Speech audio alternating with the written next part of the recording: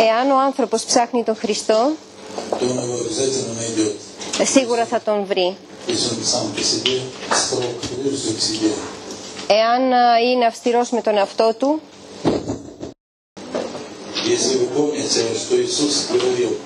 αν θυμάσαι τι έχει πει ο Χριστός, πως πρώτα απ' όλα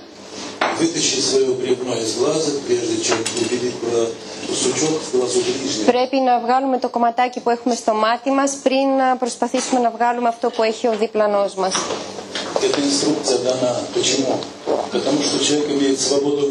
Γιατί μας έχει δώσει αυτή την οδηγία, επειδή ο άνθρωπος έχει ελεύθερη βούληση Естественно, что он хозяин только у самого себя. И другого заставить не только не может, но и даже права не имеет. Και εννοείται πως είναι ε, ε, υπεύθυνο μόνο για τον εαυτό του και δεν μπορεί να, να βάλει τον άλλον να κάνει κάτι το οποίο ε, δεν θέλει ε, και δεν επιτρέπεται. Потому что этот закон дан нам от Бога в равной степени для всех. Επειδή αυτός ο νόμος έχει δοθεί από τον Θεό σε όλους, ε, σε ίσια μέρη ε, για όλους και ισχύει για όλους μας. И следствие этого закона выражено во фразе, что посеешь, что и пожнешь сторицей. Και το αποτέλεσμα αυτού του νόμου φαίνεται και εκφράζεται στο ότι ε, σπείρεις αυτό θα θερήσεις. И если бы свободы у человека не было, он бы не отвечал никогда кармой за последствия своих поступков. Και αν δεν υπήρχε ελεύθερη βούληση του ανθρώπου, δεν θα ήταν υπεύθυνο για τα αποτελέσματα για των πράξεών του. Соответственно, если человек совершает отрицательное действие, будь то мысль, чувство, слово или дело, Οπότε, αν ο άνθρωπος κα- ε, πράξει κάποιες αρνητικές ε, πράξεις, είτε είναι σκέψεις, είτε είναι λέξεις, είτε είναι ε, κάτι στην πράξη, то он получает в ответ отрицательное взаимодействие. οπότε σαν, απο- σαν απάντηση έρχεται κάποια αρνητική πράξη, σαν τιμω- το οποίο εισπράττουμε κα- σαν τιμωρία. И неправильно, когда говорят, что Бог на- наказывает человека. Бог заложил в творении закон. Και είναι λάθος όταν λέμε πως ο Θεός τιμωρεί τον άνθρωπο. Ο Θεός το έχει ενσωματώσει στον νόμο. Соответственно, человек наказывает себя сам. Οπότε не ο зная- άνθρωπος, не зная закона. ο άνθρωπος τιμωρεί μόνος του τον εαυτό του μη γνωρίζοντας τον νόμο. И Если вы знаете неплохо историю, да и смотрите на современный мир, Και αν εσείς γνωρίζετε όχι, ε, ε, καλά την ιστορία και κοιτάξετε τον σύγχρονο κόσμο, вы, наверное, догадываетесь, что человек и человечество в целом воюют сами против себя всю свою историю. σίγουρα θα υποψιάζεστε πως ο- η ανθρωπότητα ε, παλεύει με τον εαυτό της μόνη της. В основном это из-за лжи, которую посеяна в земле очень густо. Βασικά λόγω των ψεμάτων τσο- ε, έχει σπείρει αρκετά ψέματα. Из-за нашего невежества духовного, я имею в виду. Ε, Έχουμε και άγνοια πνε- πνευματική πάντα А невежество рождается от духовной лени. και η άγνοια ε, γεννιέται από την πνευματική ε, βαρεμάρα. И если человек активен, и у него есть напор, поиск, Αν ο άνθρωπος είναι δραστήριος και προσπαθεί και ψάχνει, то он обязательно найдет этот вход. τότε υποχρεωτικά σίγουρα θα βρει ε, τρόπο για να πολεμήσει. Γι' αυτό ο Σατανάς γνωρίζοντας πως υπάρχουν τέτοιοι άνθρωποι στη γη έχει προσφέρει μεγάλη ποσότητα ψεύτικων ε, κατευθύνσεων. Αυτό φαίνεται στις, ε, στα, εζωτερικά, στην παραψυχολογία, στις σεκ, τώρα δεν ξέρω πώς... Ε, ναι, σεκ.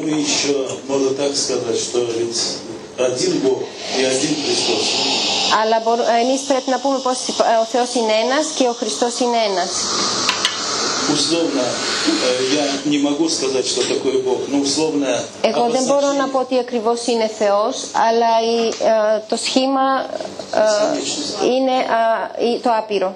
бесконечная справедливость, бесконечная сила, Η, άπε, η άπειρη δικαιοσύνη, η άπειρη δύναμη, материя, η ύλη, назовем, Земля, галактики, материальное образование. γη, γαλακτική ύλη μπορούμε να το ονομάσουμε. Ο άνθρωπος ζει εδώ ο ηλι, ε, στην ύλη αλλά έχει πνεύμα. Το οποίο γεννιέται από τον πατέρα μας. Γιατί όμως χρειάζεται ο άνθρωπος σώμα, γιατί έχουμε έρθει στη γη;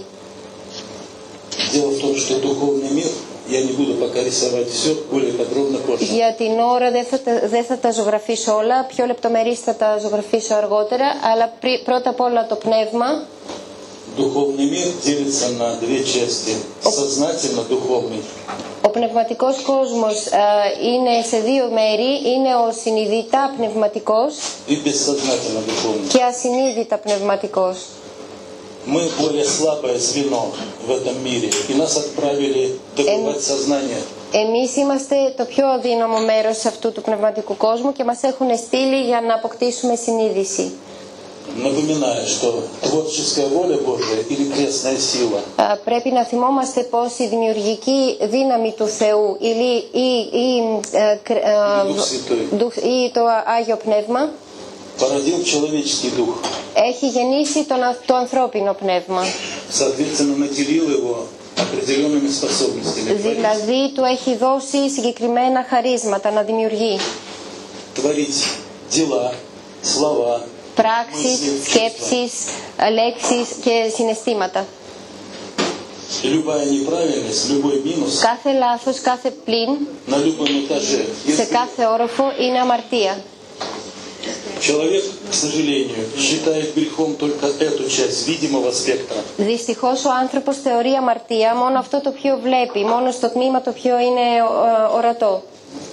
А вот это вот недооценивается, а δεν το εκτιμάει, αν κάποιο το καταλάβει, ξέρει πώ να το πολεμήσει.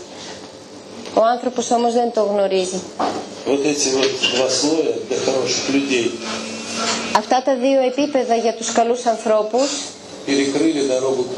έχουν καλύψει το δρόμο προς το Θεό. Και όχι μόνο, ε, όχι προς το Θεό, αλλά και προς την ίδια τους τη ψυχή. Από εδώ, από εδώ το θέλημα του Θεού έχει γεννήσει παιδιά και τα παιδιά έχουν χαθεί. Γιατί; оболочку получил сущностную, το, астральную. το и πνεύμα του ανθρώπου έχει αποκτήσει ουσιαστικό περίβλημα, αστρικό в περίβλημα конце концов материальную. και στο τέλος υλικό περίβλημα. Зачем? Γιατί, ποιο είναι το νόημα. Напоминаю, что мы из На бессознательного Тимисо. мира более слабые, чем те, которые осознали себя, не выходя из того мира. Они очень сильные. Εμείς από, την, ε, από τον ε, συνείδητο κόσμο, είμα- ε, ε, скажите еще снова, те, которые с, э, Это бессозна- сильные. Α, από πάνω είναι οι δυνατοί, Это более слабые, более ленивые. οι από κάτω είναι οι πιο, ε, οι πιο αδύναμοι, οι πιο, αυτοί οι οποίοι βαριούνται πιο περισσότερο. Эти ближе к Богу. а мы Οι από πάνω είναι πιο κοντά στο Θεό, εμείς είμαστε λίγο πιο μακριά. Более слабое отталкивается от света. Ο πιο Право αδύναμος είναι απομακρυσμένος από το φως. осознать себя через труд. Αλλά έχει ε, το δικαίωμα να, δι- να συνειδητοποιήσει με πάρα πολλή δουλειά. Человеческий дух не имеет ни голода у него есть, ни холода он не боится, он ему не нужен сон. Το πνεύμα του ανθρώπου δεν φοβάται ούτε, το φω... ούτε, το... ούτε την πείνα, ούτε τον, ε, τον ύπνο, δεν χρειάζεται ύπνο. Э, для того, чтобы у него была необходимость двигаться, как его разбудить? Για να έχει την ανάγκη να κινηθεί, πώς, πρέπει, πώς. Вот этот небожитель был соединен с материей благодаря посредничеству нескольких оболочек. А, όταν συνδεθεί με την ύλη, χάρη στις, στα περιβλήματα τα οποία ακολουθούν. А тело нужно кормить, защищать от зверей, устраивать быт. Δηλαδή για το σώμα πρέπει να το ταΐσουμε, πρέπει να το ντύσουμε, πρέπει να το προστατέψουμε από, τα, από τους κινδύνους, δηλαδή να, να κινείται. А чтобы человек не думал, что я все равно ничего не буду делать, пусть я умру, ничего страшного. Και για να μην σκέφτεται ο άνθρωπος να πει, εντάξει δεν θα κάνω τίποτα για τον εαυτό μου, δεν υπάρχει πρόβλημα, θα, θα ας πεθάνω. Для этого человек не болью, и чувством самосохранения. Γι' αυτό έχουν, έχει δοθεί στον άνθρωπο α, πόνος και συν- αίσθημα α, διατήρησης, επιβίωσης. Поэтому что получилось? Что нам создали все условия и создали необходимость движения. Οπότε εμάς μας έχουν δημιουργήσει όλες, όλες τις συνθήκες και την ανάγκη για να κινηθούμε. Затем мы и пришли на землю. Γι' αυτό έχουμε έρθει στη γη, Поэтому смысл бытия нашего Γι' αυτό το νόημα της α, ύπαρξής, μου, η- ύπαρξής μας из бессознательного состояния από, το ασυνή, από την ασυνείδητη через κατάσταση этот полигон на земле, α, через πιάτα, испытательная α, μέσα школа, από... α, είναι σαν σχολείο εδώ η γη. прийти в сознание. сюда. Να έρθουν ξανά στη συνείδηση πάνω. Библия называет это рай. Η, η βίβλος το ονομάζει παράδεισος. Что произошло? Τι έχει γίνει. В самом начале путешествия, это многие миллионы лет назад, Στην αρχή της διαδρομής, πολλά εκατομμύρια χρόνια πριν, человек совершил свой первый грех. ο άνθρωπος έχει ε, κάνει την πρώτη αμαρτία, δηλαδή έχει πέσει από την αμαρτία, да, понятно, да. Потом еще грех, еще грех. και μετά άλλη αμαρτία και άλλη αμαρτία. Каждый грех сопровождается наказанием. Κάθε αμαρτία ε, συνοδεύεται από τιμωρία. Και όταν οι αμαρτίες έχουν γίνει πάρα πολλές, ο άνθρωπος έχει δημιουργήσει μέσα από τη δική του τη συμπεριφορά πάρα πολλά εμπόδια για τον εαυτό του. Σχηματικά, αυτό φαίνεται σε, σε επίπεδο σκέψεων, πολλε, ε, κακές σκέψεις, μετά κακά συναισθήματα αρνητικά συναισθήματα. Και αυτό είναι ουσιαστικά σαν πανεπιστήμιο για την επιφανειακή μας συμπεριφορά.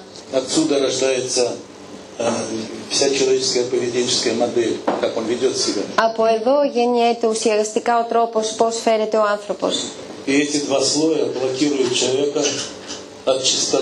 Και αυτά τα δύο επίπεδα μπλοκάρουν τον άνθρωπο από την καθαριότητα, από το καθαρό πνεύμα και από την πραγματική σχέση με το Θεό. Δεν θα σας μιλήσω για τον Κρίσνα, για τον Μωυσή, για, για όλους αυτούς που έχουν έρθει πριν τον Χριστό. Ο πιο δυνατός που έχει έρθει στη γη είναι ο Θεός, είναι ο Χριστός. Γιατί; Миллионы лет назад приходили, и до Моисея был Мелхиседек, там целая плеяда пророков. Πριν από εκατομμύρια χρόνια και πάντα ερχόντουσαν πάρα πολλοί ε, προφήτες και πριν τον Μωυσή. После Моисея, Μετά από τον Μωυσή, примерно около полторы тысячи лет назад, περίπου από χίλια, Христос. μετά από 1500 χρόνια έχει έρθει ο Χριστός. Почему? Γιατί? Сначала были уровень. Στην αρχή ήταν κάποιο χαμηλότερο επίπεδο, μετά μεσαίο επίπεδο και στο τέλος το μέγιστο. Грехи нарастали вот так. Επειδή οι αμαρτίες ανεβαίναν έτσι. Чтобы пробить вот эту, για να μπορεί να, διαπεραστεί αυτό το χοντρό επίπεδο μπορεί να το κάνει μόνο ο Θεός. Γι' αυτό ο Χριστός έχει έρθει και έχει πει «Εάν με αγαπάτε, πρέπει να τηρείτε τις εντολές». Αυτό είναι από την Αγία Γραφή. Όποιος δεν τηρεί τις, τα λόγια μου δεν με αγαπάει. Δεν το λέω εγώ, αυτό είναι παράδειγμα. Και τι, δηλαδή, ποιος στηρεί το, το, λόγο του Θεού, ε, κανένας από εμάς. Τι σημαίνει να τηρήσουμε το, το λόγο του Θεού, να ζούμε με αυτόν τον τρόπο, να τηρούμε τις εντολές του; Поэтому христианство может быть только одно. Γι' αυτό ο χριστιανισμός μπορεί να είναι μόνο ένας. Либо человек выполняет заповеди, то есть Είτε ο άνθρωπος τηρεί τις εντολές, δηλαδή τον νόμο του Θεού, либо с с большой скоростью идет по этой дороге. είτε με μεγάλη ταχύτητα προχωράει σε αυτόν τον δρόμο. Γι' αυτό πρέπει να γνωρίζουμε πώς να το κάνουμε.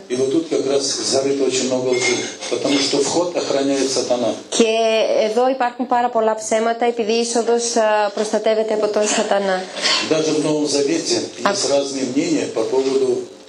Ακόμα και αν δείτε και την νέα, γραφή, την νέα διαθήκη θα δείτε πως υπάρχουν διαφορετικές γνώμες για την ορθή Э, праведность. Кто-то подскажет. Иакова, Иоанна, Анвия Васиты, τον Ιάκωβα, τον Ιωάννη, τον Παύλο, соборные послания, α, τις επιστολές τους, Павел говорит, О, Павел Лей. спасаемся не добрыми делами, а только верою и кровью Агнца. θα σωθούμε α, α, не только делами, Не только α, όχι, μόνο верой, με, не только α, ναι, όχι μόνο από την Но и πίστη, кровью Агнца. Добрые дела не в счет. αλλά, αλλά από, την, α, από το αίμα α, του, α, κρόβιου, кровью Агнца, то есть Агнца, не а. Агнец Христос, Α, Агнец. ε, από- από το αίμα του αρνιού ε, με καλές πράξεις. А у Иоанна, скажем, или у Иакова было, то вера без добрых дел мертва. Α, ο Ιωάννης και ο Ιάκωβος λένε πως η πίστη είναι αρκετή, δεν χρειάζονται καλές πράξεις. Разница очевидна. Φαίνεται πραγματικά η Идти διαφορά. творить добро или без добра, только верою и кровью. Είτε κάνουμε Счастье. καλό είτε χωρίς καλό ε, με το αίμα και με την, α, με την, με την κοινωνία В самом начале Και στην для αρχή. меня это было, για μένα ну, в логике, αυτό ήταν στη λογική μου кто прав. έλεγα ποιος, είναι, ποιος έχει δίκιο Любой ищущий столкнется с этим. И κάθε άνθρωπος που αναζητάει θα το συναντήσει αυτό και θα πει ποιος έχει δίκιο Я в, своей, в своем образовательном, ну, в институте получил εγώ στο Πανεπιστήμιο, στην εκπαίδευσή μου, ε, επέκτησα κάποιες ε, ε, συνήθειες. Το πρώτο, το σημαντικότερο είναι αυτός ο πρώτος, που, η πηγή. Οπότε από πού έχει προερθεί η Καινή Διαθήκη, από τον Χριστό. Значит.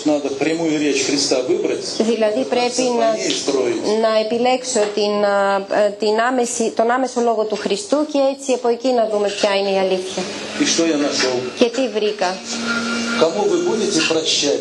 того и Отец Небесный простит. Όποιον συγχωρείτε εσείς, ε, όποιος μπορεί να συγχωρέσει, αυτός θα, αυτόν θα συγχωρέσει και ο Θεός. Я попробовал пожить так. Και προσπάθησα να ζω με αυτόν τον τρόπο. Είπα εντάξει, θα, θα συγχωρώ. Сначала я думаю, ну я очень не так вот прощаю, но я понял, что это не прощение, это голова моя говорит, что я прощаю, мысли. Στην αρχή ξεκίνησα να σκέφτομαι, λέω εντάξει, εγώ συγχωρώ, αλλά ουσιαστικά δεν συγχωρώ εγώ. Απλά οι σκέψεις μου, το κεφάλι μου λέει πως συγχωρεί. Истинное прощение должно быть здесь, от души. Η πραγματική ε, συγχώρεση πρέπει να είναι από μέσα, από την ψυχή. Тогда и обида исчезает. τότε και ο θυμός φεύγει, εξαφανίζεται. Και όταν δεν υπάρχει ε, μέσα ο θυμός, ε, τελείωσε, δεν υπάρχει την ασύγχωρεση. Αλλά να, να με κάνω έτσι να συγχωρώ δεν μπορούσα. Και εδώ θα, θα φτάσουμε ένα πολύ σημαντικό ερώτημα. Το ποιο στην αρχή της εμπειρίας μου το, κατα... Ε, το βρήκα. Το ποιο ε, ε, ριζικά έχει αλλάξει τη ζωή μου. Το θέμα είναι πως το κεφάλι μας πάντα αντιστέκεται. Она требует. Απαιτεί λογική, λογική εξήγηση σε όλα. Γιατί εγώ που με έχουν προσβάλει πρέπει να συγχωρώ; Γιατί; Не я же, меня обидели. Ε, τα- ε, α, α, εγώ δεν έχω κάνει κάτι, εμένα με προσβάλανε. Я нарисовал, что сегодня, это был Και 1990 αυτό ήταν το 1994, четвертый месяц, апрель, τον Απρίλιο, начало. στην αρχή. Сказал, почему мне сегодня предал друг? Και είπα, γιατί εμένα σήμερα με πρόδωσε κάποιος Было очень φίλος. обидно. Ήταν, ο- Верил. ήταν πολύ προσβλη- προσβλητικό. Εγώ τον πίστευα. Αλλά είπα. Τότε εγώ ήμουνα 46 χρονών. Και είπα, εγώ πώς ήμουνα στην προηγούμενη ζωή μέχρι σήμερα, ήμουν άγιος. Τι σημαίνει πως δεν ήμουν άγιος, είχα αμαρτίες σκέψεις, συναισθήματα. Η συμπεριφορά μου επιφανειακά ήταν πολύ καλή, ε, μιλούσα σωστά. Αλλά τα συναισθήματα και οι σκέψεις μου ήταν πάρα πολύ μακριά από, από τις τέλειες, από, τη τελειότητα. Και εγώ είπα τότε, ε, υποθέτω, αυτό είναι ακολουθία. Η αιτία βρίσκεται κάπου πριν, ε, αυτό είναι το αποτέλεσμα. 10, 15, 20 лет назад 10, 15, 20 χρόνια я πριν, кого-то обидел, чуть-чуть. ίσως κάποιον να πρόσβαλα, έστω και λίγο. Ήρθα εδώ, Одно зерно всегда дает урожай.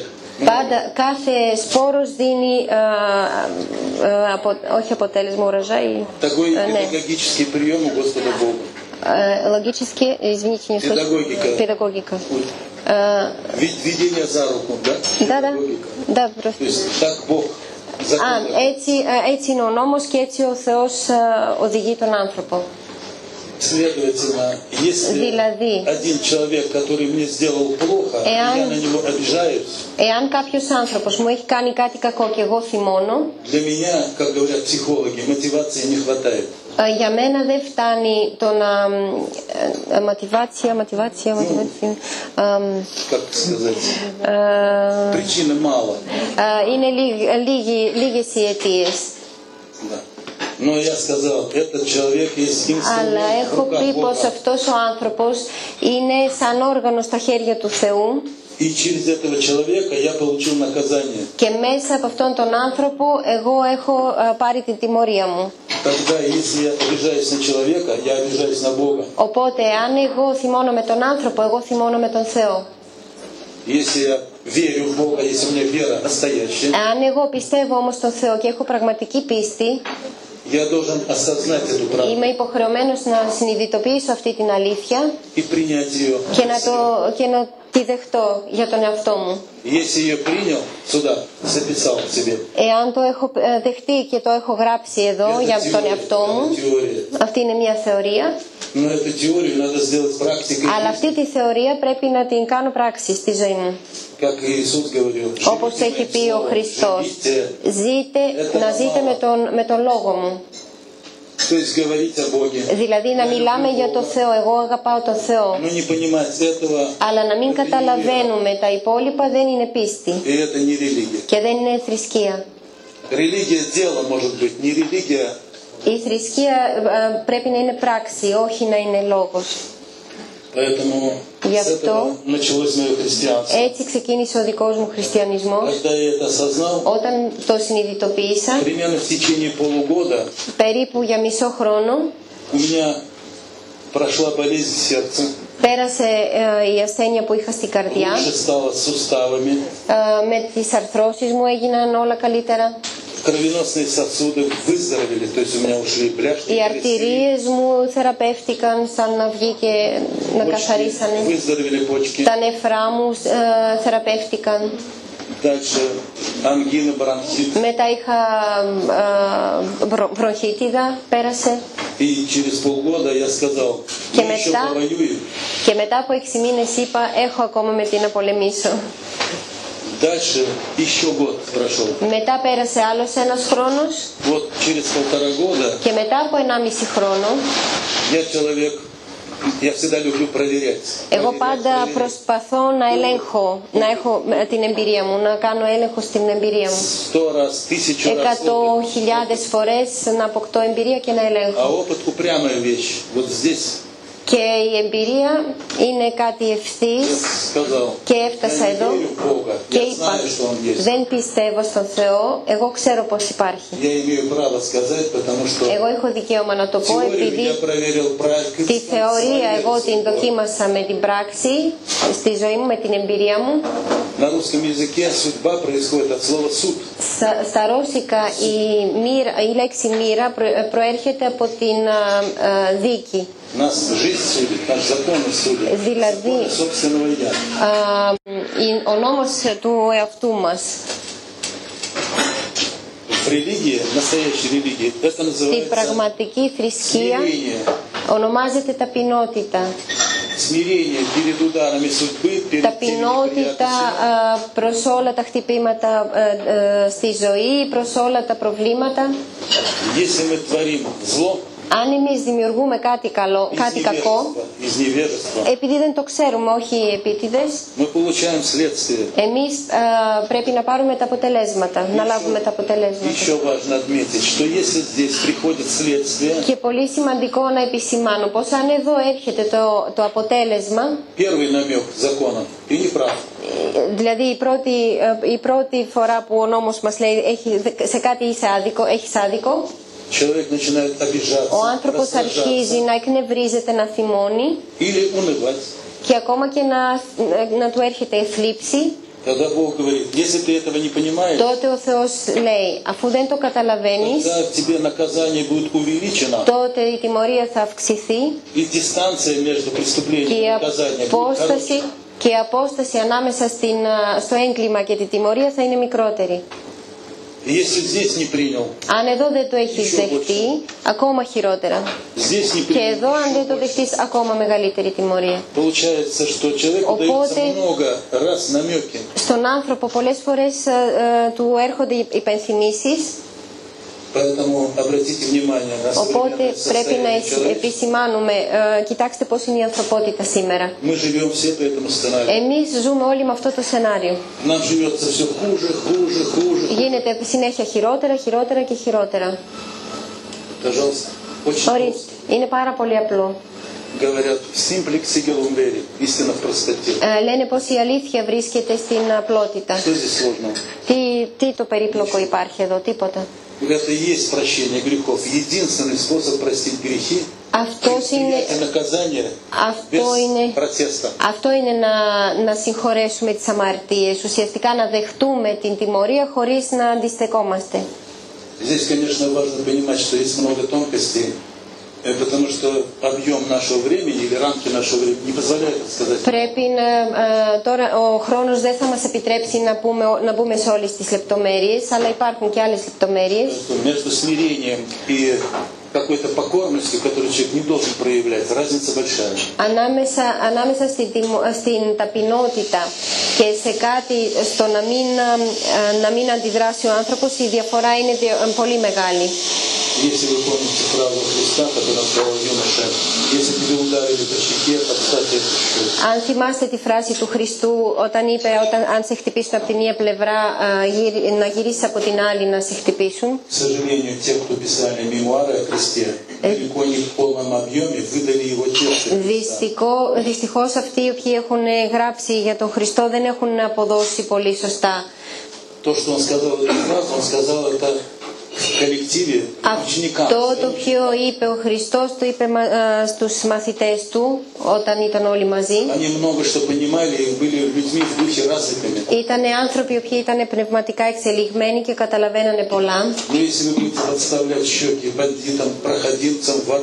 Αλλά αν, γυρίζετε την άλλη σας πλευρά σε κάποιον εγκληματία, σε κάποιον κλέφτη, σε κάποιον ψεύτη, ε, είναι διαφορετική η κατηγορία.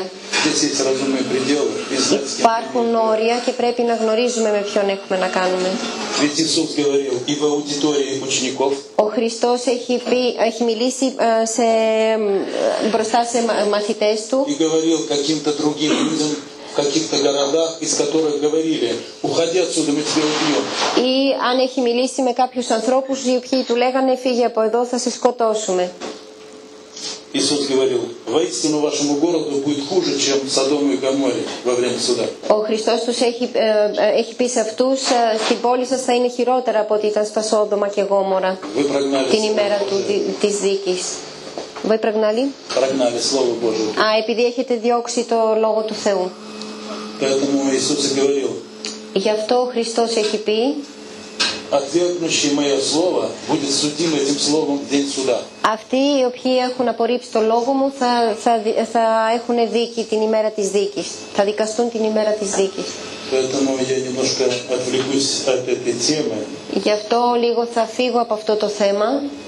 Очень важно не только понимать εγώ ε, θα σας πω ακόμα πολλά για αυτό το θέμα, δεν είναι σημαντικό να το καταλαβαίνουμε. Αλλά πρέπει να καταλαβαίνουμε και ε, τα επιφανειακά γεγονότα, αυτό που συμβαίνει σήμερα στη γη. Αν θυμάστε, ε, λέει ο ε, λαός με λαός θα πολεμήσει, βασίλειο με βασίλειο, αδερφός με αδερφός. Θα γίνουν ε, σεισμοί, πλημμύρες, θα αυξάνονται στη γη. Αυτό είναι μόνο η αρχή της αρρώστιας, δεν είναι το τέλος. Αυτοί οι οποίοι θα αντέξουν μέχρι το τέλος θα σωθούν. Είναι αυτοί που πιστεύουν, που δεν κλέβουν, που, δεν, που ζουν τίμια.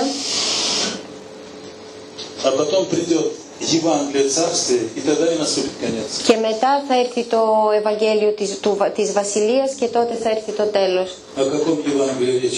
Για ποιο Ευαγγέλιο μιλάει; Ведь Библия оформлена как э, Новый Завет. Αφού η начале Αγία четвертого Γραφή, века, если кто знает. α, η Νέα Διαθήκη έχει, ε, έχει γίνει το, στις, στις αρχές του 4ου αιώνα. 325 год нашей веры, Никейский собор, 325 χρόνια μετά το Χριστό первые постулаты, и чуть позже было канонизировано. και αργότερα έχουν γίνει οι κανονισμοί και τα τέσσερα Ευαγγέλια.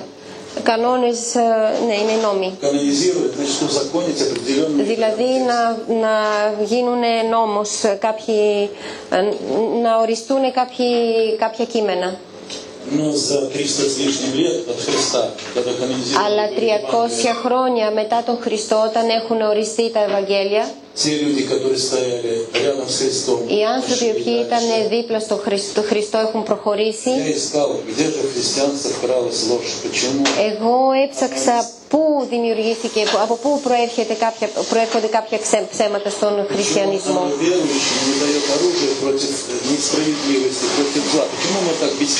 Γιατί είμαστε τόσο αδύναμοι όταν έρχεται το κακό, γιατί δεν μπορούμε να το αντιμετωπίσουμε.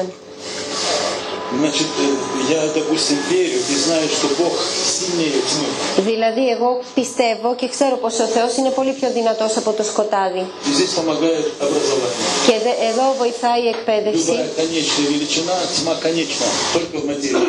Κάτι, κάθε πράγμα το οποίο έχει άκρη, ναι, το οποίο είναι με άκρη, По сравнению с бесконечностью, σε σχέση με το величина ατελείωτο, бесконечно ε, ε, αυτό είναι κάτι πολύ μικρό σε σχέση με το ατελείωτο.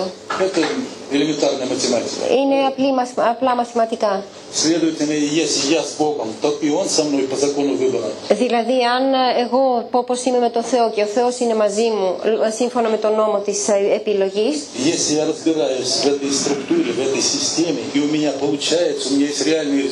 εάν κατανοήσω εγώ αυτό το σύστημα και έχω πραγματικά αποτελέσματα, я вошел на тот путь, который нам и дал Иисус. Я путь, я истина, я жизнь. εγώ βγαίνω σε αυτόν τον δρόμο που μας έχουν πει πως εγώ είμαι ο δρόμος, εγώ είμαι η αλήθεια, εγώ είμαι η ζωή. Γνωρίστε την αλήθεια και η αλήθεια θα σας απελευθερώσει. Ελευθερία από τι, από ασθένειες, από προβλήματα; Σταματήστε να, να αμαρταίνετε. Αν δημιουργείτε καλό χωρίς να κάνετε αμαρτίες, τότε θα, θα ανθίζει μετά το μέλλον και θα, έρχεται καλό, θα, γίν, θα έρχονται καλά. Αυτό είναι πολύ απλό.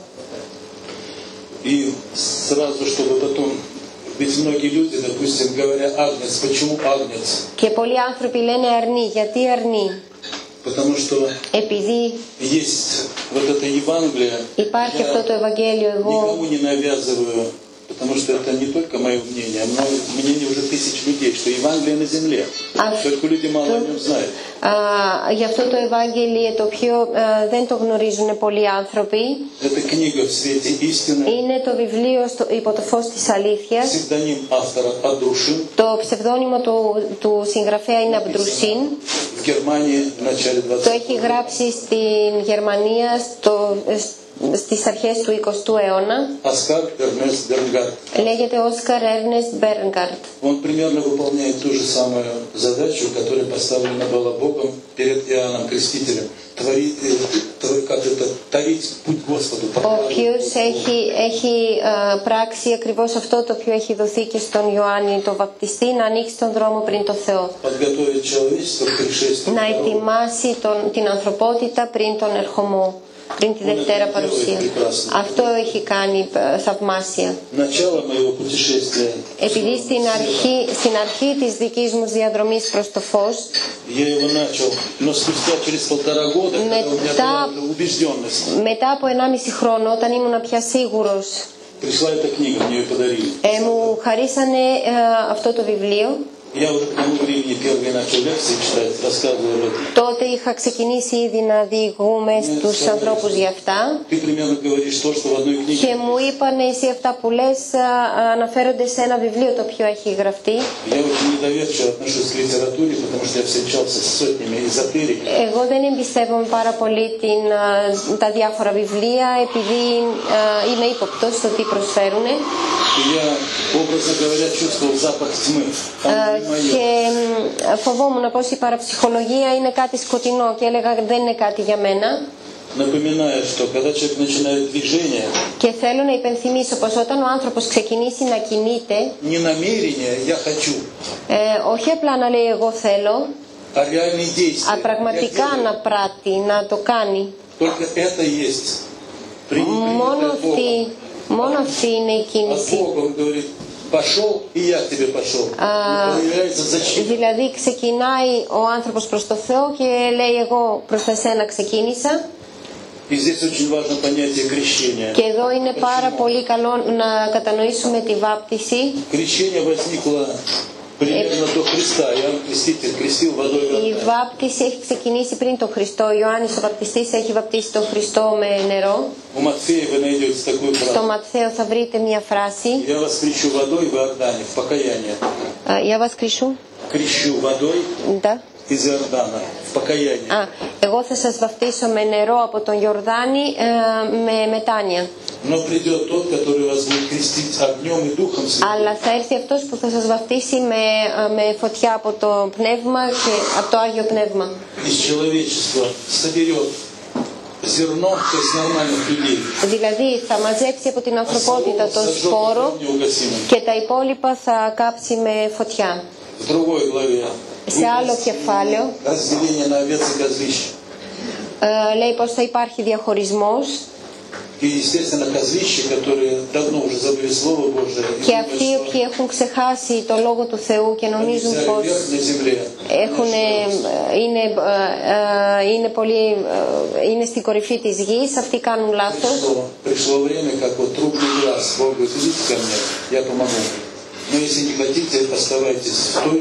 Δηλαδή, αν κάποιος αναζητάει, εγώ θα βοηθήσω. Αν δεν θέλετε, θα παραμείνετε στη ζωή την οποία ζείτε. Εκεί που οι άνθρωποι βλέπουν τον Θεό, δεν υπάρχει Θεός. Επειδή η ανθρωπότητα γενικά ε, θεωρεί πως δεν έχει ανάγκη τον Θεό. Αλλά οι άνθρωποι έχουν ανάγκη τον, τον Θεό. Для человечества очень важна эта связь. Για την ανθρωπότητα είναι πολύ σημαντική αυτή η σχέση. В самом слове «религия» переводится «восстановление связи». Δηλαδή η λέξη θρησκεία ουσιαστικά είναι α, επαναφορά σύνδεσης, επανασύνδεση, Союз с Богом. σύνδεση με τον Θεό. И если какая-то конфессия способна объяснить и привести человека через Чи- знание к Богу, Αν κάτι μπορεί να μας εξηγήσει και να μας πάει μέσα από τις γνώσεις προς τον Θεό, эта конфессия имеет право на название религия. το τότε μπορεί να ονομάζεται θρησκεία. Если же она этого не может, Αν δεν μπορεί να μας πηγαίνει προς το Θεό, τότε δεν είναι θρησκεία.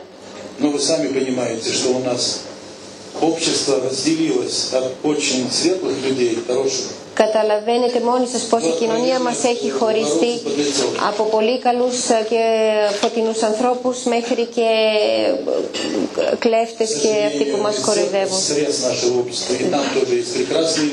Δυστυχώς και στην Εκκλησία υπάρχουν επίσης και θαυμάσιοι άνθρωποι αλλά και άλλοι άνθρωποι δεν ξέρω πώς είναι στην Ελλάδα βέβαια, αλλά εκεί που ζω εγώ φαίνεται πάρα πολύ έντονα. Και να επιστρέψω σε αυτάς, γιατί ονομάσαν τον Χριστό Αρνή, в свете истины, говорит автор. Το βιβλίο «Από το φως της αλήθειας» ο Вам даются συγγραφέας сведения, λέει с каких вершин даются, С- что вы «Σας δίνονται γνώσεις από τέτοια ύψη που εσείς сможете их добыть. Поэтому, μόνοι σας δεν μπορείτε να τις забегая αποκτήσετε». вперед, говорю, что Γι' αυτό εγώ рядом с престолом Господа есть четыре следующих животных. σας λέω μαζί με, την, με το θρόνο του Θεού υπάρχουν τέσσερα άλλα ζώα. Овен, э, Телец, Арни, да, Криос, э, Таврус. Дальше Орел. Э, Айтос. И э, четвертый сейчас э, Овен, Телец, Орел, Лев. Лев, лев. А, Кельондари. Έχουν πει τραγούδια, έχουμε στα ρώσικα τραγούδια για αυτά. Και στη Νέα Διαθήκη έχει λίγο για, το, για τα Γεροσόλυμα, πως είναι πόλη του, του ουράνια πόλη. никакого отношения к нашим животным не имеет. Αυτά τα τέσσερα ζώα δεν έχουν καμία σχέση με τα δικά μας ζώα εδώ. Это определенное излучение или род деятельности. Ε, είναι κάτι που εκφράζει τις ε, δράσεις τους, τη, πρα- τη- τις δράσεις τους. Иисус Христос воплощался через эту форму, через Και ο ум. Χριστός έχει έρθει μέσα από αυτή τη μορφή του αρνιού, του Его κρυού. называют Агнец, Γι' αυτό большой τον буквы. ονομάζουν αρνί Агнец, большой буквы. με κεφαλαίο. Далее. И второй сын человеческий тоже идет. Ο δεύτερος άνθρωπος του, ε, ο δεύτερος α, γιος του ανθρώπου επίσης θα περάσει από Он εκεί. тоже Агнец. Επίσης είναι αρνή. А Богоматерь это Η μητέρα первая, του Θεού είναι η πρώτη μορφή μετά τον Θεό. Στη θηλυκή, στη υπόσταση πάντα έχει κάποιο, η θηλυκή υπόσταση έχει πάντα ένα σκοπό να, βγάζει σε μορφή, να, ναι, μορφή. Γι' αυτό και η μητέρα του Θεού με το μωρό έχει αυτή την αξία. Δίνει εμφανές περίβλημα του Θεού και σε όλους τους αρόφους μεταδίδεται αυτό έτσι όπως η Μαρία έχει δώσει το σώμα του Χριστού.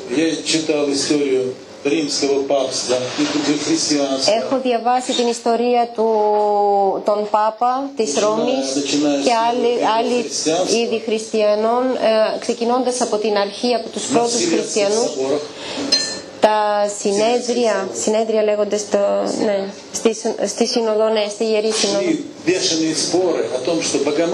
Είχαν φοβερές συζητήσεις αν είναι μητέρα του Θεού η Μαρία ή δεν είναι.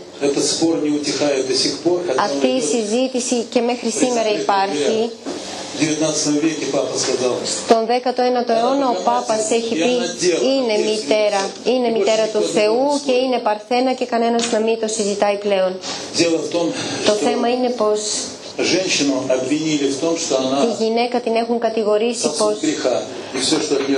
πως, έχει την ουσία της αμαρτίας και ό,τι γεννιέται από τη γυναίκα είναι αμαρτυλό, εξ. Και δεύτερο, στις συζητήσεις θεωρείται πως οι άνθρωποι οι οποίοι έχουν το κεφάλι τους στη θέση τους λένε «Εάν η Μαρία έχει γεννήσει τον Θεό και την ονομάζουν μητέρα του Θεού εδώ στην Παναγία, ε, μητέρα του Θεού, αφού ο Θεός είναι ένας. Πώς μπορούν να πολλαπλασιάζουν τον Θεό στη γη, δεν είναι δυνατόν». Αυτό, υπήρχαν συζητήσεις γι' αυτό. Σύμφωνα με το Λόγο του Θεού λέει εγώ και ο Θεός και ο Πατέρας είμαστε ένα. Είμαστε μία ουσία. Για το μυαλό μας, για να το καταλάβουμε. Ε, μπορούμε να πούμε ένα παράδειγμα ε, λογικό. Υπάρχει μία δημιουργία. Και ένα μέρος της δημιουργίας είναι υλικό. Όπου ο άνθρωπος παρουσιάζεται σαν σώμα. Когда сюда приходит Бог, Όταν ο Θεός έρχεται Он εδώ, получает все эти оболочки, он παίρνει όλα αυτά τα περιβλήματα, их ведь кто-то создает. κάποιος τα δημιουργεί. Και αυτή η ενσωμάτωση του Θεού στη γη όπου πολλοί άνθρωποι δεν θεωρούσαν τον Χριστό Θεό. Μόνο αυτοί που είχαν ανοιχτό, ανοιχτή ψυχή μόνο αυτοί νιώθαν, είχαν αυτό το συνέστημα. επειδή α, έβγαινε μακριά από τα πλαίσια του ανθρώπου, από τα όρια του ανθρώπου.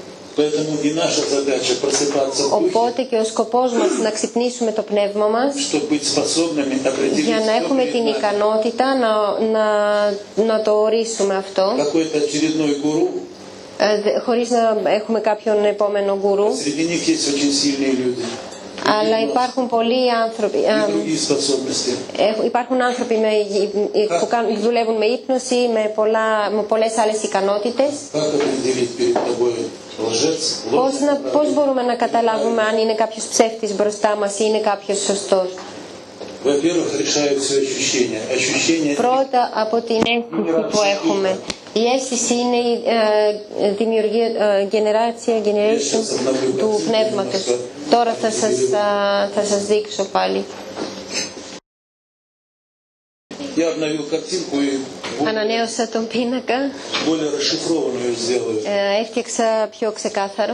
До человеческого духовного мира, вот я рисовал, сознательный и бессознательный, Όπως σας είχα πει, το συνοδητό πνευματικό κόσμο και τον ασυνείδητο. Από πού είμαστε εμείς, προερχόμαστε από εκεί. Έχουμε πρωτοδημιουργημένο πνευματικό πιο πάνω. Ε, από εκεί ήταν ο Μωυσής, ο Κρίσνα και άλλοι προφήτες. Δεν ήταν θεοί αλλά ήταν πιο φωτεινοί από εμάς. Ήδη πριν 2.000 χρόνια εγώ σας εξήγησα γιατί ήρθαν από εκεί. Воля Божья или божественный мир заканчивается здесь и начинается творение. Το Созданное θέλημα του человеком Θεού Богом. τελειώνει εκεί πάνω και ξεκινάει η δημιουργία. Созданное Богом. Όλα Самая τα υπόλοιπα сильная έχουν δημιουργηθεί από το Θεό. Сфера самая сильная это.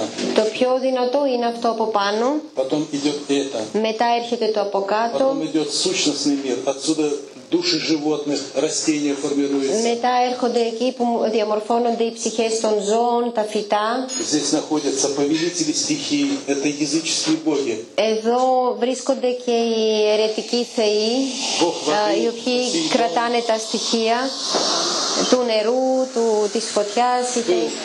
э, в Элладе был Στην Ελλάδα υπήρχε τέτοιο πανθεόν, στη Ρώμη, στην Αίγυπτο. Οι Σουμέροι είχαν, οι Γερμανοί, ο γερμανικός πολιτισμός είχαν τέτοιους θεούς, σκανδιναβικός πολιτισμός. Όλοι είχαν προέρχονται από αυτό το επίπεδο. Είναι πέμπτη, έκτη τάξη της ανθρωπότητας. Και ο Ιησούς είναι δέκατη τάξη, δηλαδή τελευταία, ανώτερη. Η ανθρωπότητα ήταν έτοιμη να δεχτεί τον, την, την μονο, τον μονοθεϊσμό, μονοθεϊσμός. Поэтому Иисус пришел 2000 лет назад, чтобы Γι' остановить αυτό- падение человечества. Γι' αυτό ο Χριστός έχει έρθει πριν από 2.000 χρόνια για να σταματήσει την πτώση της ανθρωπότητας. Я Обращу внимание, что он сказал в 14 и 16 главе Иоанна. Θέλω να επισημάνω τι έχει πει στο 14ο και 16ο κεφάλαιο του Ιωάννη. Прожил он примерно от 33 до 40 лет. Там Ας πούμε хронология, ανάμεσα στα 33 και τα 40 του официальная дата смерти Христа не совпадает с тем, что Ирод IV η επίσημη ημερομηνία του θανάτου του Χριστού δεν συμπίπτει με τον умер до Ηρώδη рождения Христа официально. На самом деле Επειδή Ирод έχει- IV ο Ηρο- ο Ηρώδης έχει младенцев было. а, а он что Ирод четвертый что Ирод IV Да. был э, царь Иудеи. Α, ήταν, ο Ηρώδης ήταν βασιλιάς των Ιουδαίων Потом по исследованиям уже историков, και ученых, οι ιστορικοί λένε Иисусу πως было около 40 лет.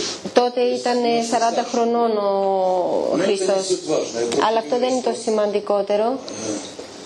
За его короткую жизнь Για, το, για τη σύντομη ζωή του он оставил на земле м, очень сильные знания. έχει αφήσει στη γη πάρα πολύ δυνατές α, γνώσεις την- για την είσοδο. Έχει εξηγήσει στους ανθρώπους τα λάθη τους И создал коридор входа. και έχει δημιουργήσει είσοδο. Входите, пожалуйста. Και έχει πει περάστε παρακαλώ. Но из-за того, что Αλλά επειδή πάρα πολύ γρήγορα έχουν δημιουργηθεί πολλά ψέματα στο χριστιανισμό, για το ανθρώπινο κεφάλι ο θεωρητικός δρόμος έχει καλυφθεί.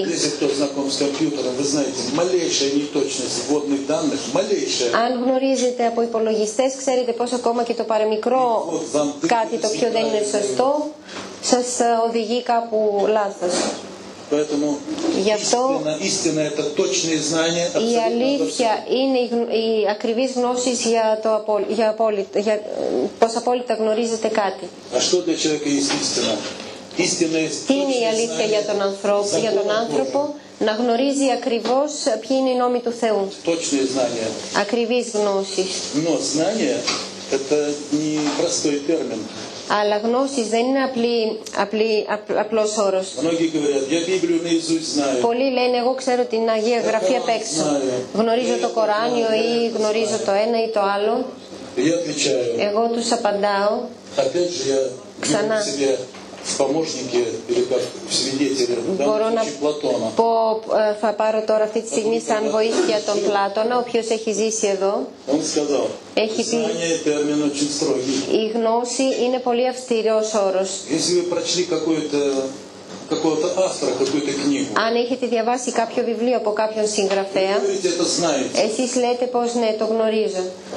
Он говорит, вы строго говоря, Και σας прочли λέει, чужое мнение по поводу какого-то και материала. λέει αυτή είναι ε, κάποια ξένη γνώμη σε σχέση με κάτι, δεν είναι А вы его γνώση. проверили собственным опытом. Εσείς το έχετε ελέγξει με τη, δικ- ε, το έχετε ελέγξει με τη δική σας εμπειρία. Если вы возьмете этого автора и попробуете по его инструкции пожить, Αν πάρετε αυτόν τον συγγραφέα και προσπαθήσετε να ζείτε σύμφωνα με τις οδηγίες του μισό χρόνο, и тогда опыт вам покажет. τότε η εμπειρία θα σας δείξει είναι σωστό ή δεν είναι σωστό αυτό το οποίο έχετε λάβει. Вы только проверили мнение. Τότε, τό- τότε μόνο αν ελέγξετε τη γνώμη κάποιου, Это тоже еще не знание.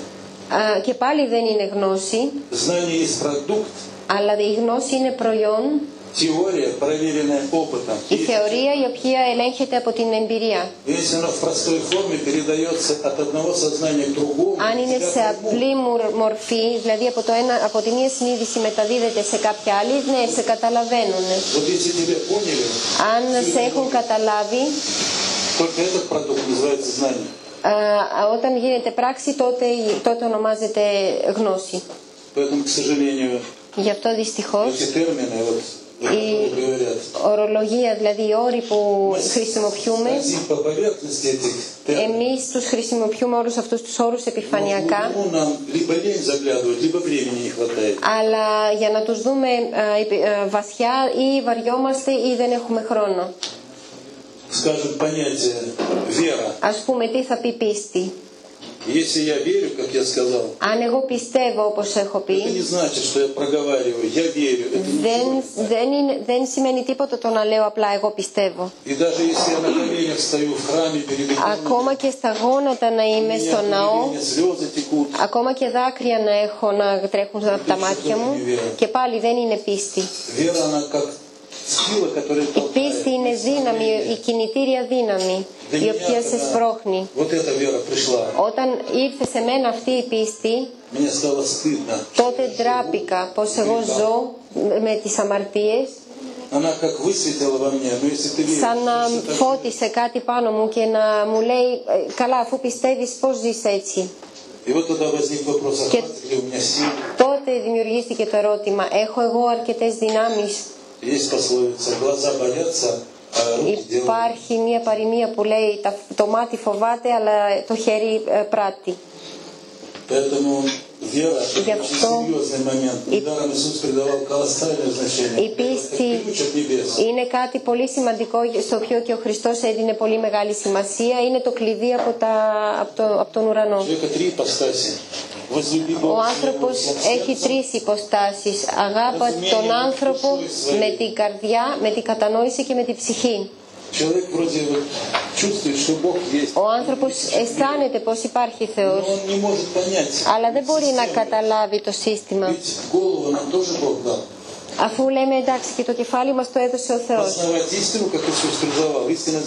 Να γνωρίσουμε την αλήθεια όπως ο Χριστός έλεγε να, η αλήθεια θα μας απελευθερώσει. Αυτό δεν γίνεται χωρίς το μυαλό. Και πολλοί άνθρωποι οι οποίοι είναι από τους ναούς μου έχουν πει τι ψάχνεις λογικής στο Θεό, πρέπει απλά να πιστεύεις. Για αρχή είναι. η πίστη είναι η. Και μετά, μετά όμως το μυαλό ζητάει εξηγήσεις. Και εγώ με το δικό μου απλό κεφάλι δεν μπορώ να εξηγήσω. Τότε. Τότε το μυαλό αρχίζει να μου λέει όχι, δεν υπάρχει κανένας Θεός, δεν βλέπεις τι γίνεται στη γη. Ο Θεός είναι κάτι τέλειο, εδώ συμβαίνουν ε, άσχημα πράγματα. Και όταν εγώ κατάλαβα πως ο άνθρωπος ζει με εκείνο το σενάριο που εξήγησα, ε, τα μαζεύω και τιμωρούμε, τότε κατάλαβα πως υπάρχει Θεός. Απλά εμείς εμείς ζούμε σε αυτόν τον τέλειο κόσμο λάθος, με λάθος τρόπο.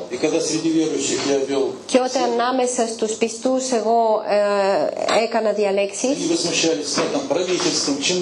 και οι άνθρωποι θυμώνανε με την κυβέρνηση κυβέρνηση, με τους δημόσιους υπαλλήλους, με ε, και γυναίκες δεν μπορούσαν να βρουν μεταξύ τους κάτι κοινό, Καλές σχέσεις, ούτε στην αγάπη, ούτε στο σεβασμό πουθενά.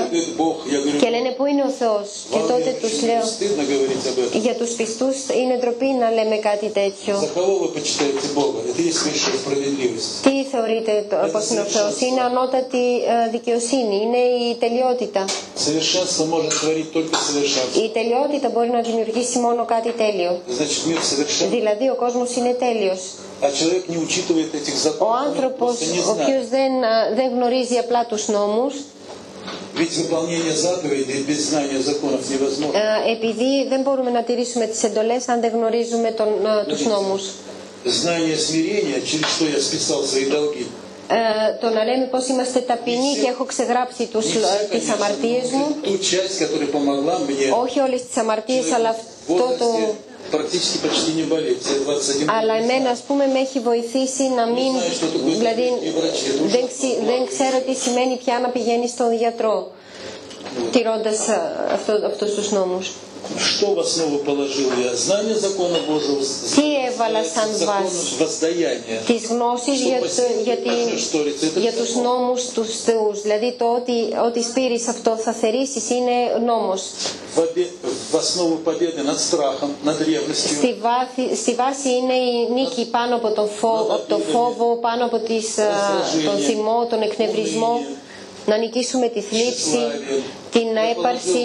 положил, опираясь только на законы. Και εγώ όλα αυτά τα κα- κατάφερα να τα νικήσω μόνο βασίζοντας α, στην, στον νόμο, βάσει Потому του что я νόμου. понял, что человек не имеет права изобретать какие-то боковые свои изобретения в сфере религии. Επειδή κατάλαβα πως εμείς δεν μπορούμε να δημιουργήσουμε κάτι στον τομέα των, θρη- της Ничего θρησκείας, сильнее, проще и правильнее. επειδή дает δεν нам Бог, не υπάρχει может быть просто. τίποτα πιο δυνατό και πιο σωστό εκτός από αυτό που μας έχει δώσει ο Θεός. Еще раз напоминаю. вот Άλλη эта μια φορά схема. θα πω, Как αυτό το только σχήμα. Меня кто-то обижал первые месяцы. Τους πρώτους μήνες όταν κάποιος με προσέβαλε, Я помню, иду по белорусскому вокзалу, кого-то провожал. θυμάμαι κάποιον να πήγαινα στο σταθμό τον Ρώσικο Человек και пьян. ένας άνθρωπος μεθυσμένος Просто вот взял меня, толкнул и απλά смеялся. με έσπρωξε και γελούσε. Και εγώ γύρισα και έτσι μου ήρθε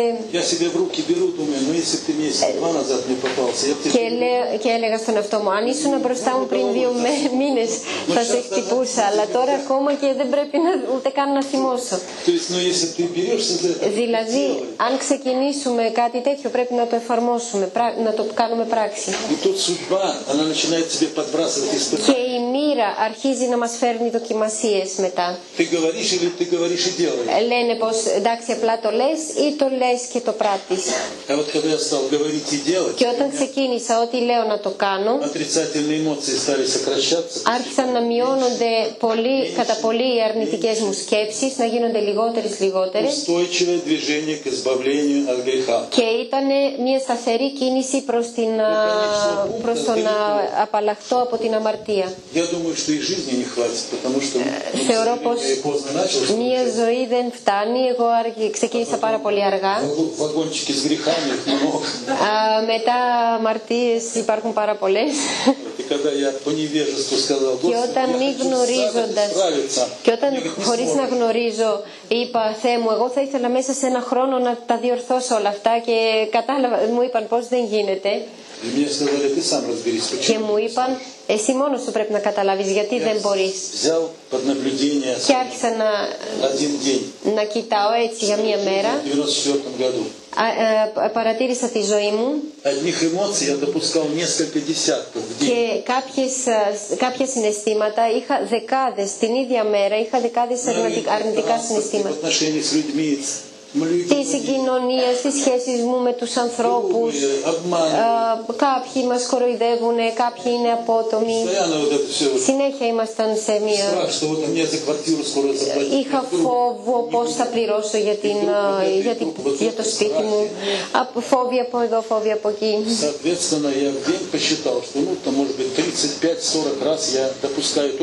Και τότε κατάλαβα πως 30-40 φορές την ημέρα εγώ επιτρέπω στον εαυτό μου αρνητικά συναισθήματα. Και αυτό το 40 το έκανα επί 365 μέρες και τότε ήμουνα 46 χρονών. Μείον 15 επειδή ήμουν παιδί δεν είμαι υπεύθυνος για τα παιδικά μου χρόνια. Και επί 31 και ήρθε ένα τρελός, αριθμός. Και είναι πολύ φυσικό πως αφού το έχω σπίτι θα το θερήσω. Οπότε, αν θερίζω όχι μόνο μία ένα πρόβλημα την ημέρα, αυτό αν το κάνετε επί 365 1200 χτυπήματα της μοίρας, εγώ πρέπει να έχω κάθε μέρα για ένα χρόνο για να μπορώ να, να, να, να ισορροπήσω. Και αυτό ήταν πάρα πολύ. Γι' αυτό μου είπανε πρέπει να εμπιστευτείς στην επιφύτηση. Ξέρει καλύτερα από, αυτά που ξέρεις εσύ. Πολλά λάθη έχουμε κάνει επειδή δεν γνωρίζαμε άθελά μας αλλά να αποκτήσει όλε αυτέ όλες αυτές τις γνώσεις κάτω από το σκοτάδι είναι πάρα πολύ δύσκολο. Από πού έρχεται το σκοτάδι και πώ μα επιδρά πάνω μα,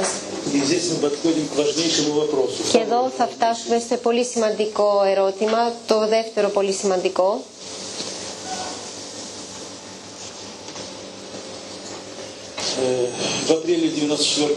Τον Απρίλιο του 1994, ακόμα στην αρχή, το πρώτο με το οποίο συγκρούστηκα, εγώ είμαι αβιομηχανικός και μηχανικός υδροκατασκευαστικός, Έχω κάποιες κάποιες στη θρησκεία και φιλοσοφία. Όλα αυτά, όλα αυτά μπορώ να τα κάνω πολύ γρήγορα αλλά ό,τι αφορούσε για τη συμπεριφορά, τη συμπεριφορά μου προσπαθούσα τη σχέση μου με το Θεό να καταλάβω τι είναι, ποια είναι η ουσία. Γιατί ο θυμός, ε, γιατί ο φόβος, γιατί ο φόβος να είναι αμαρτία, γιατί, ε, γιατί όλα αυτά να είναι αμαρτία, πού είναι η λογική; Το μυαλό είναι όργανο λογικής. Η προσπάθεια να καταλάβω αυτές τις γνώσεις στο κεφάλι γινόταν τσούς, не знаю, ε, χαμός, ναι, χαμός, στο κε- γινόταν χαμός στο Помехи, κεφάλι. помехи. Да, да. Και μου λέγανε, α, ξέχασες, το μάτι της κουζίνας να κλείσεις; Πηγαίνω στην κουζίνα όλα κανονικά. Μετά μου λέει, χτυπάει το τηλέφωνο, ακούω και λέω ότι ε, και πήγαινα αριστερά, δεξιά, αριστερά, δεξιά. Προσπαθούσα να το μπλοκάρω και έλεγα, δεν πειράζει, δεν με ενδιαφέρει η κουζίνα, δεν με ενδιαφέρει το τηλέφωνο, θέλω να πάω προς το Θεό. Ε, ήταν όμως από τη μία το ένα, μετά το άλλο και συνέχεια το ένα μετά το άλλο Я столкнулся с тем, что я не могу мышление Και вот это τότε κατάλαβα πως никак. δεν μπορώ να διαμορφώσω αυτή τη σκέψη με κανέναν τρόπο. Но что я понял? Что Τότε мои τι мозги κατάλαβα, πόσο το μυαλό мне не принадлежат. Я не хозяин. δεν μου ανήκει, δεν είμαι ε, ιδιοκτήτης του μυαλού μου. Это был ужас. Αυτό ήταν για μένα φρίκι. Что ж я зомби? Τι είμαι εγώ, ζόμπι. Меня кто-то хозяйничает моей головой. И не Κάποιος дает мне δηλαδή είναι, заниматься. ε, κάποιος κατέχει δηλαδή το κεφάλι μου και δεν μου επιτρέπει να ασχοληθώ με αυτό Я που θέλω. столкнулся, я уже достаточно зрелый человек. Ήμουν αρκετά όρ- όριμος άνθρωπος 46 χρονών και πρώτη φορά ε, μου συνέβαινε. Ήμουν διευθυντής σε υδροκατασκευαστική οργάνωση, δηλαδή δεν ε, Κάποιος ασχετές. Και όταν ξεκίνησε αυτό, δεν είχα υπομονή, αυτό είναι το αδύναμο σημείο μου, αλλά είχα πολύ μεγάλη θέληση. Κατάλαβα πως μάλλον εμένα με έχουν προετοιμάσει κατά κάποιον τρόπο σε όλα αυτά, επειδή η μοίρα μου, η μοίρα μου πολλές φορές με έχει ρίξει από το άλογο, με προβλήματα, απώλειες, και κάθε φορά έπρεπε να ανεβαίνω πάνω στα άλογα και να ξανασυνεχίζω. Και τότε ε, ε, απέκτησα έτσι μεγάλη θέληση. Κατάλαβα πως, ό,τι και να συμβαίνει δεν πρέπει να παραδίδομαι, πρέπει να πράττω. Και εδώ τότε είπα, εγώ θα πολεμήσω, θα προσπαθήσω, να, να, να, να υποχρεώσω το κεφάλι μου να κάνει αυτό που θέλω εγώ. И вот я помню, читал много фантастики, Και в детстве, что θυμάμαι, мне очень помогло. εγώ διάβαζα πάρα πολύ φαντασ... φαντα... ε, μυθιστο... όχι, μυθ... Я φανταστική. применил это из одной повести, και ήταν κάποιο βιβλίο που κάποιοι βιοενεργειακοί πολεμούσαν μεταξύ τους και με κάποιον τρόπο ένας έμπαινε στο, στο συνειδητό του άλλου, το σκάναρε και είναι κάποιο βιβλίο τέτοιο και εκεί κάτι σκέφτηκα. Κάποιος άνθρωπος ήταν πιο αδύναμος και είπε μπήκε σε κάποιο μουσικό κατάστημα του βάλανε κάτι, μουσική, με μουσική, αλλά έτσι απαλή μουσική. Έγραψε αυτή τη μουσική. Και όταν κάποιος δυνατός διονεργειακός ήθελε να τον σκανάρει, αυτός έβαλε αυτή τη μουσική έβαζε μου τη μουσική και αυτό μπορούσε με κάποιον τρόπο να εμποδίσει, να εμποδίσει από εξωτερικές ε, επιδράσεις. Στην αρχή ξεκίνησα με αυτό και μετά δημιουργήσα και δικές μου λύσεις, βρήκα και κάποιες δικές μου και άρχισε να με βοηθάει. Μότι, μόλις ξεκίνησα να, παρε... να εμποδίζω όλες αυτές τις ε, εξωτερικές ε, προσπάθειες να με σταματήσουν που με οδηγούσαν σε κάτι αρνητικό. Το κεφάλι μου πολύ γρήγορα πήγαινε προς τη λογική, προς την ταπεινότητα, προς τους νόμους.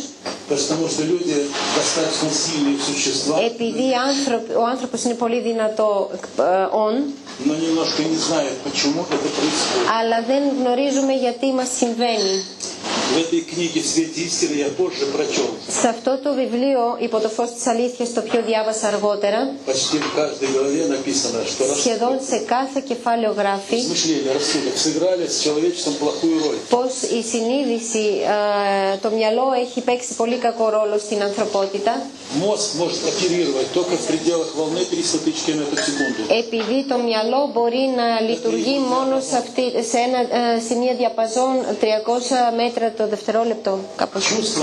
τα συναισθήματά μας, όπου είναι φόβοι, ζήλια και όλα τα υπόλοιπα, όπου εμείς ε, ε, είναι 400 φορές πιο γρήγορα από, τα, από τη ταχύτητα του φωτός. Σε αυτούς τους δύο ρόφου, εμείς ε, είμαστε που δεν έχουμε δίκιο. Από εκεί και πέρα ξεκινάει ο καθαρός κόσμος. Αλλά για να περάσουμε από αυτό το ψέμα και από αυτό το σκοτάδι πάνω Πρέπει κάποιος να μας βοηθήσει από πάνω. Και αυτό είναι η βάπτιση, η δύναμη της βάπτισης, Τίποτα άλλο δεν μπορεί να μας βοηθήσει. Πολλή ενεργειακή, πολλοί που ασχολούνται με παραψυχολογία, είναι πάρα πολλές οι κατευθύνσεις. Στη Ρωσία το 1998 σε κάποιο συνέδριο της Εκκλησίας Ορίσανε 13.000 ψεύτικες κατευθύνσεις μόνο στη Ρωσία. 13.000. Ναι. Σαχάτζι γιόγκα. Πάρα πολλέ. Το 2000 διάβασα στην εφημερίδα 21.000 ψευτοπνευματικέ κατευθύνσεις. Θυμάστε ε, το παραμύθι πως. όταν έχουν κόψει από τον δράκο το κεφάλι, εμφανίζονται δέκα καινούργια κεφάλια. Αυτό συμβαίνει. Και το αποτέλεσμα είναι, όπως είναι και ίσως είναι και στην Ελλάδα έτσι με τον ίδιο τρόπο, θα σας πω ένα μικρό παραμύθι. Был такой персонаж русской сказки, Иванушка Дурачок. Ήταν ο Ιβάν ο Χ- Χαζός, πώς να το πω, ο Χαζός Ιβάν στη, στη, στα Ρώσ- στη Ρωσία. Δεν είναι πολύ απλό παραμύθι, είναι πάρα πολύ ενδιαφέρον. Иванушка Дурачок спал на печке. Ο Ιβάν ο Χαζός κοιμόταν στο, στη Это κουζίνα, собирательный образ любого человека. στο φούρνο μάλλον και ε, είναι ουσιαστικά α, ένα, μια μορφή του ανθρώπου В конечном итоге где-то было дано объявление «Царская дочь». και κάπου υπήρχε μια ανακοίνωση πως η κόρη του βασιλιά παντρεύεται. И царь приглашает Και ο всех βασιλιάς καλεί όλους на кастинг. ε, να κάνουν casting, να, να τους επιλέξουν. Все туда приезжают. Και όλοι князья, πήγαν принцы εκεί, πρίγκιπες, άνθρωποι πλούσιοι και λοιπά. Και ο Ιβάνο Χαζός είπε θα πάω κι εγώ. Επειδή ε, είναι και δεν καταλαβαίνει πως εκεί δεν είναι γι' αυτόν. Και όλοι προσπαθούν να προσφέρουν το χέρι του και την καρδιά του στην πριγκίπισσα. Αλλά ο βασιλιάς βάζει κάποιους όρους και λέει δεν χρειάζομαι τα πλούτη, δεν χρειάζομαι βασιλεία πήγαινε εκεί όπου, όπου να είναι, δεν ξέρω πού. Και κάνε αυτό που δεν ξέρω τι. Α, πήγαινε εκεί που δεν ξέρω πού, πήγαινε εκεί που δεν ξέρω πού και κάνε αυτό που δεν ξέρω τι.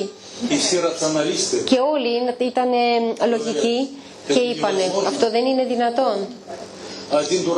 Μόνο ο Ιβάνο Χαζός λέει, θα πάω, θα πάω. Αυτός θέλει να μας πει ο χαζός τι είναι, είναι άνθρωπος, άνθρωπος, μπορεί να επιτρέψει αυτό το οποίο δεν επιτρέπει το μυαλό. Και πάει, δεν ξέρει πού πάει. Απλά ξεκίνησε. Όπως λένε εκεί όπου δούνε τα μάτια. Πηγαίνει στο δάσος. Και ξεκινάει πώ πρέπει να σέβεται τη φύση, να μην σκοτώνει τα ζώα, να μην κάνει κακό στη φύση. Αυτό είναι το πρώτο που πρέπει να κάνει ο άνθρωπο, να μπορεί να ζει με άλλε μορφέ τη ζωή και να μην εμποδίζει. Και γίνεται φίλο με τον λίκο, γίνεται φίλο με τον αετό, με πολλού. Και μετά φτάνει στη γιαγιά τη μάγισσα, ε, σε ένα σπιτάκι με πόδια, τώρα, με, πόδια από, κοτό, κότα και λέει μου είπαν πως πρέπει να νικήσω τον δράκο και να, σκοτώσω το, να τον σκοτώσω, να του πάρω το κεφάλι. она говорит, я тебе покажу дислокацию этого και зверя. του λέει η γιαγιά η μάγισσα θα σου δείξω που βρίσκεται ο, ο Если- δράκος. Если ты отгадаешь три загадки. Εάν βρεις τρεις ε, απαντήσεις σε κάποιες ερωτήσεις Если отгадаешь, покажу. Αν τις Если βρεις не θα σου δείξω. отгадаешь, Αν δεν свалю τις тебя в βρεις печку. θα σε βράσω στο, στο φούρνο, θα σε ψήσω στον φούρνο. То есть ставка жизнь. δηλαδή ε, σαν στοίχημα ζωής. Και σύμφωνα με το παραμύθι, ο Ιβάν ο Χαζός βρίσκει το ερώτημα για, την, για το ερητικό ψέμα, βρίσκει δηλαδή πως όλα αυτά είναι ψέματα. Και η γιαγιά Μάγισσα ήταν υποχρεωμένη να τον, να τον αφήσει να, να του δείξει τον δρόμο. Να του, να του δείξει ποιος είναι ο δράκος. Στο παραμύθι όταν ο Ιβάν ο Χαζός μετά τη διαδικασία Α, στο παραμύθι σε όλη τη διαδρομή αυτό μετατρέπεται ήδη σε, κάτι σαν πρίγκιπας, σαν υπότη, εμφανίζεται και άλογο. Τι σημαίνει το άλογο. Σημαίνει δηλαδή ταχύτητα, έγινε πιο γρήγορο. Να μην είναι βαρετό, να είναι γρήγορο. σε, όλες τις, σε όλα όσα κάνει.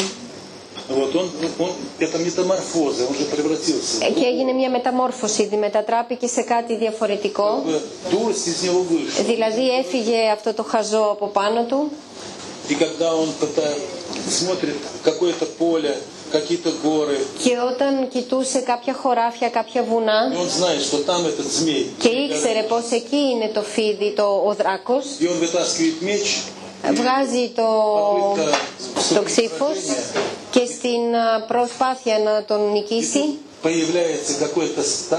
Εμφανίζεται κάποιος γέροντας και του λέει молодой человек, «Νεαρέ άνθρωπε, посмотри, сколько в поле лежат скелеты врач этих κοίταξε γύρω σου πόσοι, πόσα, πόσοι σκελετοί κάθονται. Δηλαδή είναι άνθρωποι με ξύφη που όλοι αυτοί έχουν πεθάνει προ- προσπαθώντας να πολεμήσουν τον δράκο. Έχουν πεθάνει όλοι. Потому что железом с ним не справишься. Επειδή με το σίδηρο δεν θα τα καταφέρεις εσύ με τον Ничего не δράκο. поможет.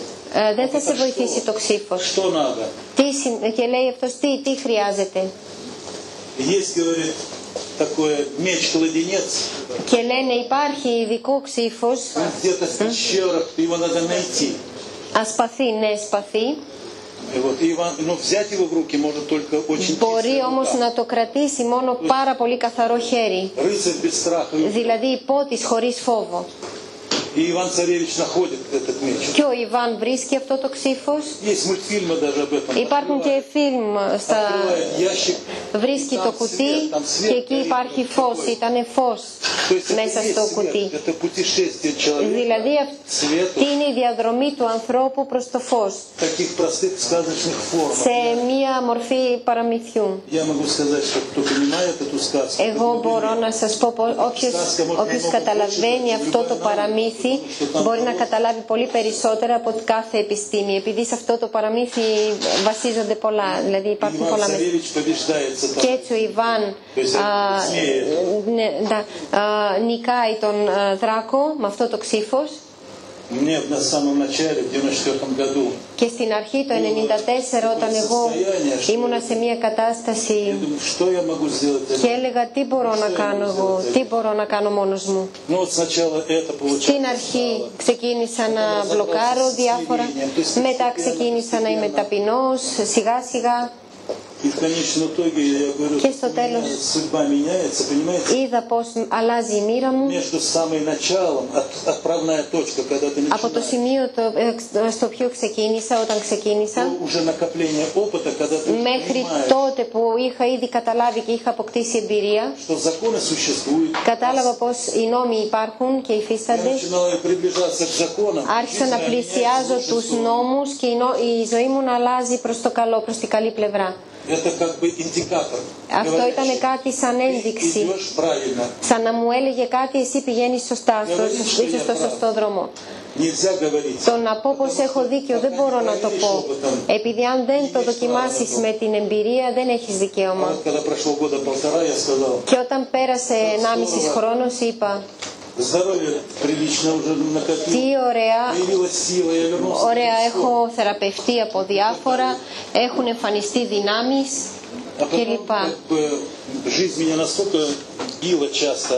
Я говорю, Μετά πολλές φορές η ζωή με χτυπούσε πάρα πολύ συχνά και έλεγα γιατί ακόμα έρχονται χτυπήματα αφού έχω καταλάβει τα πάντα.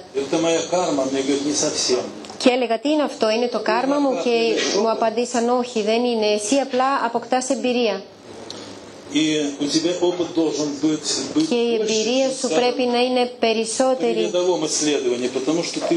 περισσότερη από το, να κάνεις, από το να κάνεις μια απλή έρευνα, επειδή εσύ θα το διδάσκεις αυτός τους ανθρώπους.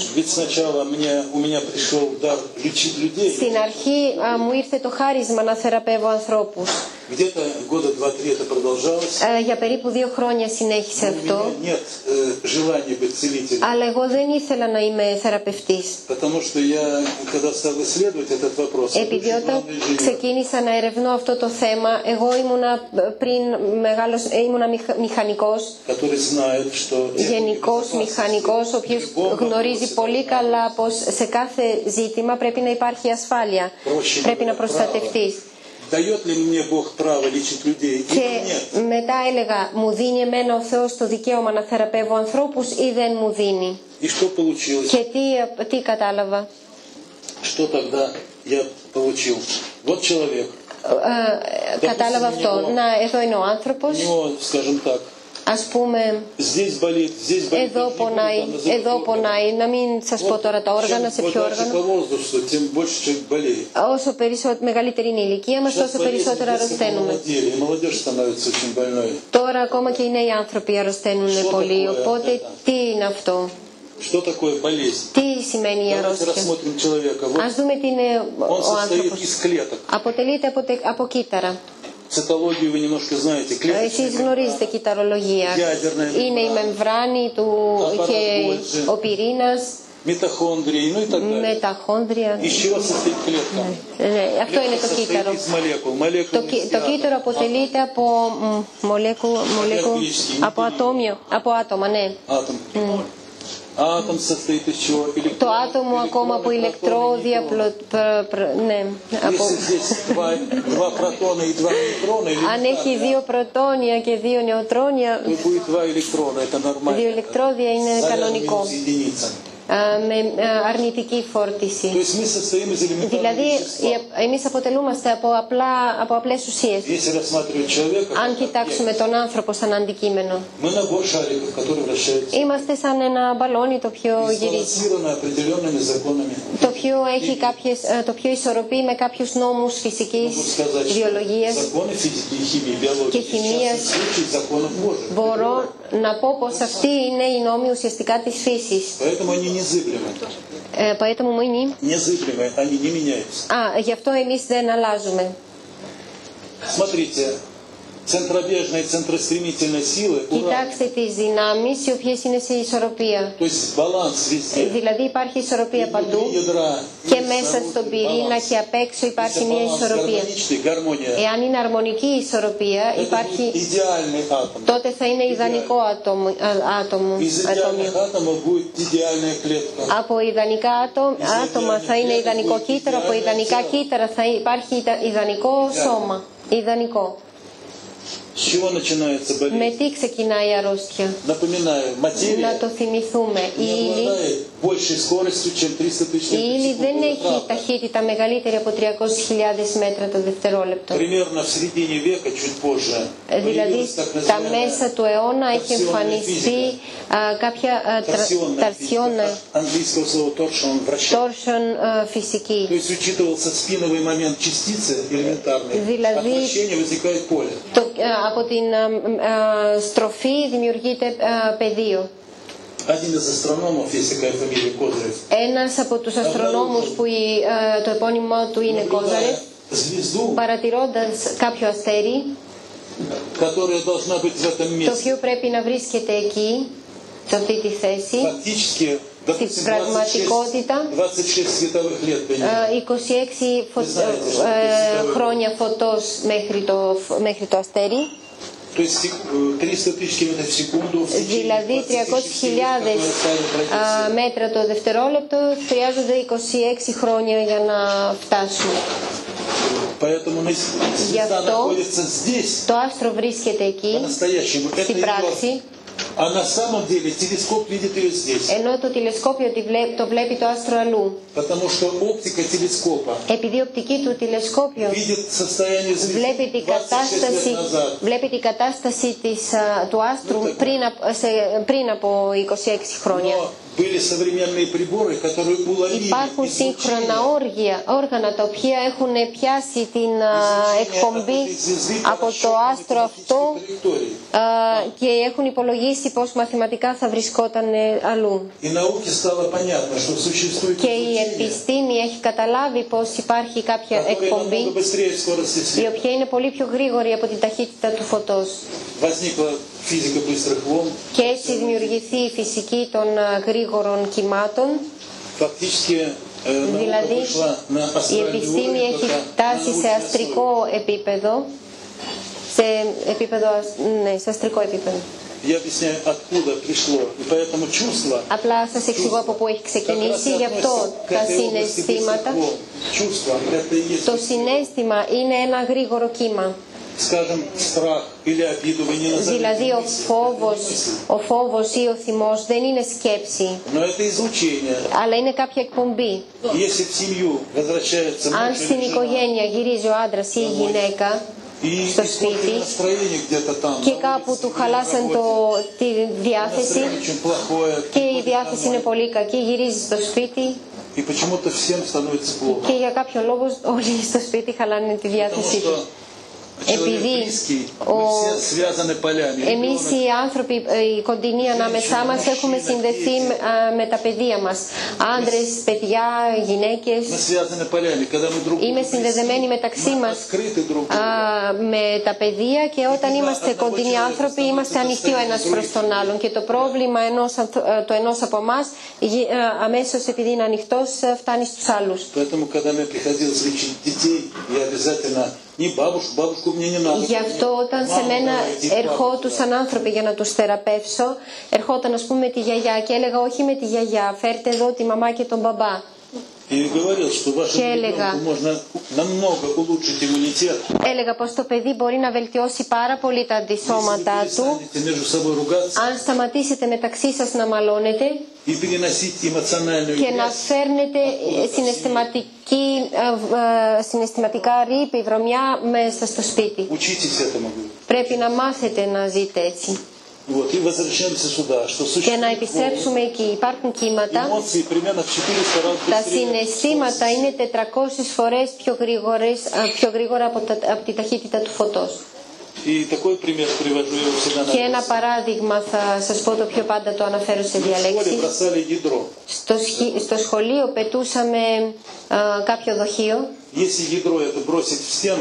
Если ядро это бросить в стену, А. вы царапаете обои и κάποιον πυρήνα και όταν α, το στέλναμε στο, το, όταν το πετούσαμε στο τοίχο α, λερώναμε. Потому что скорость вы небольшую можете придать. Επειδή μπορείτε να του δώσετε μία μικρή ταχύτητα. Что такое масса, умноженная на скорость? Называется импульс. Α, Импульс.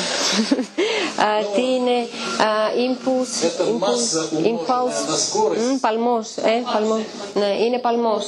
А вот возьмите э, это ядро, заведите в пушку и выстрелите. Αν βάλουμε αυτό το, αυτό το πράγμα μέσα σε όπλο και να το α, πυροβολήσουμε στον τοίχο, τότε η ταχύτητα η μάζα με το χέρι θα, είναι μία, πράξη. Με το όπλο θα γίνει άλλη πράξη.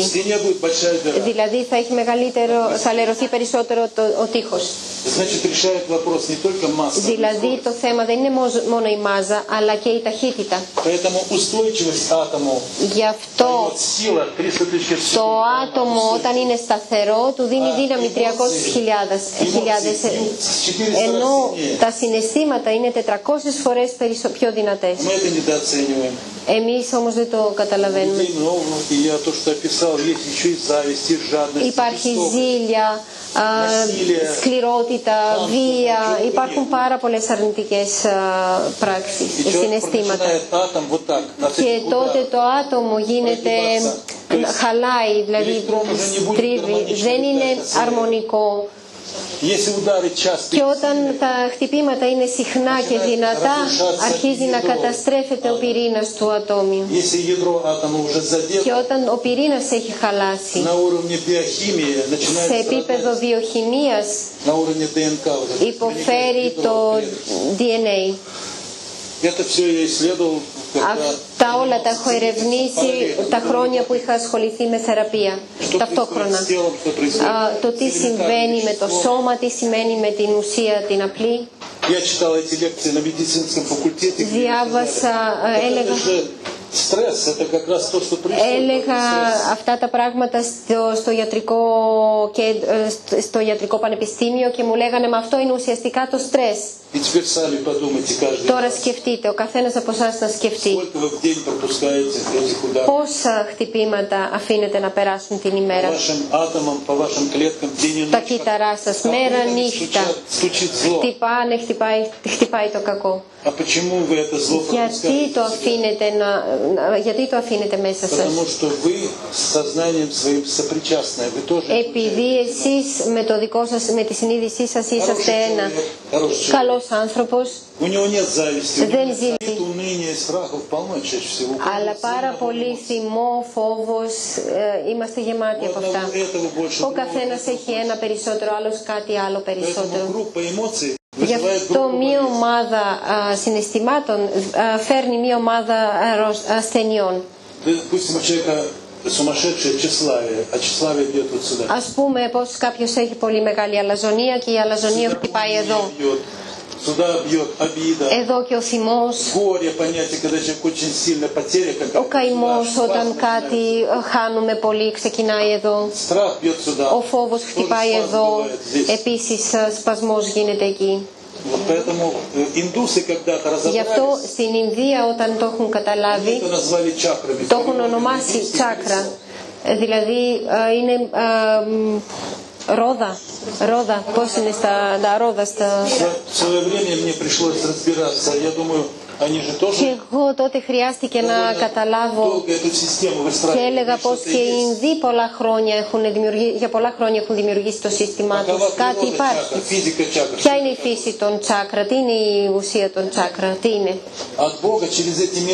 Από τον Θεό, από αυτούς τους κόσμους το κύμα έρχεται, το θέλημα του Θεού έρχεται σε αυτό το επίπεδο. Οι πρώτοι οι οποίοι μπορούν να να λάβουν την πίεση του Θεού είναι πάρα πολύ δυνατοί. Μοιάζουν με μετατροπής με ανθρώπους που μπορούν να μεταφέρουν. Όταν μειώνεται η ταχύτητα και η πίεση γίνεται μικρότερη, αυτό το κύμα το οποίο, δεν μπορεί να έρθει στον αποκάτω э, στο από κάτω επίπεδο έρχεται με μικρότερη πίεση. Εμείς που είμαστε πνευματικοί μπορούμε, αλλά αμέσως από το Θεό δεν μπορούμε να το δεχτούμε. Γι' αυτό έρχεται εδώ και ο σκοπός μας, ο πνευματικός, επίσης είναι να μειώσουμε τι ταχύτητα και να μειώσουμε και να μειώσουμε. Σαν σκαλοπά να скорости волны. σκαλοπάτια μειώνεται η ταχύτητα του κύματος. Чем дальше от источника, тем больше теряет давление. Όσο πιο μακριά температуру, έρχεται силу από, το, излучения. από την πηγή, τόσο πιο μικρότερη είναι η πίεση και η Если εκπομπή. вы когда-то видели один точечный источник света, вот αν έχετε δει κάποια πηγή φωτός, κάποιος ε, στήλος στο δρόμο και βλέπετε την πρώτη σφαίρα, μετά δεύτερο σιγά σιγά. Αν υπάρχει τρίτο, τέταρτο πια το ανθρώπινο μάτι δεν μπορεί να το δει πάντα. Είναι τα το τα infrared. infrared. Что получается? Что мы являемся Και посредниками. τι, И δηλαδή мы εμείς должны- είμαστε μεσολαβητές και είμαστε υποχρεωμένοι. Я уже говорил, что тело нам дает Εγώ что? σας έχω πει πως το σώμα μας δίνει τι. Через тело мы приобретаем подвижность. Μέσα από το σώμα εμείς κινούμαστε προς το, προς το πνεύμα. Πρέπει να ξυπνήσουμε το πνεύμα. А чем мы должны ответить материи? Και τι πρέπει να πούμε στην ύλη. Воля Божия через Το нас. θέλημα του Θεού Мы μέσα από должны εμάς. εμείς πρέπει να δημιουργήσουμε τη, τη γη όμορφη, να μάθουμε να ζούμε σωστά. Κάθε λαός είναι σαν λουλούδι. Σαν λουλούδι σε μια ανθοδέσμη. Εμείς μόνοι σας, καταλαβαίνετε Πώ μόνο η κουλτούρα δεν είναι... Όταν στη γη υπάρχει μόνο και μία κουλτούρα και άλλη κουλτούρα και είναι διαφορετικές. Κάθε μία κουλτούρα φέρνει την ομορφιά της Και σαν μία όμορφη ανθοδέσμια, αν τη μαζέψουμε σωστά, είναι πάρα πολύ ωραία. Και όταν στο χωράφι υπάρχουν διαφορετικά λουλούδια, χαμομήλι κλπ, ε, Τουλίπες, όλα αυτά είναι πάρα πολύ πολύ όμορφα. Και τότε υπάρχει αρμονία. Όταν υπάρχει μόνο μία μορφή δεν είναι ωραία. Αλλά ε, την ίδια ώρα πρέπει να διατηρούμε και την κουλτούρα μας. Δυστυχώς με τη δημιουργία και με την κουλτούρα την πραγματική γίνεται πόλεμος από την πλευρά του σκοταδιού. Το σκοτάδι πολεμάει προσπαθεί να καταστρέψει την δημιουργικότητα του ανθρώπου, να καταστρέψει τη γλώσσα κάποιων λαών, να αλλάξει τις αξίες με κάποιες ψευδοαξίες. Δηλαδή να, να, να χώσει τον άνθρωπο βαθιά στο σκοτάδι. Γιατί αυτό γίνεται τόσο έντονα σε όλη τη γη; Επειδή έρχεται η ώρα του δικαστήριου της δίκης. Σας έχω πει πως οι μαθητές του Χριστού έχουν ρωτήσει θα υπάρχει ε, τέλος, όχι το τέλος του κόσμου αλλά τέλος των αιώνων. Και ο Χριστό έχει πει ναι, όλα αυτά, όλα αυτά που βλέπουμε είναι,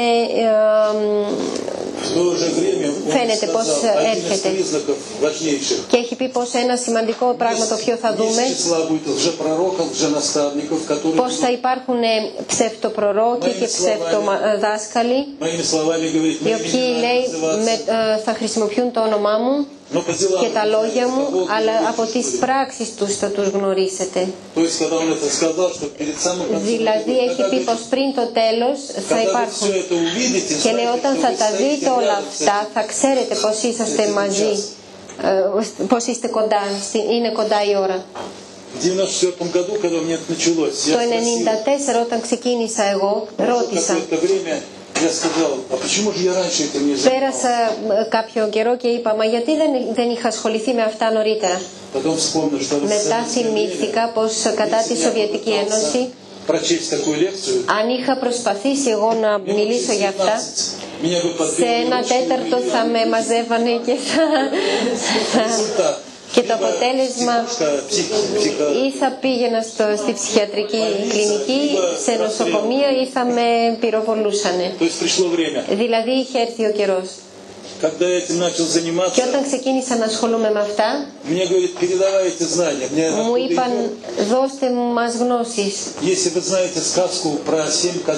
Αν ξέρετε το παραμύθι για τα 7 κατσικάκια, помните, когда коза ушла? θυμάστε πως όταν πήγε И στο... сказала, когда я приду, мой голос, помните, козлята. Α, όταν η μαμά πήγε στο, στη λαϊκή και τους είπε όταν γυρίσω θα ακούσετε τη φωνή μου Другому голосу не верьте. Μαμά, θα, να μην πιστέψετε σε, μια, άλλη- σε κάποια άλλη φωνή. Και τα, και κατσικάκια δεν ακούσανε και δημιουργήθηκαν προβλήματα. Και έτσι επίσης το βοή... με βοήθησε αυτό το παραμύθι, επειδή οι φωνές οι οποίες συζητάνε μαζί μας μπορεί να είναι πάρα πολλές και ειδικά όταν είμαστε ανοιχτοί. Γιατί να πούμε, γιατί η επίσημη, γιατί η επίσημη εκκλησία πάντα αντιδράει σε αιρέσεις και σε όλα αυτά. Έχει απόλυτο δίκιο. Επειδή όλα αυτά αρχίζουν να εμποδίζουν τον άνθρωπο. Κάποια κακά πνεύματα παίρνουν μορφές και βάζουν μάσκα αγγέλων και αρχίζουν να, οδηγούν αλλού τον άνθρωπο. Και επειδή το αστρικό μας περίβλημα μπορεί να καταλάβει περισσότερα Μπορούν να σας πούνε πολλά για το παρελθόν σας, μπορούν να σας πούνε για το μέλλον σας. Και ο άνθρωπος ανοίγει και λέει αφού ξέρει, τα πάντα, αφού ξέρει τόσα πράγματα για μένα μπορεί να ξέρει τα πάντα. Αυτό όμως είναι μεγάλο λάθος, πολύ μεγάλο λάθος. Οι καιροί είναι τέτοιοι που πρέπει να είμαστε πάρα πολύ προσεκτικοί. Γι' αυτό παρακαλώ να είσαστε όλοι προσεκτικοί το τι αφήνουμε θα σα θυμίσω μόνο μέσα από εμένα θα, περάσουν, θα φτάσουν στο Θεό και στον ουρανό.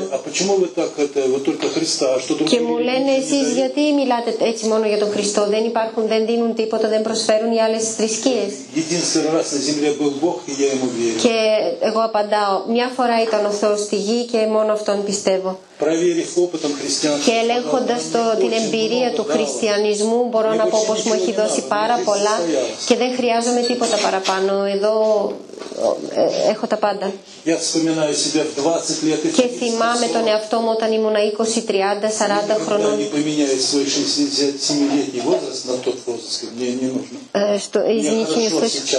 Και э, εγώ τώρα δεν θα, ε, δεν έδινα την ηλικία μου τώρα σε σχέση με τότε, επειδή τώρα είμαι πολύ καλύτερα. Επειδή ο δρόμος ήταν πολύ δύσκολος και είχα πάρα πολλά εμπόδια, πάρα πολλές αρρώστιες πάρα πολλές αδιέξοδοι. Ε, Αλλά σιγά σιγά από τον χαζό μετατρέπεσαι σε, στον πρίγκιπα, στον υπότιτλο. Ε, αν μου δίνανε κι άλογο. Μπορώ να σας πω και κάτι ακόμα. И Не первый раз, э, когда я работал в России, сейчас, к сожалению, в России Δεν стало είναι работать сложно. πρώτη φορά όταν δουλεύω στη Ρωσία. Τώρα στη, δου- στη Ρωσία, ξέρετε, με τη δουλειά είναι Пора пришлось δύσκολο. ехать за границу, Έπρεπε να φύγω στο εξωτερικό когда я говорю, Господи, και люди же нормальные люди, они в каждой стране есть. Λέω, Ну, «Θεέ должны μου, прослушать хоть раз. υπάρχουν άνθρωποι, καλοί άνθρωποι σε όλο τον κόσμο. Πρέπει να ακούσουν μια φορά, αν Каждый αμφιβάλλουμε. достойный человек обязательно Κάθε пройдет άνθρωπος через это. μια φορά τουλάχιστον θα περάσει από δυσκολίες. Είναι άλλο θέμα αν θα επιλέξει αυτόν τον δρόμο ή όχι. Έχει το δικαίωμα, είναι δικό του δικαίωμα. Όταν πολεμούσα την ε, αλαζονία μου και την έπαρσή μου, ήταν το τελευταίο το οποίο δεν μπορούσε να πεθάνει μέσα μου. Ε, μετά από ένα χρόνο εγώ κατάφερα να πολεμήσω τους φόβους μου από τότε που ξεκίνησα. Μετά η ζήλια μου άρχισε να φεύγει σιγά σιγά. Αλλά η έπαρση είναι το, ο μεγαλύτερος εχθρός μου. Και μου φαινόταν πως δεν έχω πια έπαρση. Και ξαφνικά έρχεται κάποιος νέος άνθρωπος Είχε προβλήματα με την υγεία, ήταν 27-28 χρονών. Εγώ καθόμουν και έλεγα Κοίτα, εγώ ήμουνα τότε 55 και λέω εγώ είμαι υγιής και μετά λέω αυτό δεν είναι πάρα πολύ καλό να ο άνθρωπος έχει πρόβλημα και εγώ να προβάλλω την υγεία μου. Και τι δηλαδή περηφανεύεσαι με την υγεία σου. Ποιος σου έχει δώσει υγεία; Αυτά, αυτές τις γνώσεις, χάρη σε αυτές τις γνώσεις οι οποίες έχουν έρθει από τον Θεό οπότε πρέπει να ευχαριστήσω τον Θεό. Και τότε ντράπηκα και άρχισα να ελέγχω αυτό που είχα. Και όταν ξανά μου ερχόταν κάτι τέτοιο, το σταματούσα και έλεγα όχι, όχι. опять, ты же такое можешь, тебе можно Και все, что им нельзя. Я Πάλι έλεγα κοίτα εγώ μπορώ αυτό που οι άλλοι δεν μπορούν αλλά προσπαθούσα να το σταματάω. говорю, Мне как раз таки намного меньше можно, чем любому начинающему. Я знаю. Я сознательный преступник. Εγώ Весь этот- γνωρί... ε, я, извините, я не услышала. А? Да, извините, еще раз Я повторите. говорю, если я буду делать какие-то ошибки, Αν κάνω κάποια λάθη, меня карает судьба намного серьезнее, чем ε, εμένα με начинающий. τιμωρεί η μοίρα πολύ περισσότερα από ότι κάποιον που ξεκινάει τώρα. Если ты пытаешься людей учить Αν жить по προσπαθείς закону, να μάθεις τους ανθρώπους να ζουν σύμφωνα με, τους νό, με ты τον должен νόμο, сам жить по закону. πρέπει και εγώ ίδιος να ζω σύμφωνα με τον νόμο. Если ты этого не делаешь, Αν то δεν το слово κάνεις, слабое. τότε είσαι πολύ, ε, έχεις αδυναμία στο λόγο σου. Вот теперь смотрите, Ε, Τώρα να κοιτάξουμε важнейшее понятие церковь. να, κάτι πολύ σημα, ένας πολύ σημαντικός όρος είναι η εκκλησία. В каких-то моментах я с церковью расхожусь с официальной доктриной. Α, με, τα επίσημα, με, με τα επίσημα της εκκλησίας σε κάποια σημεία έχω διαφορές. Αλλά τι σημαίνει εκκλησία, Α θυμηθούμε τι είναι. Υπάρχουν, υπάρχει εκκλησιαστική α, λιτερατούρα, λογοτεχνία. Λογοτεχνία. Λέμε πως η εκκλησία είναι το σώμα του Χριστού. Εμείς καθαρίζουμε από το στόμα, είναι το σύμβολο, του σώματος και σύμβολο του, του αίματος. Και έτσι γίνεται η κοινωνία. Τι σημαίνει κοινωνία; Από μόνο, μόνη της η λέξη κοινωνία τι είναι, γιατί ο άνθρωπος χρειάζεται κοινωνία; Я продолжаю. Εγώ Я с этим συνεχίζω. согласен. Допустим, Εγώ тело- συμφωνώ, συμφωνώ. Церковь Η сделала Εκκλησία είναι το σώμα του Χριστού. А что сам Иисус сказал? Его цитата по поводу Τι έχει своего πει ο тела. Χριστός ο ίδιος σε σχέση με το σώμα του. Я воплощенное Слово Божие. Λέει πως εγώ είμαι ενσωματωμένος λόγος Моя плоть есть του Слово. Θεού. Δηλαδή ε, ε, το σώμα μου είναι λόγος. Φάτε το, πιείτε το, κάντε το, ναι, κάντε το τρόπο ζωής. Αυτό σημαίνει δηλαδή το, ε, μας εξηγεί τι πρέπει να κάνουμε, τι είμαστε υποχρεωμένοι να κάνουμε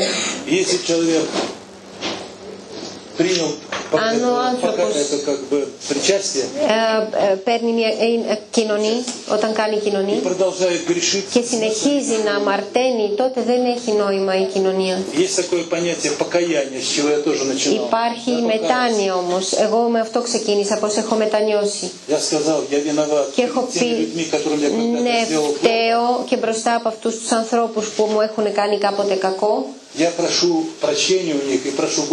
Ζητώ συγχώρεση και ζητώ και τον Θεό να με συγχωρέσει γι' αυτό. Ζητώ από όλους συγχώρεση. Και εγώ συγχωρώ και ζητάω να με συγχωρέσουν. Και μου ήταν πολύ πιο εύκολο. Αυτή είναι η πραγματική μετάνοια όταν είναι ειλικρινές. Αλλά με τι πρέπει να συνοδεύεται η μετάνοια; Έχει έχω μετανιώσει, αλλά συνεχίζω να πράττω post. Получается, что я человек τότε δεν είμαι σωστός άνθρωπος, δεν ακολουθώ αυτά που κάνω. Ο εγκληματίας έκλεψε, συνειδητοποιεί πως είναι κακός και λέει δεν θα ξανακλέψω.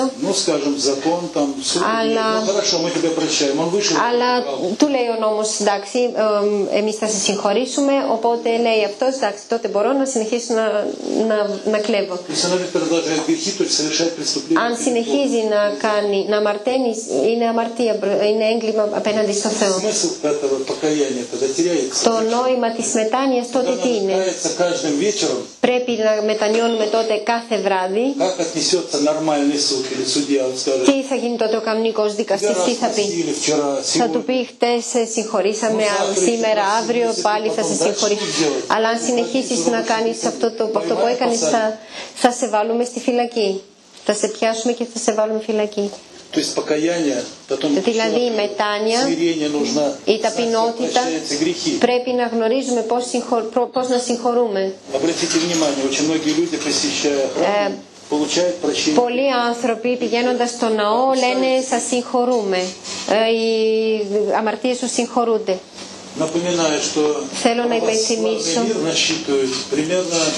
πως η Ορθοδοξία έχει 250-300 εκατομμύρια πιστοί Τόσοι περίπου είναι οι Ορθόδοξοι. Οι Καθόλικοι είναι δισεκατομμύριο, δισεκατομμύριο και 200 εκατομμύρια. Οι Μουσουλμάνοι επίσης είναι δισεκατομμύρια. Οι Ορθόδοξοι είναι λιγότεροι από όλους. Ε, η δική μου γνώμη, η Ορθοδοξία είναι αυτή που έχει διατηρηθεί, πώς να το πούμε, ε, πιο καθαρή, ακόμα ζωντανή.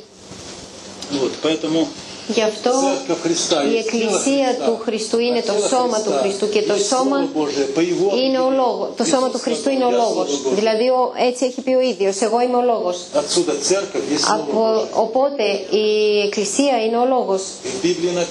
Και στην Αγία Γραφή γράφει η Εκκλησία είναι ο λόγος του Θεού η οποία θα αντέξει ε, από τις πόρτες του, της κόλασης. Και εγώ έχω μία Αγία Γραφή στην οποία στο τέλος γράφει πως η πραγματική Εκκλησία δεν είναι ε, τελετές απλά και κάτι που φαίνεται αλλά η πραγματική Εκκλησία είναι αυτή που είναι, έχει σκορπιστεί σε πόλεις, σε χωριά και είναι στις ψυχές των απλών και τίμιων ανθρώπων. это то, что сохранилось на земле. Αυτό είναι που έχει διατηρηθεί στη γη. И таких людей не очень много. Και αυτοί οι άνθρωποι είναι ελάχιστοι. Две тысячи лет назад Иисус знал об этом. Πριν από 2.000 χρόνια ο Χριστός το γνώριζε. И Он сказал, Και είπε, славных много будет, призванных Πολλοί, πολλούς θα καλέσουν, αλλά αυτοί που θα έρθουν είναι λίγοι. Кто пытается, скажем, Ποιος пойти προσπαθεί, этой дорогой по-настоящему? ποιος προσπαθεί να πάει σε αυτόν τον δρόμο πραγματικά. Ε, αν ξεκινήσουμε να αλλάζουμε Τότε ο άνθρωπος από μόνος του μπαίνει στην, στο πόλεμο με το, με, τη, με το σκοτάδι. Μέχρι τα 46 μου εγώ δεν το φανταζόμουν. Πως υπάρχει παράλληλα ένας κόσμος ο οποίος μπορεί να αλλάζει μέρα νύχτα. Δεν μπορούσα να το ομολογήσω αυτό. Ε, και όσο δεν το ομολογούσα το σκοτάδι ήταν ε, ήρεμο για μένα, ήσυχο. Και έλεγε αυτός είναι δικός μας δεν χρειάζεται να τον πολεμήσουμε.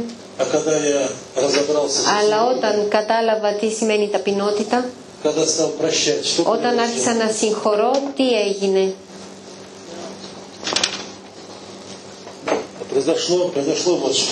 Αυτό συνέβη. Όταν κατάλαβα πως κάθε μία αρνητική περίπτωση που συμβαίνει στη ζωή μου, κάθε αρνητικό συμβάν, έχω συγχωρήσει εγώ εδώ. Η, βίβλος λέει συγχώρηση και θα σε συγχωρήσουν. Συγχωρείς, συγχωρείς, συγχωρείς και θα σε συγχωρήσουν. Οπότε αιτία αποτέλεσμα, αιτία αποτέλεσμα και τι γίνεται όταν εγώ συγχωρώ. Τι γίνεται όταν έχω κάνει κάτι κακό στο παρελθόν; Μας λένε έχεις ξυπνήσει τους δαίμονες. Τι είναι ο δαίμονας, είναι η έπαρση, ο φόβος, ο θυμός. Και τι έγινε; συγχώρεσα ειλικρινά καταλαβαίνοντας τη λογική της συγχώρεσης κάτι που είναι πολύ σημαντικό. Με τυφλή πίστη δεν, μπορεί, μπορείς να νικήσεις με τη γνώση όταν το κεφάλι μου λέει αφού σε προσβάλλανε πρέπει να απαντήσεις. εγώ λέω όχι ο Θεός έχει πει εγώ θα, δώσω εγώ θα δικάσω οπότε άσε το, τη δίκη πάνω μου. Και τι γίνεται πως αυτό το σκοτάδι το κακό τι είναι το κακό, γέννηση κακού ουσιαστικά. Εγώ το έχω την ημέρα, το θυμάστε σας είπα, είχα 40 την ημέρα κακά. Και όλα αυτά από πίσω μου έρχονται. Με περιτριγυρίζουν, ε, μου δημιουργούν τις αρρώστιες, διαμορφώνουν την, ε, την αρνητική μοίρα μου. Και ξαφνικά εγώ με τη βοήθεια του Θεού τους κήρυξα πόλεμο. Συγχώρεσα εδώ, ο Θεός, ο Θεός το διέλυσε, δηλαδή τελείωσες σαν να μην υπάρχει. Συγχώρεσα το επόμενο και το επόμενο και το θέλημα του Θεού καταστρέφει τους δαίμονες. Και τότε οι δαίμονες μου κήρυξαν πόλεμο. Επειδή απλά να λες θρησκεία για το Θεό, εμείς αγαπάμε το Θεό και λοιπά, είναι ένα. Όταν στην πράξη αρχίζεις να μην θυμώνεις, να μην φοβάσαι, τότε σταματάς να τους ταΐζεις και να τους δημιουργείς. Και μετά όχι απλά η εσύ τους καταστρέφεις, αλλά το θέλημα του Θεού τους καταστρέφεις. Και το τσακίδιο με το κάρμα μου γίνεται πιο ελαφρύ και πιο ελαφρύ. Και εγώ το, το έζησα αυτό στη ζωή μου. Это и есть меч-кладенец, Ε, которым Αυτό είναι το уничтожается бес. ξύφος το οποίο καταστρέφει το κακό. Κανένα, με, ούτε με πολιτικό, πολιτικό τρόπο, ούτε οικονομικά δεν, μπορεί, δεν μπορούμε να πολεμήσουμε το σκοτάδι. Это единственный способ каждому Ο μόνος человеку. τρόπος για κάθε άνθρωπο Представляете, такое είναι αυτός. Φανταστείτε τι θαύμα θα γίνει στην Ελλάδα αν όλοι ασχοληθούν με αυτό. Σε δύο εβδομάδες δεν θα μπορούσαμε να τη γνωρίσουμε. Αμέσως διαμορφώνονται, δηλαδή διαμορφώνονται καταστάσεις, ε, εσείς πέφτετε κάτω από την προστασία του Θεού. Αλλά δυστυχώς αυτό που σας είπα, το μυαλό μας δέχεται όλα αυτά απ' έξω και διαμορφώνει τον άνθρωπο ε, τον γιώνει στη γη. Κέρδος, καριέρα, ε, διασκέδαση, απόλαυση, όλα αυτά. Καριέρα βέβαια ε, χρειάζεται και χρήματα πρέπει να κερδίζουμε και κανένας δεν μπορεί να μας πάρει το δικαίωμα να ζούμε με αξία στη γη. Αλλά το σημαντικότερο τι πρέπει να είναι το σημαντικότερο; Αυτό. Αυτό είναι το, το, το απαραίτητο. Με ποιον τρόπο το έχει πει αυτό ο Χριστός; Όπου είναι το πλούτη σας, εκεί είναι και η καρδιά σας. Αν για μένα ο σκοπός μου είναι αυτό, να βγάλω τη ψυχή μου από αυτό το βάλτο, αυτό είναι το σημαντικότερο.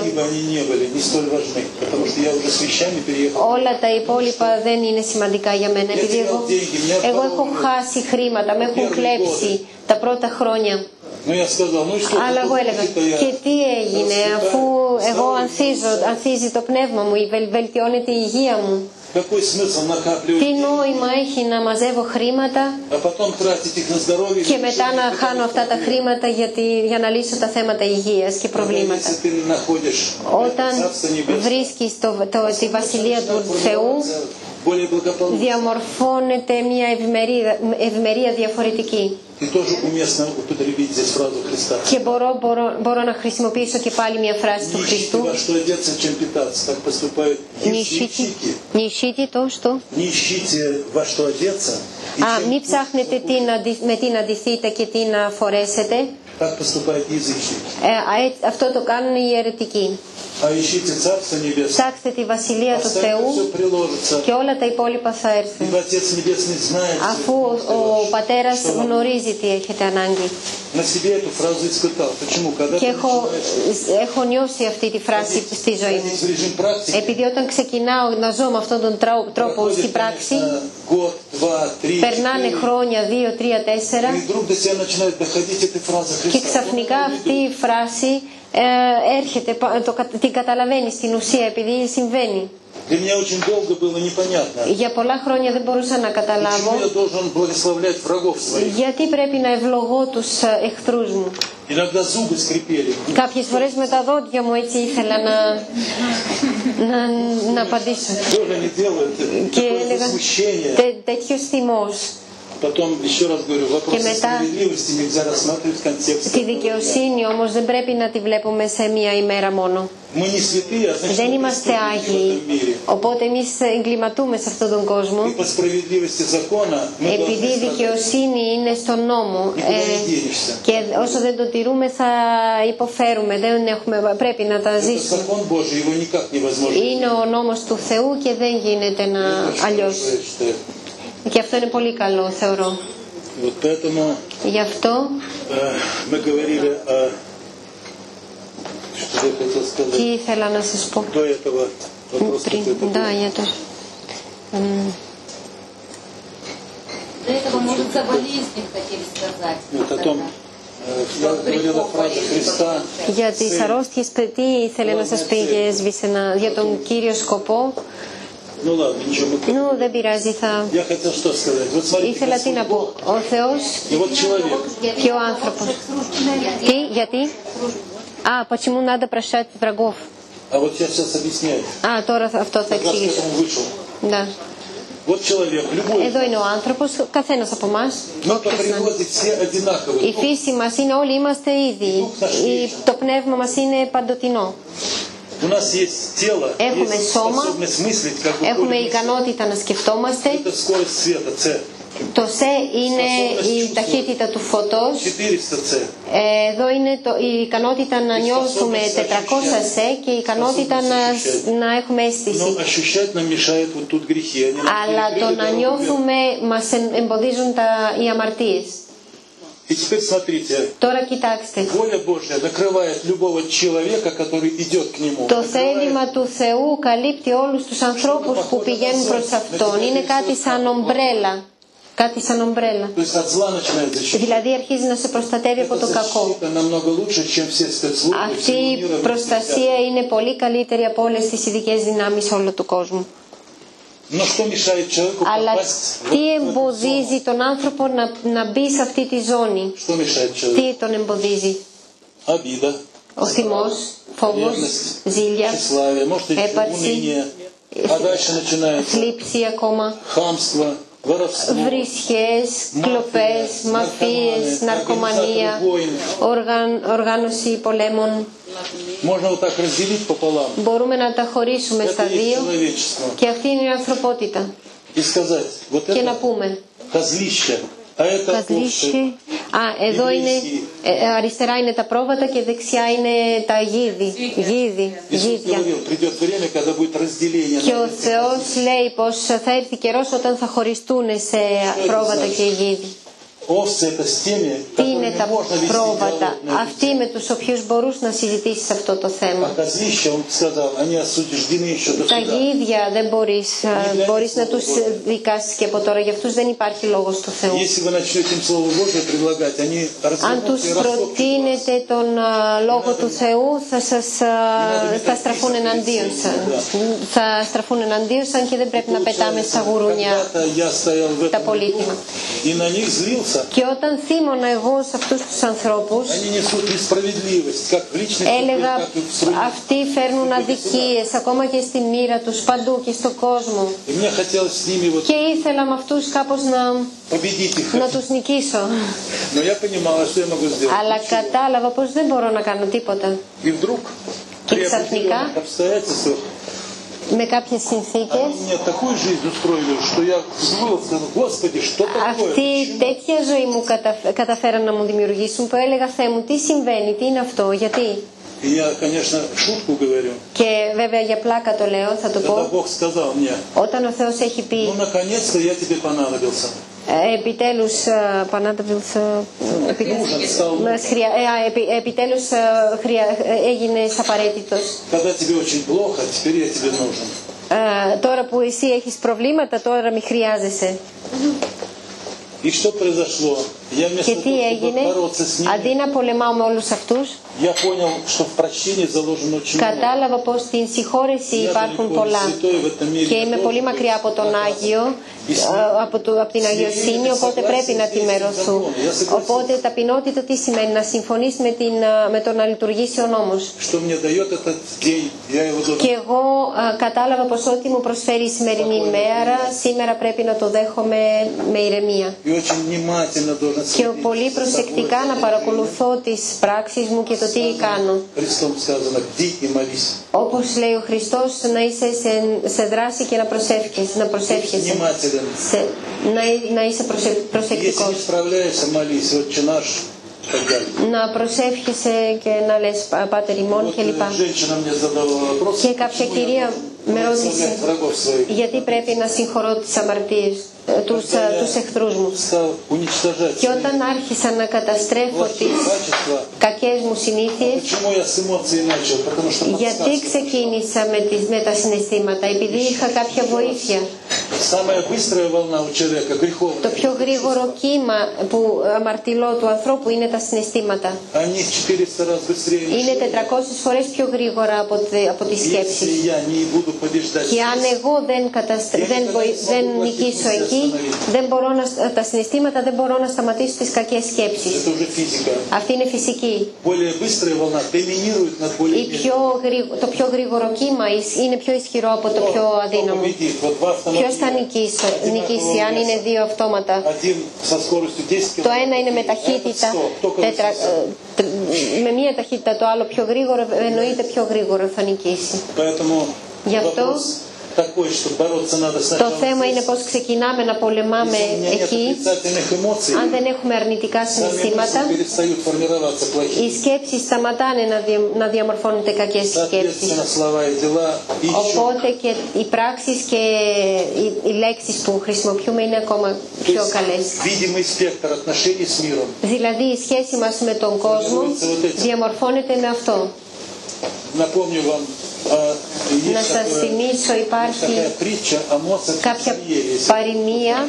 Α, какая притча для? Притча Моцарт и Сальери. Было два музыканта. Α, α, για τους δύο μουσικούς, τον Μότσαρτ και τον Σαλιέρη.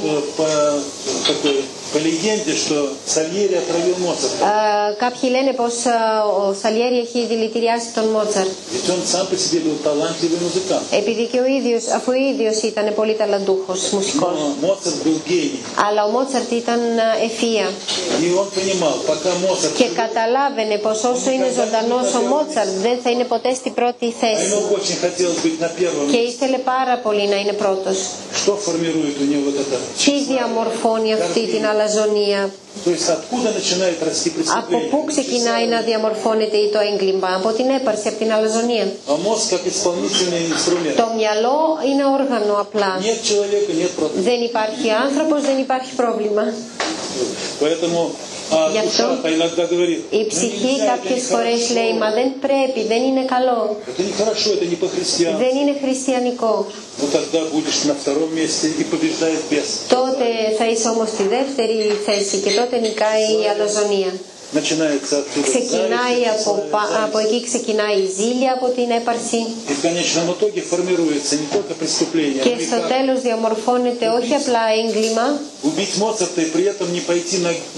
αλλά και να σκοτώσεις και τον Μότσαρτ και να μην φτάσεις εκεί που ήθελες. δηλαδή δεν πρέπει να το μαχαιρώσεις τον άλλον πρέπει όμως πολύ καλά να σκεφτείς να πας να, χαλα, να χαλα, χαμογελάσεις ε, γιατί να βάλεις δηλητήριο ε. ναι και να φύγεις. γιατί σας το είπα έτσι με λεπτομέρεια αυτό. όλη η εγκληματικότητα διαμορφώνεται και ξεκινάει εκεί στα συναισθήματα. Γι' αυτό έχουμε λάθος θέση προς τον κόσμο βλέπουμε αδικίες γύρω μας και υποφέρουμε από αυτό. Πολύ η καρδιά μας πολύ παντού, ε, πονάει παντού. Γι' αυτό όταν ο άνθρωπος έχει σωστή θέση σταματάει να υποφέρει.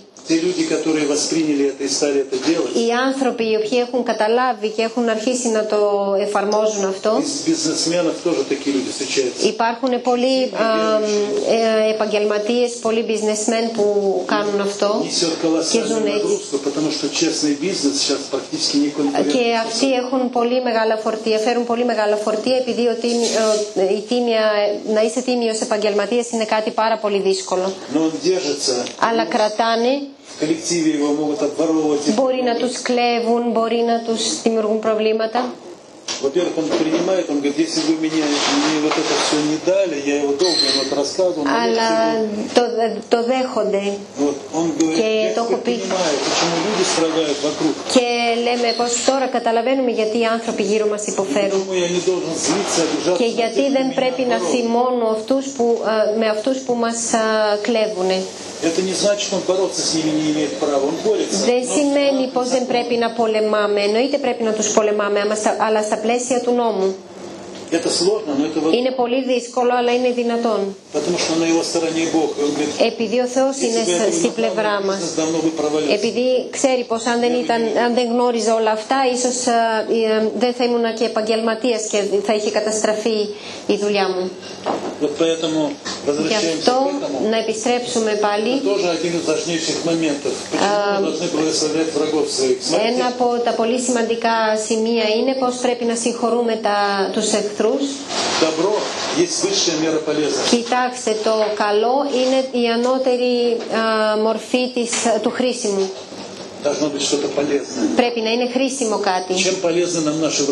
Με τι, σε τι είναι χρήσιμοι οι εχθροί μας; Εγώ αυτό για πολύ καιρό δεν μπορούσα να το καταλάβω.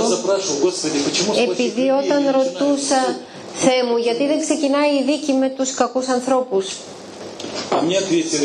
Ε, κατάλαβα πως ε, θα ζήσεις και θα δεις. Θα καταλάβεις. Περάσανε πέντε χρόνια, μπορεί και έξι.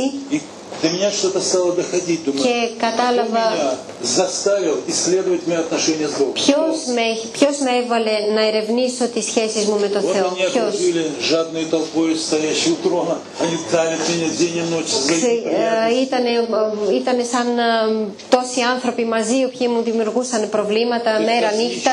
Козлище, козлище бодают, они вот меня Ε, με, με τα, σαν, σαν κατσίκες έτσι με τα, ρο- με τα κερατάκια τους μου δημιουργούσαν αφορούσαν θέματα. Και χάρη σε αυτό το ότι μου δημιουργήσανε αφόρητες συνθήκες ζωής, εγώ αντί να ξεκινήσω να τους πολεμάω πήγα σε άλλη κατεύθυνση. Αυτή ήταν η, χρησιμότητά τους. Στο η πρώτη χρησιμότητα ήταν αυτή. Η χρησιμότητα νούμερο δύο ήταν, κοιτάξτε, εγώ σπέρνω και θερίζω, σπέρνω και θερίζω. Τι μου φέρνει εμένα α, προβλήματα; Αυτή. Ο καλός άνθρωπος δεν θα μου κάνει κάτι κακό. Σαν όργανο δηλαδή επιστροφής, αυτή είναι απαραίτητη. Είναι απαραίτητη περίεργο και να μας φαίνεται. Και αυτή ήταν η χρησιμότητα νούμερο 2. Αυτή ήταν η ε, χρησιμότητα νούμερο 1 ήταν να, να στραφώ σε μια κατεύθυνση.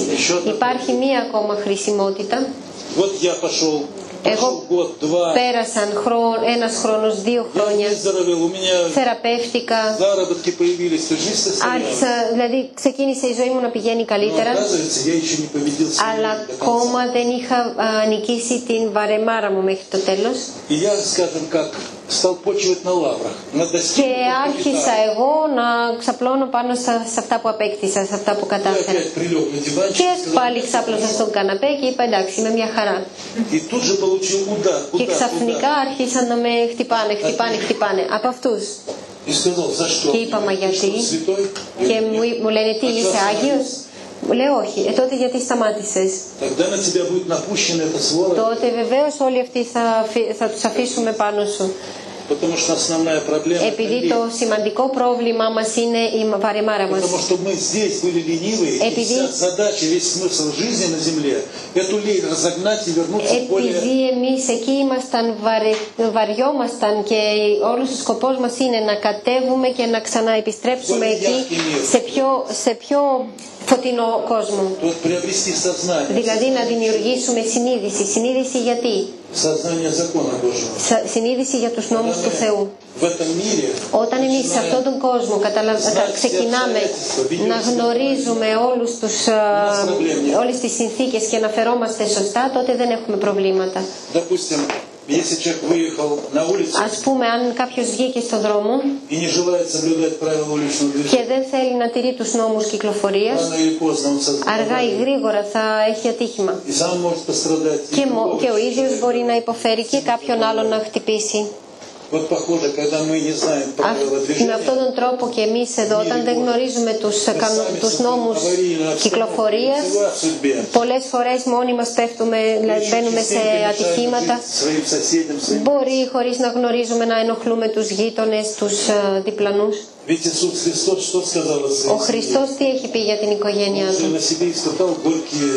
έχει νιώσει ε, πάνω του ε, πικρά δηλαδή ε, στοιχεία και ακόμα και στην οικογένεια.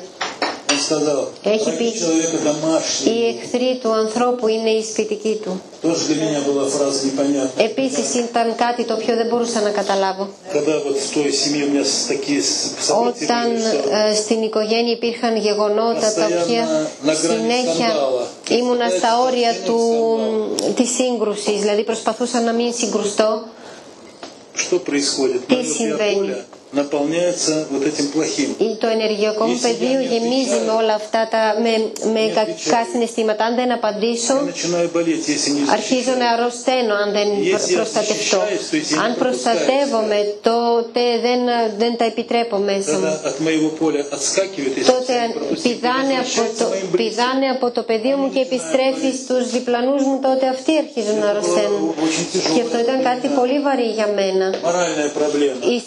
Πρόβλημα Δηλαδή ή εγώ αρρωσταίνω ή οι συγγενείς μου. Και για πολύ καιρό προσπαθούσα να ούτε εκεί ούτε εδώ επειδή τους λυπόμουν. Αλλά στο τέλος άρχισα να βουλιάζω, ήταν μια τέτοια περίοδος. Και στο τέλος ε, άρχισα να σκέφτομαι και λέω όχι ήταν όλα κανονικά.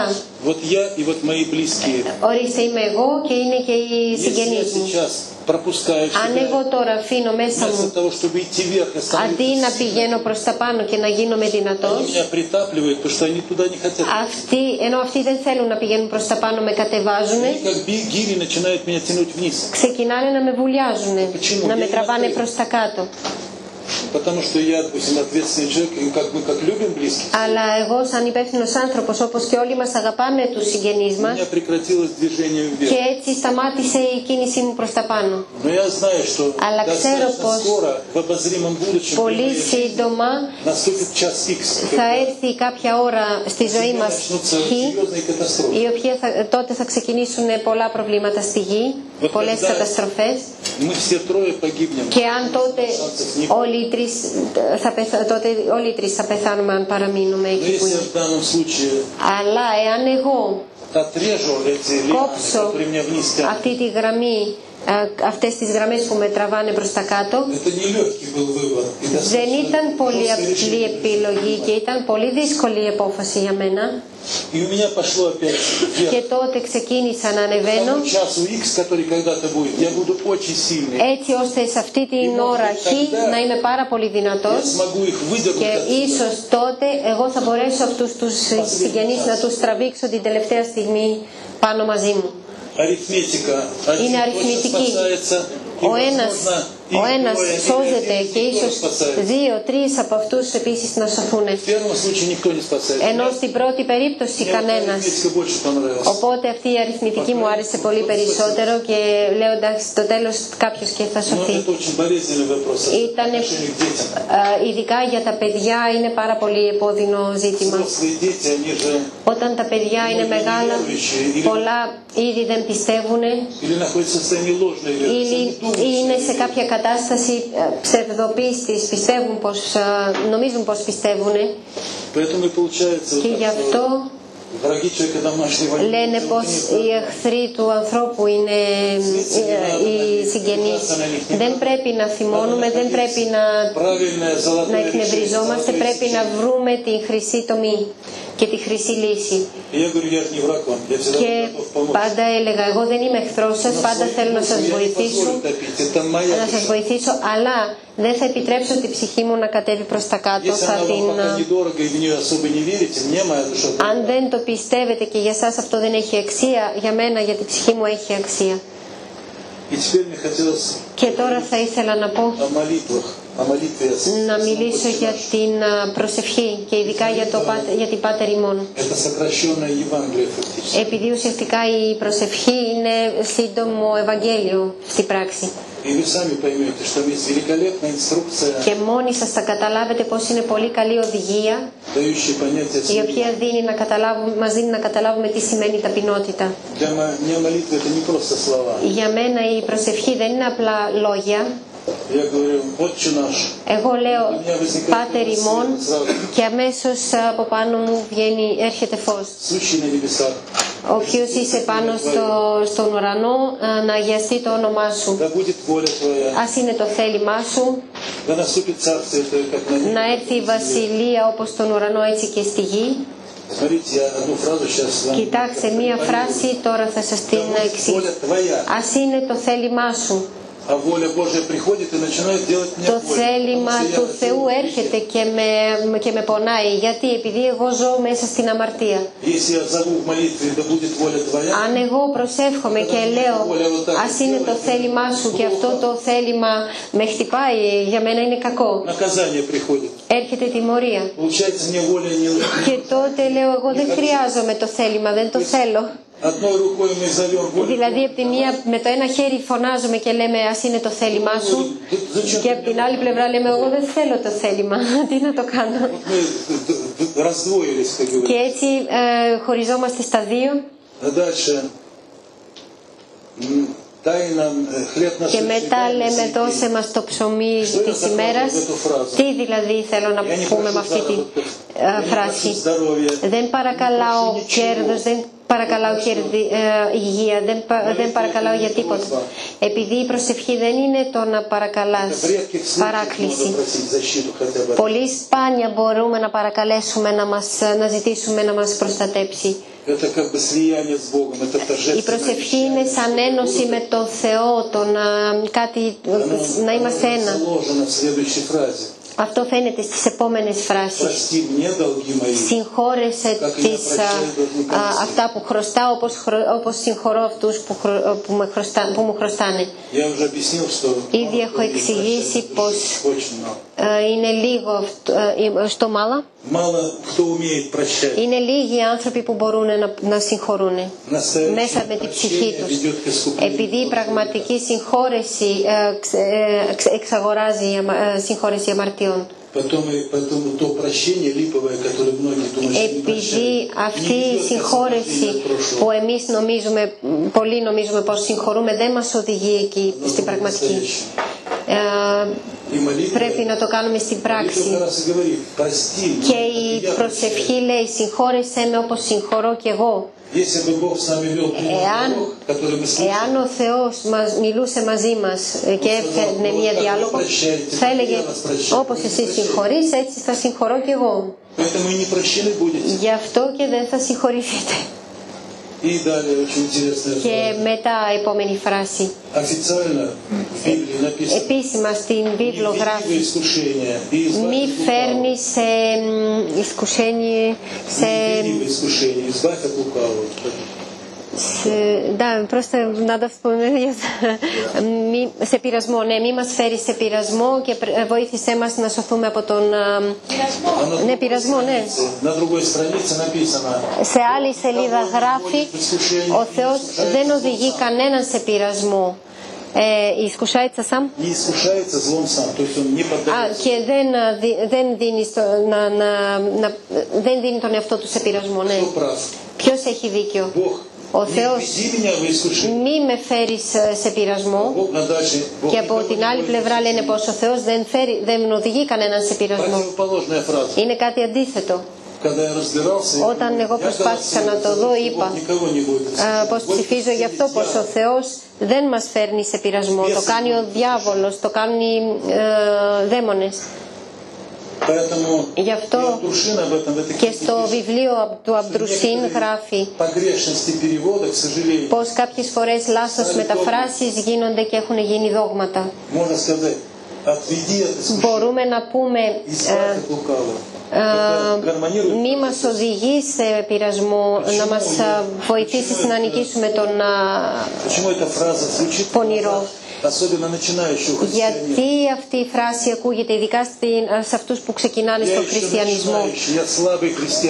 Κάποιος είναι στην αρχή και λέει «Θεέ μου, οδήγησέ με μακριά από αυτούς τους πειρασμούς. Βοήθησέ μου να τα καταφέρω επειδή δεν μπορώ μόνος μου με να...» Και αυτή ε, πια είναι παράκληση.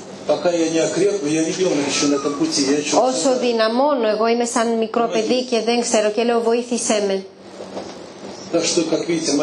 Οπότε όπως βλέπετε η προσευχή είναι πολύ σοβαρή. Και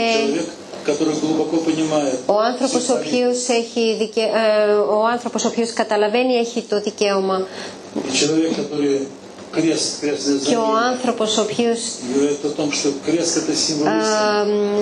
σταυρώνεται επειδή ε, ο σταυρός είναι ε, κρέστητα είναι σύμβολο αλήθειας.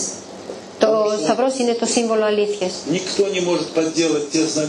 Επειδή κανένας δεν μπορεί να, να κάνει με διαφορετικό τρόπο αυτά που έχει κάνει ο Χριστός.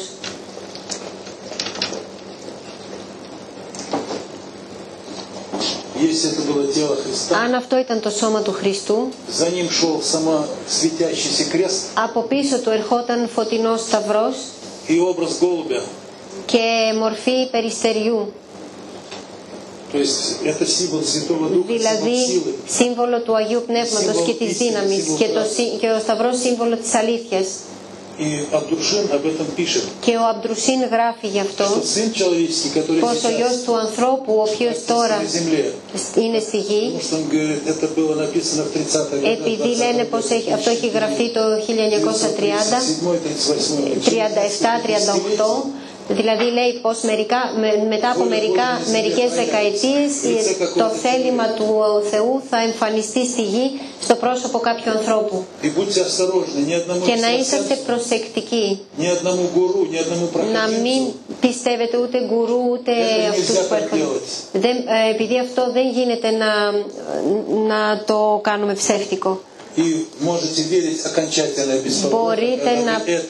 Μπορείτε να, πιστέψετε χωρίς όρια όταν δείτε αυτό. Αν ο άνθρωπος όμως βρίσκεται κάτω από την πίεση, των κακών, τότε χάνει την πνευματική αίσθηση και δεν μπορεί ούτε να νιώσει ούτε να το δει αυτό. Αυτό είναι το πρόβλημα των ηλιστών, ακόμα και αν είναι υπέροχοι άνθρωποι. Γι' αυτό για να, να απαλλαχτούμε από όλους αυτούς οι οποίοι μας ενοχλούν να νιώσουμε άνθρωποι. Είναι το σημαντικό, ε, σημαντικότερο που πρέπει να κάνουμε. Και ακόμα μια φορά να πω πως με το ζόρι κανέναν δεν πρέπει να οδηγήσουμε εκεί. Επειδή σεβόμαστε τον την, ε, την επιλογή που μπορεί να κάνει ο καθένας. Και εκεί μπορούν να πάνε μόνο εθελοντές, μόνο αυτοί που, έχουν επιλέξει μόνο. Και ο σκοπός μου είναι να το δείξω, να το διηγητώ και ο δικός σας σκοπός είναι να επιλέξετε αυτό ή αυτό το οποίο σας αρέσει περισσότερο. Ο χρόνος θα δείξει ποιος έχει δίκιο. Γι' αυτό ακόμα θέλ, μια φορά θέλω να σας πω, ε, ο σκοπός και ο ερχομός μου εδώ είναι να σας δείξω έτσι συγκεντρωμένα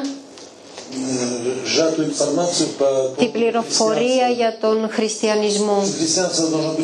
Επειδή ο χριστιανισμός πρέπει να είναι ζωντανός, πρέπει να είναι πραγματικός, να είναι στην πράξη. Это путешествие в сторону духа. Ε, αυτός ο δρόμος προ- προς την πλευρά του πνεύματος. И у меня постепенно, в связи Και- с тем, что уходили из меня Εγώ, последствия грехов, δηλαδή σε μένα τουλάχιστον έχουν φύγει όλα τα ακόλουθα από της αμαρτίας και αρχίσαν από μόνες τους να έρχονται κάποιες ικανότητες, я να почему εμφανίζονται. архивирую книги, вот можно, я возьму ее, это распечатка.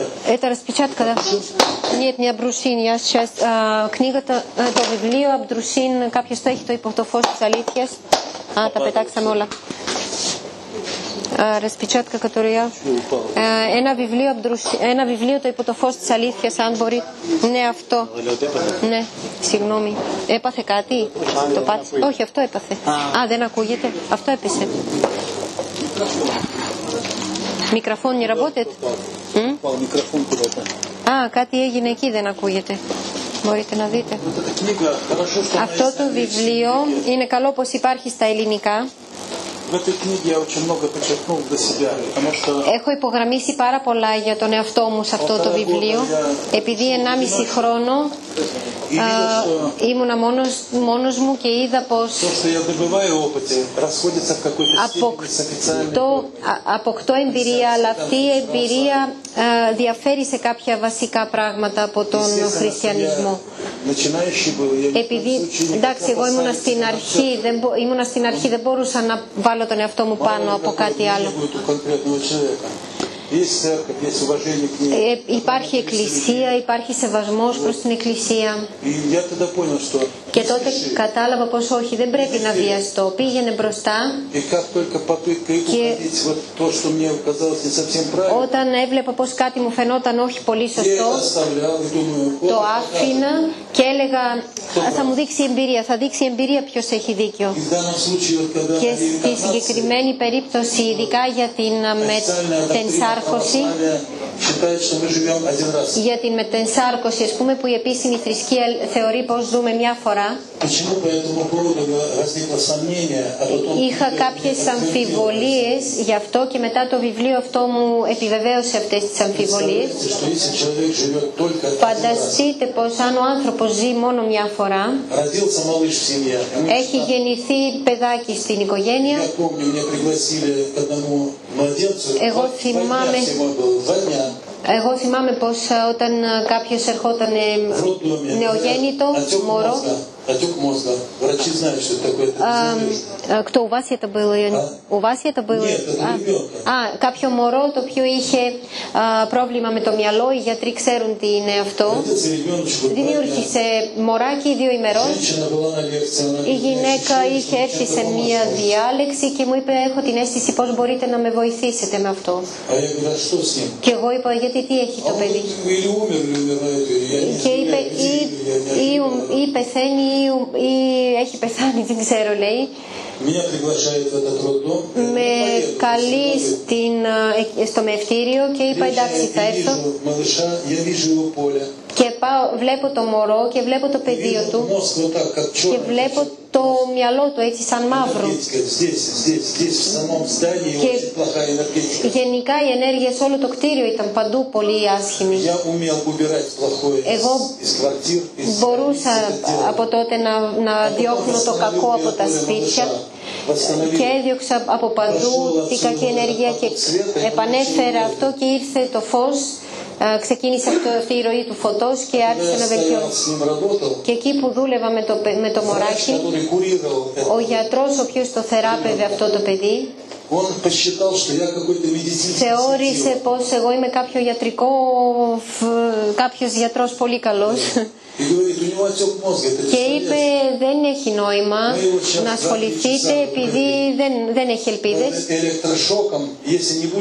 Και είπε πως θα του κάνει ηλεκτροσόκ και σε δύο-τρεις ώρες αν δεν ζήσει θα, το, θα, θα πεθάνει, ναι, δεν θα ζήσει. Και εγώ του είπα, εγώ θα προσπαθήσω να το βοηθήσω. Για τον γιατρό, ο οποίος ξέρει τι σημαίνει, πώ λέγεται αυτό. Είναι σαν να είναι πρισμένο το μυαλό, κάτι τέτοιο, δεν μπορώ να το μεταφράσω. Ήδημα, ήδημα μυαλού. Μυαλού. Όταν ο γιατρό ξέρει τι σημαίνει αυτό, λέει πω δεν έχει νόημα. Και μου είπε, αυτό εσείς ποιος είστε; Και του είπα, εγώ είμαι μηχανικός. Α, φαίνεται λέει πως είστε μηχανικός. Ε, τι καταλαβαίνεις εσύ από το ιατρική. Και... και εγώ όταν συζητούσαμε, εγώ ήδη ταυτόχρονα όσο συζητούσαμε βοήθησα το μωρό. Ε, το μυαλό μου λειτουργούσε με τις λέξεις και η ψυχή μου λειτουργούσε για να βοηθήσει. Ταυτόχρονα και είπα στη γυναίκα, το μωράκι θα ζήσει. Μην το πετάξετε ακόμα. Παρακαλώ. Και το μωράκι έζησε, εγώ έφυγα περίπου μετά από τρεις μήνες, η μητέρα αυτού του παιδιού ήρθε και μου είπε: Βίρους. Κάποια ίωση του βρήκανε και πάλι πεθαίνει. Κάτι, κάποια, κάποια ίωση πολύ επικίνδυνη. Και τον πήγανε στην νευρολογία για χρόνο πριν από ένα χρόνο. Πήγα εκεί και είπα αφού βοήθησα πρέπει ξανά. Δύο γιατροί, ο ένας ο οποίος ήταν ε, υπεύθυνος για τη θεραπεία και ο άλλος ήταν ο, ο γενικός. και μου είπαν μην μπαίνεις εδώ, εδώ είναι παιδιατρίο, δεν μπορείτε και μου είπαν ποιος είσαι; Αλλά η μητέρα τότε με βοήθησε όταν ήμασταν στο μευτήριο. Ο Θεός είπε αυτά είναι όλα παραμύθια, δεν υπάρχουν. Και όσο συζητούσαν εγώ κατάλαβα πως και αυτοί έχουν δίκιο, αυτοί δεν με γνωρίζουν. Από πού να ξέρουν ποιος είμαι εγώ και τι κάνω; Э, ήταν φυσιολογικό να αντιδράσουν έτσι. Και είπα πως πρέπει να σπάσω ε, το ότι δεν με εμπιστεύονται. Και του είπα, έχετε μεγάλο πρόβλημα με τη σπονδυλική στήλη, έχετε ε, πρόβλημα με το κεφάλι, έχετε πόνο στο κεφάλι. Και έχετε, ε, τους είπε τι αρρώστιες έχουν. Και στον άλλο γιατρό είπα, «Ε, είπα έχετε πρόβλημα με την καρδιά σας. Ναι, είναι διάφορες αρρώστιες που είχε, δηλαδή τους εξήγησε ποιος τι έχει όλα, όλα όσα είχαν και, και εκείνοι σαν γιατροί το γνωρίζανε πάρα πολύ καλά. Και τώρα τους είπα να σας βοηθήσω. αν με εμπιστεύεστε μπορώ να βοηθήσω. Και είπαν τι θα κάνετε; και απλά θα σας κοιτάξω δύο-τρία λεπτά. Одной стало легче, второй стало легче. ο ένας έγινε καλύτερα, ο άλλος έγινε καλύτερα και τους είπα οπότε θα με αφήσετε να Под βοηθήσω нашим надзором και пошли. είπαν εντάξει κάτω από την επίβλεψή μας μπορούμε να πάμε Пришлось три или четыре раза приезжать. туда. και χρειάστηκε τρεις-τέσσερις φορές να πάω και είχε πρόβλημα εκεί με το κεφάλι, ε, ήταν ήδη. Και τι γινό, ήθελα να εξηγήσω τι γινόταν με αυτό το παιδί. Από την πρώτη φορά είχα εξηγήσει πως το παιδί γεννήθηκε έτσι βαρύ, με βαριά προβλήματα, επειδή εσείς δεν έχετε πίστη. Η γυναίκα είναι τόσο ευαίσθητο πλάσμα, η γυναίκα είναι πιο κοντά από τον, με τον Θεό όσο είναι ο άντρας. Η γυναίκα είναι περισσότερο, πιο δυνατή στο πνεύμα. Ο άντρας είναι πιο κοντά στην ύλη. Γι' αυτό της είπα, εσείς πρέπει να υπερασπίζεστε την πίστη, με την πίστη να υπερασπίζετε και τον εαυτό σας και το παιδί. Ενώ εσείς είστε και εσείς οι ίδιοι άρρωστοι και το παιδί. Οπότε της είπα, δεν μπορώ να μην αφήσω το τι τιμωρία την οποία σας έχει δώσει Θεός. Αλλά σας δίνουν, σας δίνουν μια προσωρινή δυνατότητα για να μπορείτε να το συνειδητοποιήσετε και να κινηθείτε προς την πίστη. Αν το πιστέψετε και, πάτε προς τα εκεί, έχετε δυνατότητες και εσείς και το μωρό. Εάν δεν ξεκινήσετε να κινήσετε, ο Θεός επίσης έχει υπομονή και θα πει δεν χρειάζονται και θα το σταματήσει. Επειδή αν δεν πιστεύετε τον Θεό δεν μπορείτε να πάρετε βοήθεια από τον Θεό. Είναι νόμος, είναι νόμος της τη του, της επιλογής, βούλησης. Ο Θεός λέει θα σας βοηθήσω όταν έρχεστε σε μένα. Στη Παλιά Διαθήκη υπάρχει μια φράση που λέει ε, πως έχει, σκληρίνει, πως έχει η καρδιά του λαού και τα μάτια βλέπουν, αλλά, ε, κοιτάνε αλλά δεν βλέπουν. Και με τα αυτιά ακούμε αλλά δεν, ε, δεν ακούμε. Και δεν θέλει ο κόσμος να γυρίσει προς τον Θεό για να μας θεραπεύσει. Και έχουμε σκληρίνει λόγω του μυαλού. Поэтому что Γι' получилось? αυτό τι Конечно, έγινε βέβαια. прошло года 3-4, они там тянулись, потом она Πέρασε стала меня просить о помощи. καιρός. Я смотрю, у нее ни веры, ни ничего. Πέρασε καιρός, με παρακαλούσε για βοήθεια, αλλά εγώ έβλεπα πως ούτε πίστη είχε ούτε τίποτα και έλεγα εγώ από εδώ και πέρα δεν μπορώ να σας βοηθά, να σας βοηθάω. Και μου είπε εσείς είστε πάρα πολύ σκληρός άνθρωπος, σκληρός, Το παιδί πεθαίνει και εσείς δεν θέλετε να το βοηθήσετε. Και της είπα, όχι εσείς είστε άνθρωπος που βαριέται και είναι σκληρός επειδή πήρατε δύο φορές βοήθεια, αλλά δεν θέλετε να πιστέψετε στον Θεό και εν τω μεταξύ ταυτόχρονα είχε χωρίσει με τον άντρα της επειδή είχε κακία και, είχανε, και τον έτρωγε και έβλεπα πως και της έλεγα πως δεν μπορείτε να δώσετε καλό ούτε στον άντρα σας, ούτε στο παιδί σας, ούτε στον εαυτό σας. Επειδή είχε πάρα πολλές ε, ε, αρνητικά συναισθήματα και με αυτό εμπόδιζε τη ζωή.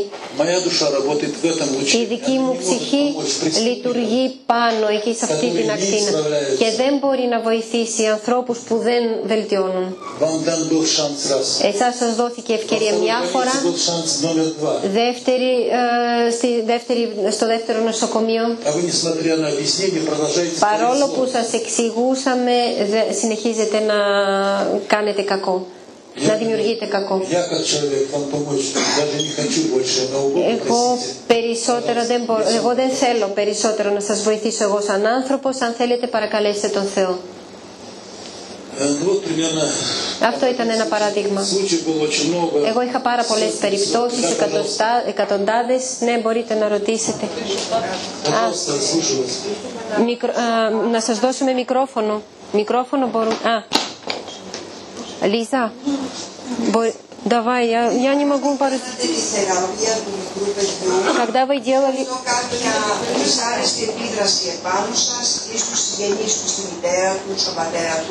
А когда вы делали терапию малыша, а, были какие-то отрицательные действия орнитикес? Ар а, κάποια επίπτωση πάνω του? Επάνω του, ναι. А если было что-то отрицательное у вас или у, или у родственников малыша, или у ваших э, родственников? Όχι, δεν είχε. Ε, γιατί είχα διαβάσει στο βιβλίο του Λάζαρεφ που ανέφερε κάτι τέτοιο. Потому что она читала а, в книгу Лазарева для кармы.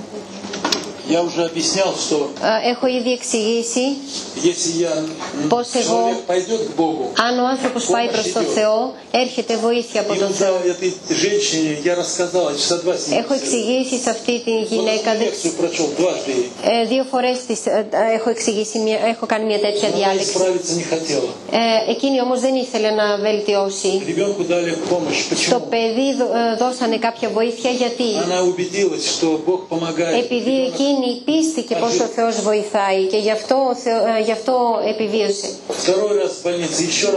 Δεύτερη φορά ξανά επιβίωσε το παιδί, αλλά εκείνη πάλι δεν τα κατάφερε και πάλι. Ο Θεός έχει υπομονή, αλλά είπαμε εντάξει φτάνει. Μετά, εάν εγώ προσπαθούσα άλλη μια φορά να θεραπεύσω, τότε θα είχα προβλήματα. Επειδή πια α, επεμβαίνω στο, στο δικαίωμα του, του δικαστή. Επίσης ήθελα να ρωτήσω για το θέμα της μετεσάρκωσης που οι Ορθόδοξοι Еще хотела спросить для Ορθοδοξία а, δεν δέχεται. а, почему э, прав- э, православие не принимается э, рождение потом, э, перерождение, реинкарнация, да. Вы знаете, я Δεν θέλω να μπω σε συζήτηση με την Ορθοδοξία. Αλλά λόγω κάποιας λογικής, με βάση κάποια λογική, η οποία υπάρχει σε αυτό το βιβλίο. Κοιτάξτε. Ας πούμε πως ο άνθρωπος ζει μία φορά. Έχει γεννηθεί μικρός. Μικρός άνθρωπος ξεκινάει τη ζωή του. α πούμε πώ είναι πολύ καλός άνθρωπος, μετά αρχίζουν τα πρώτα, οι πρώτες αμαρτίες όταν είναι 15 χρονών, μετά περισσότερες, περισσότερες, Περίπου στα 80 του έχει μαζέψει αρκετές αμαρτίες, αρκετή μάζα αρνητική. Αυτή αυτό είναι το κάρμα. Πώς μπορεί να καθαρίσει το κάρμα σύμφωνα με τον Χριστό; Μόνο με ταπεινότητα. Εγώ το εξήγησα ήδη. Όταν δεχόμαστε τη τιμωρία χωρί χωρίς να αντιστεκόμαστε. Είναι ο μόνος τρόπος να ξεφορτώσουμε. Αλλά αν κανένας δεν έχει πει τίποτα σε αυτόν τον άνθρωπο ή λείπει κάποια πίστη, κανένας δεν του έχει δώσει κάτι. но это не- есть такой юридический термин. Υπάρχει νομικός όρος γι' αυτό. Незнание закона не Αυτός που δεν освобождает от γνωρίζει τον ответственности. νόμο δεν σε απελευθερώνει από την ευθύνη. Если человек не знает, что это преступление, это не Αν ο значит, άνθρωπος что он не будет наказан. δεν γνωρίζει πως α, α, αυτό είναι λάθος πα- και πάλι θα τιμωρηθεί. Εάν το έγκλημα και η τιμωρία ήταν μόνο στα πλαίσια μιας ζωής, τότε ο, άνθρωπο, τότε ο Θεός δεν θα άφηνε κανέναν μέχρι να, ξε, να καθαρίσει τα, αυτά που είχε μαζέψει. Πότε, τότε, πότε θα τιμωρήσει τον άνθρωπο τότε; Γι' αυτό τότε θα ζούσαμε ενιαία μέχρι να καθαρίσουμε τις αμαρτίες μας. Θα ήμασταν 20.000 χρονών και θα ήμασταν ακόμα εδώ. Θα ήθελα να πεθάνω, αλλά θα μου λέγανε όχι, μέχρι να καθαρίσεις το κάρμα σου δεν θα φύγει. Αυτό είναι το πρώτο που έχω να πω για αυτό το θέμα. Το δεύτερο γιατί αυτό το παιδί ήρθε με είδημα μυαλού, αφού ακόμα δεν κατάφερε να κάνει τίποτα κακό. Он еще не жил. Ακόμα δεν έχει И вы ζήσει. знаете, что Και, δεν, και, проблемных детей очень много, и с каждым годом все больше и και больше. ξέρετε πως ε, κάθε χρόνο περισσότερα προβλήματα έχουν τα παιδιά. Говорят, что мы страдаем за грехи предков. Και λένε πως εμείς υποφέρουμε για τις αμαρτίες προγόνων. В какой-то степени это Σε да. κάποιον βαθμό έχει, είναι έτσι. Когда я лечил людей, была Όταν θεράπευα ανθρώπους υπήρχε κάποια περίπτωση όταν πολύ συμπαθητική κοπέλα ήρθε, ήταν περίπου 25-26 χρονών, την έφερε κάποιος νεαρός, ο οποίο μου είπε: Βλέπετε τι καλή που είναι. Είναι πολύ ευχάριστη, ευγενική. Αλλά όπως καθόμαστε, μπορεί να πάρει ένα μπουκάλι δίπλα της και να το πετάξει στον τοίχο. Να πετάξει τα πάντα όσα είναι στο, στο τραπέζι, να 3-4 минуты успокоится. να κλωτσάει και σε 3-4 λεπτά να ηρεμήσει. Какое-то как вот сумасшествие. Σαν κάτι στο μυαλό, κάτι παρα- παράλογο. Вы можете ей помочь, а то Και με ρώτησε, μπορείτε να τη βοηθήσετε επειδή είναι, τρο- είναι τρομακτικό. рядом спать боюсь, боюсь графина. Φοβάμαι να κοιμάμαι δίπλα της, φοβάμαι να μην με χτυπήσει τη νύχτα. Да, сейчас посмотрим. Και είπα τώρα θα κοιτάξουμε. И смотрю, как бы Και мне тут κοιτάω. пока- показывают ретроспективу, что было в прошлом. Ε, εμένα μου δείχνει σαν α, στο παρελθόν τι ήταν στο παρελθόν της. Не поддается ее вот этот э, момент. И Και вижу, βλέπω вот папа, πως ο πατέρας και η μαμά они со- соединились в браке. είχαν ενωθεί σε γάμο. Μετά ξεκινήσαν να, ζουνε ζουν μαζί ταυτόχρονα. και εδώ ήταν η σύλληψη του παιδιού. Εδώ ήταν η γέννηση, το σημείο της γέννησης του παιδιού. Και εδώ είναι η προσωπική μοίρα της κοπέλας, της συγκεκριμένης κοπέλας. Ο πατέρα πατέρας και η μητέρα είχαν ε, γονείς από πλευράς τους, ε, όπως λέμε το γεννητικό δέντρο.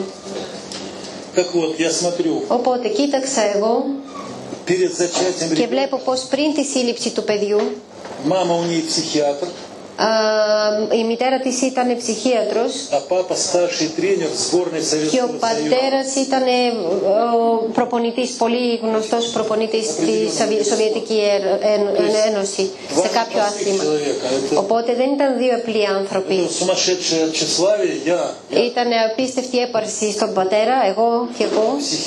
Και η ψυχίατρος έχει δουλειά με, με ανθρώπους που δεν είναι κανονική και παίρνει, εισπράττει από αυτούς διάφορα. Οπότε δύο άνθρωποι, δύο τέτοιοι άνθρωποι μαλώσανε στο σπίτι πολύ και εμένα και εγώ το έβλεπα, δηλαδή είδα αυτή την, αυτό, τον τσακωμό И после драки произошло какое-то και умиротворение. μετά, μετά από αυτό τον τσακωμό ε, η η ειρήνη И тут же интимный акт. και ξαφνικά ε, κάναν έρωτα και τη σύλληψη του παιδιού. Πολλές φορές ξέρετε πώς γίνεται.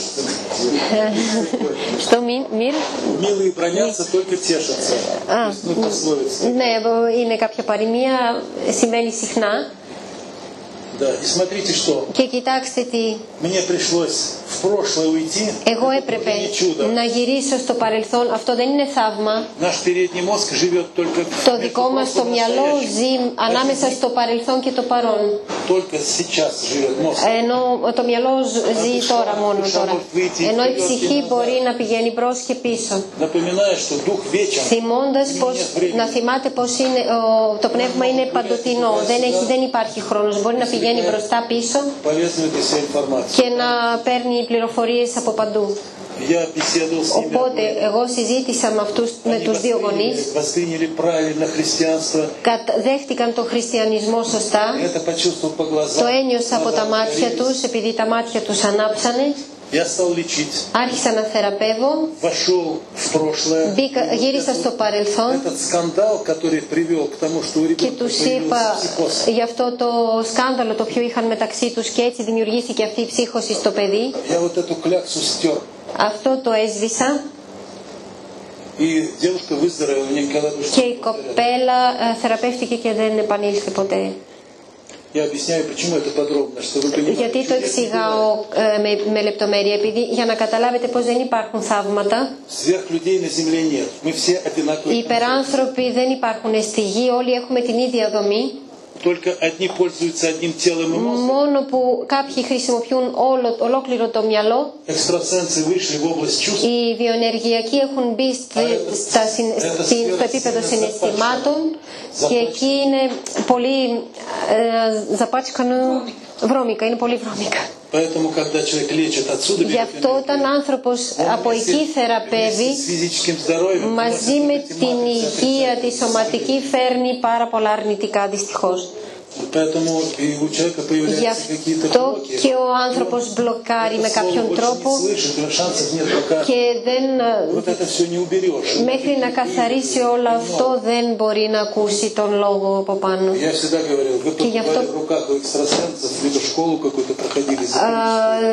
όταν κάποιοι έχουν πάει με τα χέρια σαν βιοενεργειακοί, αν έχουν πάει σε κάποια σχολή βιοενεργειακών θεραπευτών,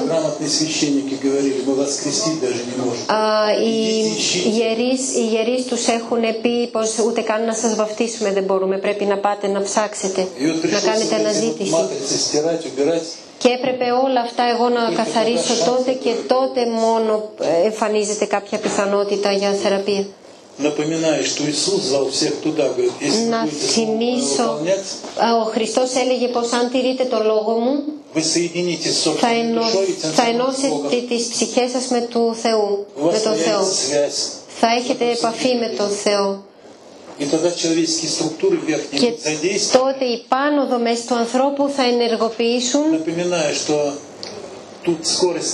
και σας θυμίζω και πάλι πως εδώ η ταχύτητα είναι σε και στα συναισθήματα είναι 400 σε. Οπότε όσο πιο κοντά είμαστε στο Θεό, τόσο πιο έντονες, πιο δυνατά είναι τα κύματα. Και είναι καθαρά κύματα και ποτέ δεν μπορούν να βλάψουν πλέον. Ξέρετε πως υπάρχει θεραπεία από βιοενεργειακούς. Υπάρχει όμως και θεραπεία και από Άγιους. Ε, άνθρωποι ε, υπάρχει διαφορά στη θεραπεία των ανθρώπων. Υπάρχει το meditation, ε, το οποίο είναι η εισαγωγή στο αστρικό και υπάρχουν οι θε, θεϊκοί άνθρωποι που έχουν πάρει πληροφορία από πάνω. Γιατί; Επειδή από πάνω ήταν καθαρά. Έχει, πιστεύανε ειλικρινά και είχαν επαφή με, η ψυχή τους είχε, σχέση, είχε επαφή με τον Θεό είχε ενωθεί με τον Θεό. Γι' αυτό σας υπενθυμίζω. Πολλές φορές ενώνω τη φυσική με τον χριστιανισμό για να μπορεί ο άνθρωπος με το μυαλό να καταλάβει τι συμβαίνει. Помните фразу Нагорной проповеди «Блаженны нищие духом, ибо их Α, царство να небесное». ε, θυμάστε που, α, τη φράση που λέει ευλογημένη την α, κάτω, ε, για πες εσύ, ε, του, της κατώτερη, ε, κάτω πνεύματος, του χαμηλού πνεύματος, πώς ευλογη, ευλογημένη, Μμ? φτωχή του πνεύματος, ευλογημένη φτωχή του πνεύματος, блажение нищий духом, Блаженны нищие духом. А дальше написано και μετά γράφει ε, πως, ε, πως ε, η Βασιλεία του Θεού την παίρνουμε με δύναμη πνεύματος, με τη δύναμη του πνεύματος. Και πάλι εγώ όταν προσπαθούσα να καταλάβω έλεγα, δηλαδή στο, στη Βασιλεία του Θεού μπαίνει ο δυνατός πνεύματος. Οπότε η, αυτή που είναι χαμηλό πνεύμα, όχι χαμηλό, φτωχοί πνεύματος, δηλαδή θα γίνει και πολύ καιρό μου πήρε να καταλάβω, πήγα σε μοναστήρι, προσευχήθηκα πολλές φορές στο Πάτερ ημών και στο τέλος μου δείξανε κάποια εικόνα γιατί. Πολλοί μεταφράζουν και γράφουν και τα πρόσωπά τους ήταν πολύ μεταφραστές όταν μεταφράζανε και γράφαν και αντιγράφανε και τα πρόσωπά τους... Δεν ήταν πολύ έξυπνα.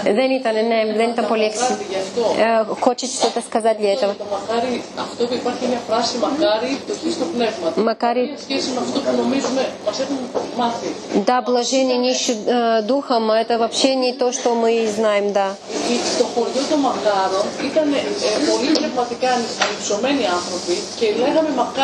А, Макари, а это было, э, э, когда мы говорим о блаженном, по-гречески это Макари. Я, Элена, το πεις, я, πες το στο μικρόφωνο λίγο κάθε. Είναι η διανόηση. Είναι η γνώση του υλικού А, Она говорит, что была деревня, которые там Макари жили, и поэтому на- начали по-гречески говорить Макари, потому что эти были люди из э, деревни. веду.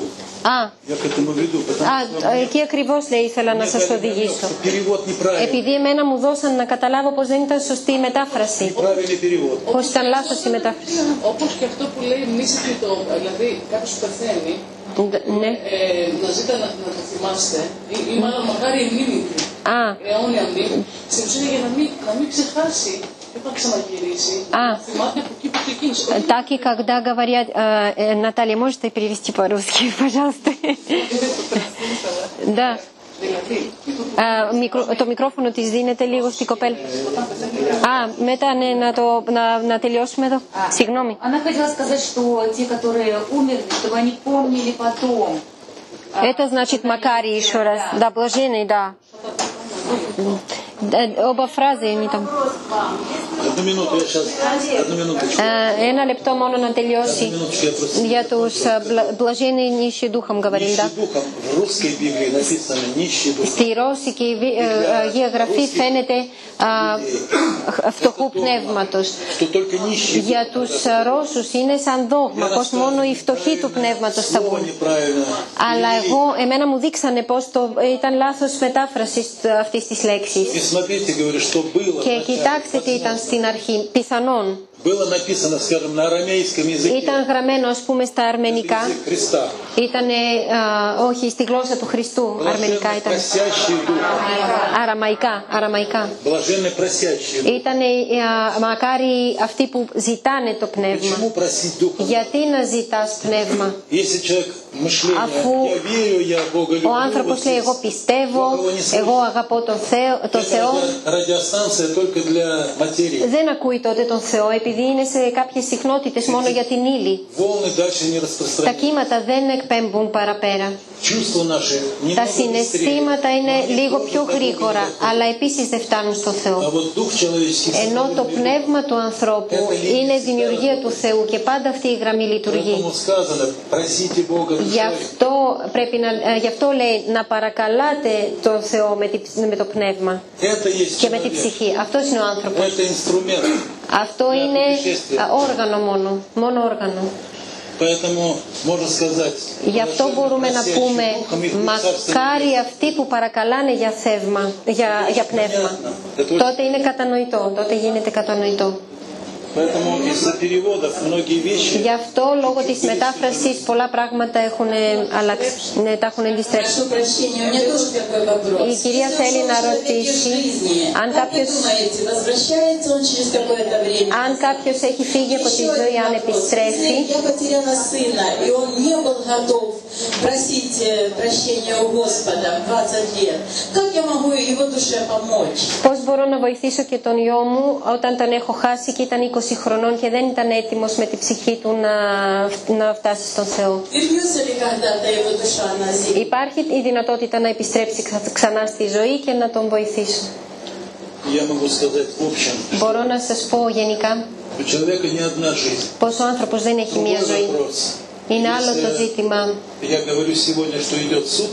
Αν σας λέω σήμερα πώ ε, υπάρχει δίκη, в Откровении Иоанна Богослова написано, στην Апокалипсис, αποκάλυψη της, του Ιωάννη γράφει вначале будет смерть первая. στην αρχή θα, θα, θα, θα υπάρχει θάνατος των πρώτων. Блажен тот, который воскреснет к новому бытию. Μακάριος αυτός που θα ανασταθεί, θα αναστεί, ναι, αναστηθεί Кто к новому бытию? ε, προς καινούργιο ε, υπ- ε, είναι. Και ποιος θα αναστηθεί. Ποιος είναι αυτός; Ποιος θα αναστηθεί. Αυτός που είναι που μέσα από τη δυνατή πίστη θα, πίστη θα ξεκινήσει να βελτιώνει και θα δείξει πως πραγματικά πηγαίνει προς το Θεό. Και ο Χριστός λέει εσείς είστε το αλάτι της γης. Это и есть шанс. Вот в ответе на ваш вопрос, Α, Σε απάντηση του ερωτήματός после σας того, как будет смерть первая, начнется Όταν тысячелетнее царство на земле. Царство πεθάνουν οι πρώτοι, ξεκινάει η Βασιλεία του Θεού για 20.000 χρόνια Божьего. Если конкретно вы, как мать, και εσείς σαν μητέρα очень серьезно к этому отнесетесь, αν начнете φερθείτε исправляться, πολύ σοβαρά σε αυτό το θέμα και ξεκινήσετε να βελτιώνετε τον εαυτό выбираться σας отсюда. θα ξεκινήσετε να ανεβαίνετε από εδώ Вам, как κάτω идущему духу, και Бог εσείς σαν любого πνεύμα το οποίο ψάχνει προς τα πάνω θα σας απαντηθεί η ερώτηση. Σε κάποια, σε κάποια φάση της ζωής σας θα σας απαντήσουν. Αν πραγματικά στην ουσία πάτε σε αυτόν τον δρόμο, τότε θα σας ακούσουν και θα σας πούνε θα προσπαθήσουμε να βοηθήσουμε το γιο σας. Και αν ήταν καλός άνθρωπος, είναι πολύ, ε, θα γίνει πράξη. Επειδή και στην πράξη μου υπήρχαν άνθρωποι οι οποίοι μόνοι τους πηγαίνανε προς τα πάνω μετά παρακαλούσαν για τους ε, συγγενείς τους που έχουν φύγει και λένε πως αρχίζουν να έρχονται στον ύπνο μας και γενικά ακόμα και να μην ήταν βαπτισμένοι και χωρίς βάπτιση μπορούσαν να ανέβουν. Επειδή το πνεύμα του ανθρώπου είναι αθάνατο, μόνο το περίβλημα είναι πεθαίνει. А Не можно ус- вопрос? Да, пожалуйста. А, грехов больше у того человека, который, вот, например, сегодня жил, оп, и умер. Или тот, который 15 лет лежал на кровати и мучился. Πώς, ε, πότε υπολογίζουμε πως έχει περισσότερες αμαρτίες ο άνθρωπος, ε, ο οποίος... ε, 15, ε, ε, Наталья, можете сказать по-гречески? Α, α, πόσο α, άνθρωπος, αυτός που, που έχει πεθάνει ήταν υγιέστατος και σε μια μέρα από την άλλη πέθανε. Έχει πιο πολλές αμαρτίες από αυτόν τον άνθρωπο, όποιος, όποιος α, 15 χρόνια ήταν αν- ανάπηρος, δηλαδή στο κρεβάτι και μετά πέθανε. Ποιος από αυτούς τους δύο έχει πιο πολλές αμαρτίες. Έχει περισσότερες αμαρτίες. Το ακούσατε? Ну, во-первых, э, здесь немножко вопрос, как, как э, да, Η ερώτηση είναι λίγο...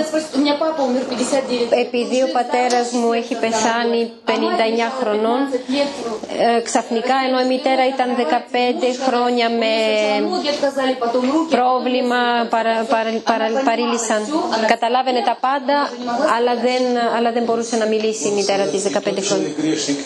Μπορώ να πω πως και ο ένας και ο άλλος είναι αμαρτωλή. Ναι, αλλά μπορούσε αυτά τα 15 χρόνια να προσεύχεται και να καθαρίσει. Αν είχε ε, πάει προς αυτό το δρόμο, Σίγουρα θα μπορούσε. Αν ήταν στη και, ε, και πήγαινε προς τα εκεί, θα μπορούσε να νικήσει το πνεύμα. Ναι, αλλά όταν πέθανε η μητέρα, δεν ήταν σαν, ήταν σαν μούμια ξαφνικά, σαν να μην υπάρχει πνεύμα. Μέχρι ο άνθρωπος να καθαρίσει όλες τις αμαρτίες του, δεν θα φύγει από τη γη. Γιατί επιστρέφουμε ξανά στην ύλη ψάξετε του. Προσπαθήστε σαν, σαν αθλητές. Ένας αθλητής δεν μπορεί ξαφνικά να πηδήξει ψηλά. Πρέπει να δοκιμάζει πολλές φορές. Πρώτη φορά δεν έγινε δεύτερη, δεν έγινε τρίτη, δεν έγινε κάποια στιγμή θα γίνει. Οπότε ή πηγαίνετε με το Θεό ή μακριά από το Θεό. Потому что много Επειδή- случаев есть разных. Υπάρχουν πολλές περιπτώσεις. Потому что святых на земле нет. Στη γη δεν υπάρχουν Я Άγιοι. просто хотела знать, у кого было больше грехов. Ναι, просто απλά ήθελε να ρωτήσει ποιος είχε περισσότερες αμαρτίες. И почему так? А, Там человек хочет что-то Да, спросить. пожалуйста, да. Ναι, ρωτήστε. Πρώτη ερώτηση. Первый вопрос. Γιατί το Χριστό μας που τον σταύρωσαν οι Εβραίοι, Почему εμείς, нашего Бога, которого рас- распяли евреи, εμείς υμνούμε τους προπάτορες των Εβραίων. Δηλαδή, υμνούμε τους προπάτορες αυτών που σταύρωσαν τον Σωτήρα. а, почему мы а, а, как бы прощаем этим евреям за то, что они распяли Για τους Εβραίους Давайте сейчас приведем пример современности. Ας φέρουμε κάποιο παράδειγμα από τη σύγχρονη ζωή. Φανταστείτε Сейчас в Грецию пришествие. Πώς τώρα γίνεται στην Ελλάδα η δεύτερη παρουσία.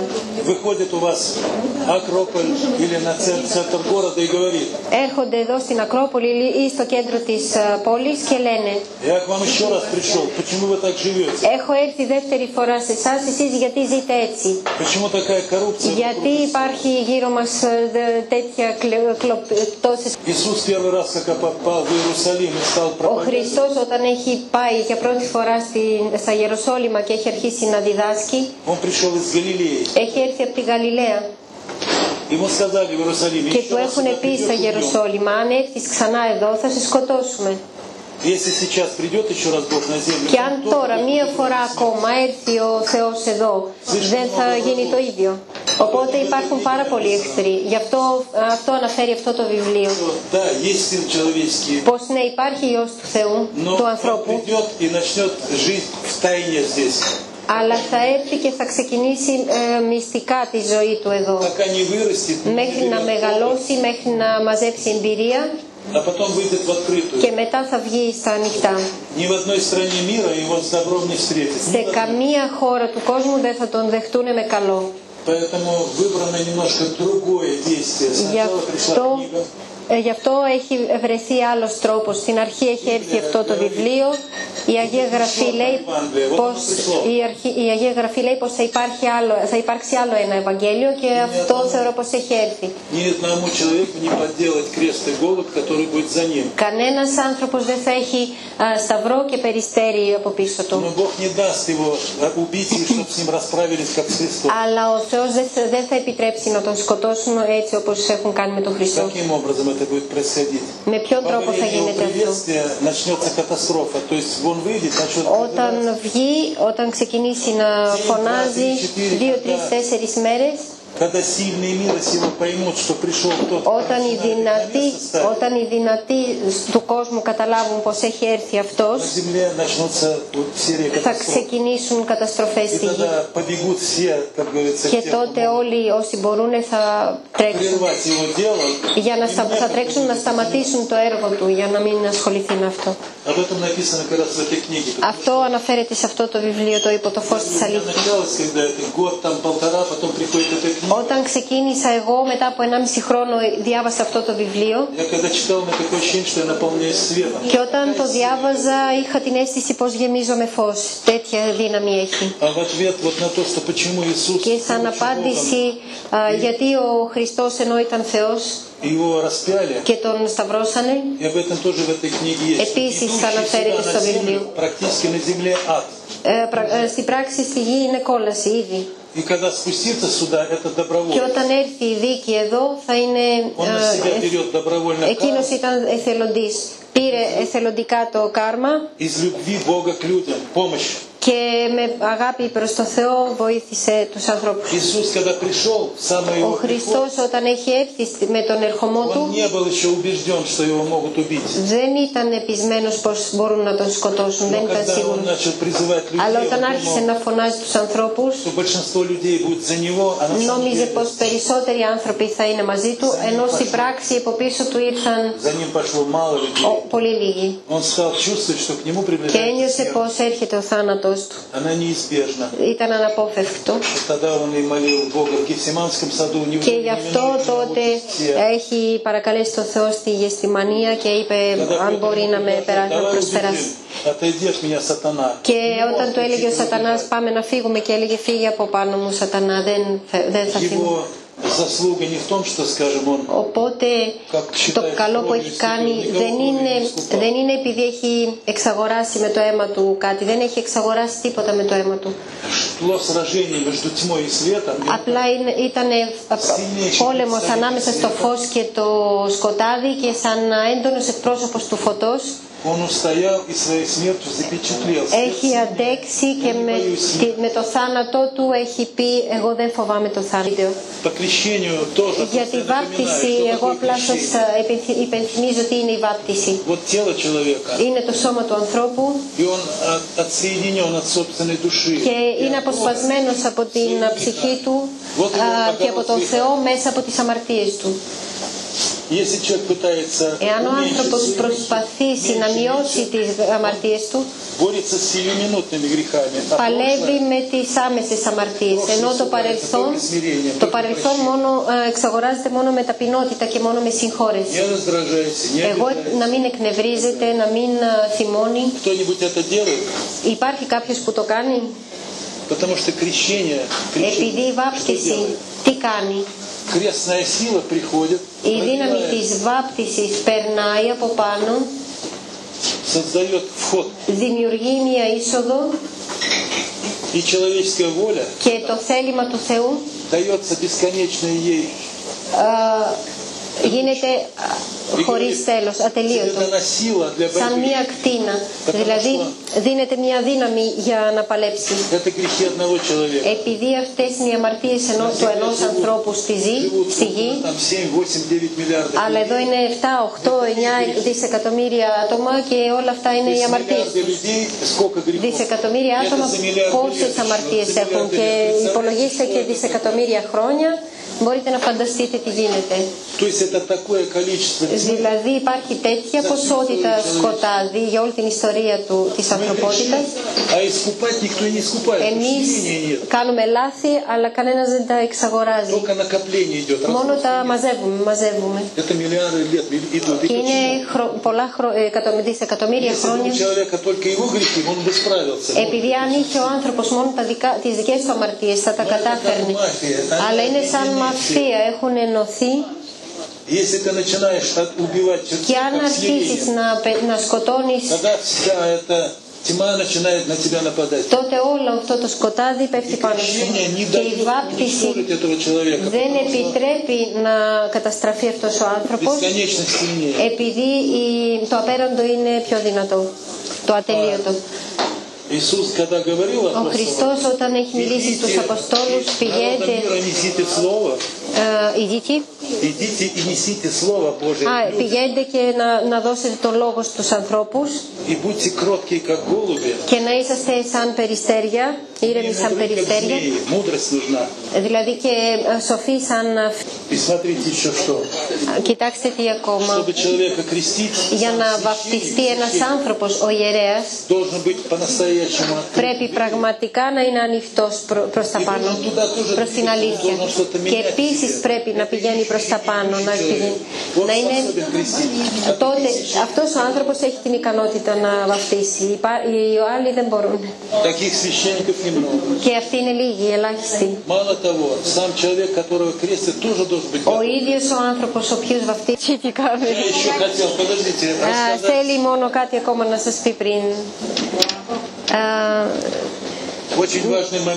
Κάτι να πει και μετά. Ε, κάτι πολύ σημαντικό θέλω επίσης να πω. Είναι η γυναίκα και είναι ο άντρας.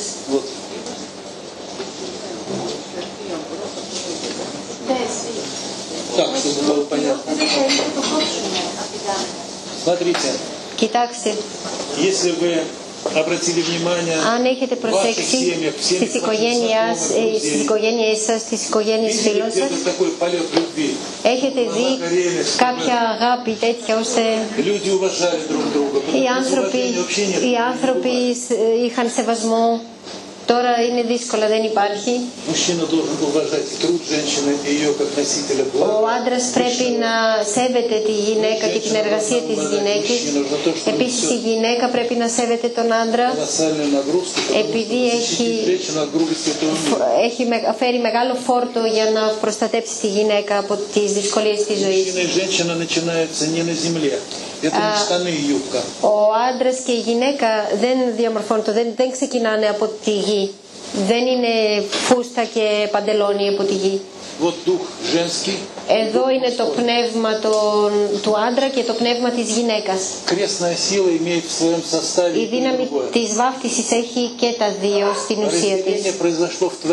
Ο διαχωρισμός γίνεται στην δημιουργία. Είναι μια πράξη. Ένα είδος πράξης. Ο άντρας έχει πιο... Έχει διαφορετική, διαφορετικό σκοπό να, κατα, να, να δημιουργεί, να, να κατακτήσει, να προστατέψει και η γυναίκα σαν λουλούδι να, να είναι τρυφερή, να είναι α, προστατευτική και να φέρει αυτή την όμορφη αρχή. Εάν, αν ο άντρας φτάνει, στην, φτάνει στην, στο πνευματικό κόσμο, η γυναίκα, η ζήση στο ε, Ну потому вот что это πιο- как ее дополнительное свет. έχει επιπλέον περισσότερο φως. Это тоже в этой книге есть. что Επίσης женщина αυτό φαίνεται στο βιβλίο, πως η γυναίκα В этом маленьком отряде она несет свою задачу. φέρει το δικό της σκοπό σε, αυτό το, σε αυτή την ομάδα Еще τη раз μικρή. говорю, Мужчина добытчик и защитник. Μία φορά ακόμα να σας πω, ο άντρας πρέπει να κατακτήσει και να προστατέψει. Облагораживает и создает Η красоту. γυναίκα βελτιώνει και δημιουργεί ομορφιά γύρω της. Αν ο άντρας τηρεί το σκοπό του και προστατεύει τη γυναίκα του, δουλεύει καλά, τη σέβεται, την αγαπάει και δημιουργεί συνθήκες για αυτήν, το ότι η γυναίκα μπορεί να ανθίσει μέσα σε αυτό το κάστρο σαν λουλούδι το οποίο δεν προστατεύεται από, από όλα και από τον άνεμα από όλα, δεν χάνει τίποτα.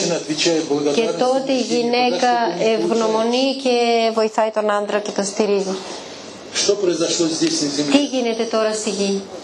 Мужчина грешит, Ο άντρας κάνει λάθος, к сожалению, и материализм. То есть δυστυχώς με τον шестую ηλισμό. чакру мозги разрушают измы. Ε, фанатизм, δηλαδή ε, материализм, η έκ- το έκτο национализм, τσάκτρα είναι религии, μ, α, ναι, ηλισμός, ε, λέει, υπεύθυνο για όλα τα ηλισμό. Ε, Скажите снова, ε, материализм. Материализм, то есть Да. это безверие.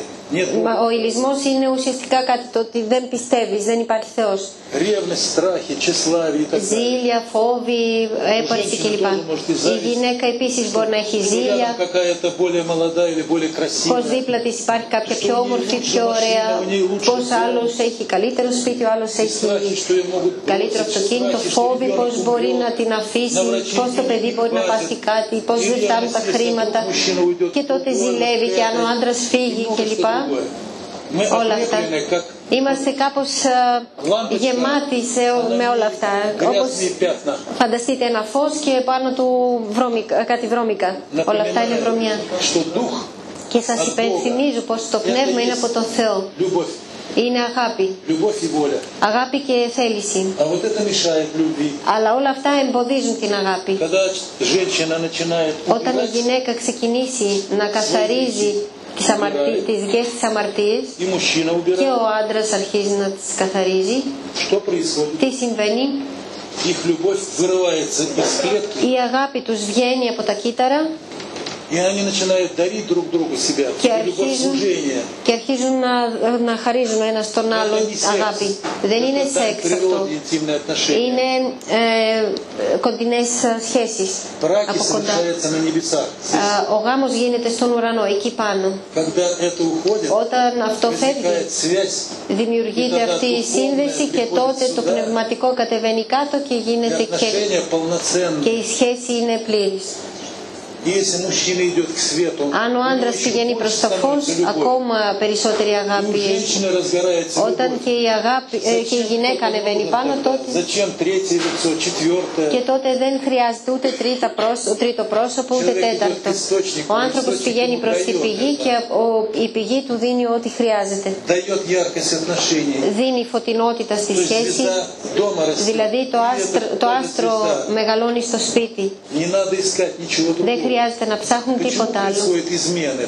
Γιατί υπάρχει αυτή η απάτη στις σχέση, Επειδή ο άνθρωπος δεν βλέπει φως και αρχίζει να ψάχνει κάτι έξω. Όταν είναι κάτι φωτεινό, ναι, αλλά έτσι απλά, για, έτσι απλά για να βρει κάτι έξω. Βρίσκει, ας πούμε, ο άντρας κάποια γυναίκα, μετά κάποια άλλη και άλλη. Και λέει, όλες οι ίδιες είναι. Если женщина идет- не идет к свету, то Αν η только γυναίκα тело δεν не πηγαίνει προς το φως, μόνο το Сами σώμα знаете, δεν έχει У κάτι. нас тело конечно, оно стареет. Το σώμα μας έχει τέλος, ε, Если γερνάει. мужчина и женщина ничего не могут предъявить, Αν ο άντρας και η 40, γυναίκα 50, 40, 50, 60 χρόνια δεν μπορούν να, να, να πάνε προς τα они πάνω, δεν, невостребованы. Я знаю, знаю женщин, которые в 60 γνωρίζω γυναίκες οι οποίες 60 χρονών και την ερωτεύονται νέοι άνθρωποι, νεαροί άνθρωποι. και υποφέρανε πως είναι 40 χρονών ας πούμε όμορφος και δεν μπορεί να την καταφέρει. Και αυτή λέει, τι τον χρειάζομαι. Λέει πως, ναι, λέει, τον γνωρίζω πόσα χρόνια. Ο άντρας μου λέει, «Ε, μιλήστε μαζί της, κοιτάξτε, εγώ είμαι τραγουδιστής, συνθέτης, ενδιαφέρον άνθρωπος, όμορφος άντρας. Γιατί δεν με θέλει αυτή η γυναίκα; Και εγώ έβλεπα γιατί αλλά τίποτα δεν είπα. Είπα στη γυναίκα, της έδωσα το γράμμα από τον άντρα, το διάβασε και είπε. Έχετε κάποια ερώτηση για μένα; Και της είπα, Όχι, δεν έχω ερώτηση. Εγώ ξέρω την απάντηση. Εσείς τι θα μου πείτε. Και παίρνει χαρτάκι, ένα χαρτάκι και γύρισε τη λέξη. Εγώ δεν έβλεπα τι έχει γράψει. Και μου λέει, Έχω γράψει την αιτία. Και είπε, Έπαρση. Και το γυρίζει αλαζονία το ίδιο. Δηλαδή πως έχει πολύ έπαρση, είμαι έξυπνος, είμαι ταλαντούχος, είμαι όμορφος και εκείνη είναι ταλαντούχα αλλά δεν έχει την έπαρση. Και μου είπε εγώ τι τον θέλω. Κάθεται δίπλα μου και η ψυχή της δεν επιτρέπει τέτοιο άντρα. Οπότε, αν η γυναίκα είναι πολύ φωτεινή και άλλες φορές ε, στο ξενοδοχείο πριν από 20 χρόνια κάποιες έρχονται άνθρωποι δίπλα μου ε, έρχονται ως 85 χρονών, 84 κάποια κύρια ε, ε, εξωτερικά φαινόταν σαν να είναι πειρα, πειρατής, ε. σύνταξης. Ναι, αλλά πειρατή. Γιατί, επειδή ήταν με ράματα αριστερά-δεξιά, σχεδόν, σχεδόν τυφλή, δεν έβλεπε τίποτα. Και ένιωθα πως κάτι είχε στο χέρι και την έφεραν δίπλα μου, την βάλανε στο, στο, στην πολυθρόνα μου, είπε πώ θέλει να μου συζητήσει μαζί μου και μου είπε σχεδόν σχεδόν δεν σας βλέπω, αλλά νιώθω, ε, ε, ε, επειδή είμαι ευαίσθητη, αμέσως ένιωσα πώ νιώθω καλά. Συζητήσαμε μαζί της. никогда не было семьи. και μου είπε, εγώ δεν είχα ποτέ οικογένεια. Потому что еще при Сталине она уже была медсестрой, потом Επειδή врачом. ήταν ε, στην αρχή ε, νοσοκόμα, μετά έγινε Она γιατρός. участвовала в Корейской войне в 50 Έχει συμμετάσχει στη, στον πόλεμο το 50. В этой 39 Στην Κορέα. Халкин Гол был, с Россией воевала. Έχει, Черепаши, όταν, там, όταν έχει Китай, там πολεμήσει, всё. ε, Κίνα, Она έχει, все войны прошла. έχει προ- ε, περάσει όλους τους πολέμους У меня και μου είπε 8 ранений. Έχω 8, φορές με έχουν ε, τραυματίσει, ναι. Και ποτέ δεν είχε πραγματικό άντρα, έτσι. Και είπε, αλλά τόσο πολύ μου αρέσει η ζωή, τόσο πολύ θέλω τη ζωή. Και όταν την άκουγα άρχισα να, να κλαίω επειδή λέω αυτή είναι δύναμη, είναι γυναίκα πραγματική επειδή εκείνη ήταν ευχαριστημένη, ευχαριστούσε τον Θεό ειλικρινά για αυτό που την άφησε να ζήσει έτσι όπως ήταν η ζωή της. Αυτή είναι απόλυτη πίστη. Ήταν εκπληκτική γυναίκα, δεν έχει σχέση, δεν έχει σχέση η ηλικία, η, ε, ψυχή της ήταν πάρα πολύ δυνατή. Πολύ σπάνια μπορούμε να δούμε τέτοιες γυναίκες και τέτοιους άντρες. Η Παλιά Διαθήκη τι λέει; Это, по-моему, Исаия, книга пророка Исаия. Ε, του Ισαΐα το βιβλίο του προφήτη Ισαλία. Γράφει Господь Бог Саваоф потрясет землю так, что πως на ο ней Θεός останется одна θα десятая. ταρακουνήσει τόσο πολύ τη γη που θα μείνει ένα δέκατο από τον α, κόσμο. То есть 90%. Δηλαδή 90% θα εξαφανιστούν. А потом еще раз вернется, и Μετά эти 10% ακόμα μια φορά θα еще потрясет. επιστρέψει και αυτούς τους 10% πάλι θα τους И ταρακουνήσει. останется на земле тогда Και θα μείνουν τότε στη γη народу очень мало, πολύ λίγοι а мужчин как золото Офирского. και и адрес Саины Сан Хрисо. Я вот из своих э, Και εγώ βλέπω στα ταξίδια μου πως ανά 10 γυναίκες περίπου ε- είναι ένας άντρας. Επειδή το μυαλό είναι πάρα πολύ δυνατό. Επειδή οι άνθρωποι βλέπουν πως αν πιστεύουμε στο Θεό, γιατί εμείς τόσο άσχημα ζούμε, πού είναι ο Θεός, γιατί δεν φέρνει μια τάξη εδώ; Ο άνθρωπος νομίζει πως όλα αυτά συμβαίνουν επειδή δεν καταλαβαίνει τη σύνδεση ανάμεσα σε όλα αυτά. Ο άνθρωπος είναι υπεύθυνος άνθρωπος στον κόσμο. Έχει μεγάλη ευθύνη και πρέπει να το ομολογήσει πως έχει, να το αναγνωρίσει πως εγώ μόνος μου φταίω για τη ζωή μου και για αυτή τη ζωή μου ε, φταίει η αλαζονία μου, η έπαρση. Πολύ εύκολο είναι να βρούμε κάποιους που φταίνε γύρω μας. Κακός το αφεντικό μας.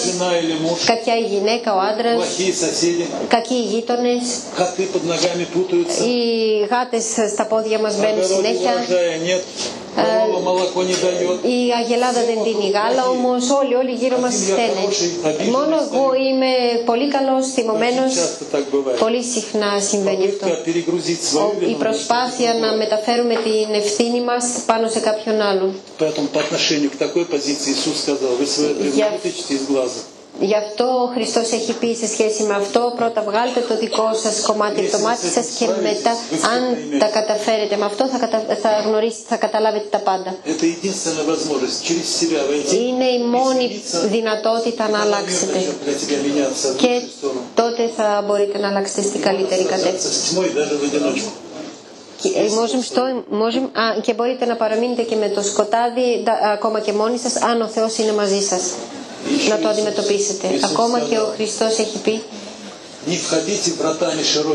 μην μπαίνετε σε φαρδιές στήλες επειδή ο φαρδιός δρόμος, οδηγεί στην κόλαση. Δηλαδή αυτά που όλοι, πηγαίνουν προς μια κατεύθυνση και λέμε όλοι πάνε από εκεί, πάμε και εμείς από εκεί. Όχι. Ψάξτε την, την αλήθεια, ψάξτε το πραγματικό. Μία φορά ακόμα θέλω να σας τονίσω πως η θέση μου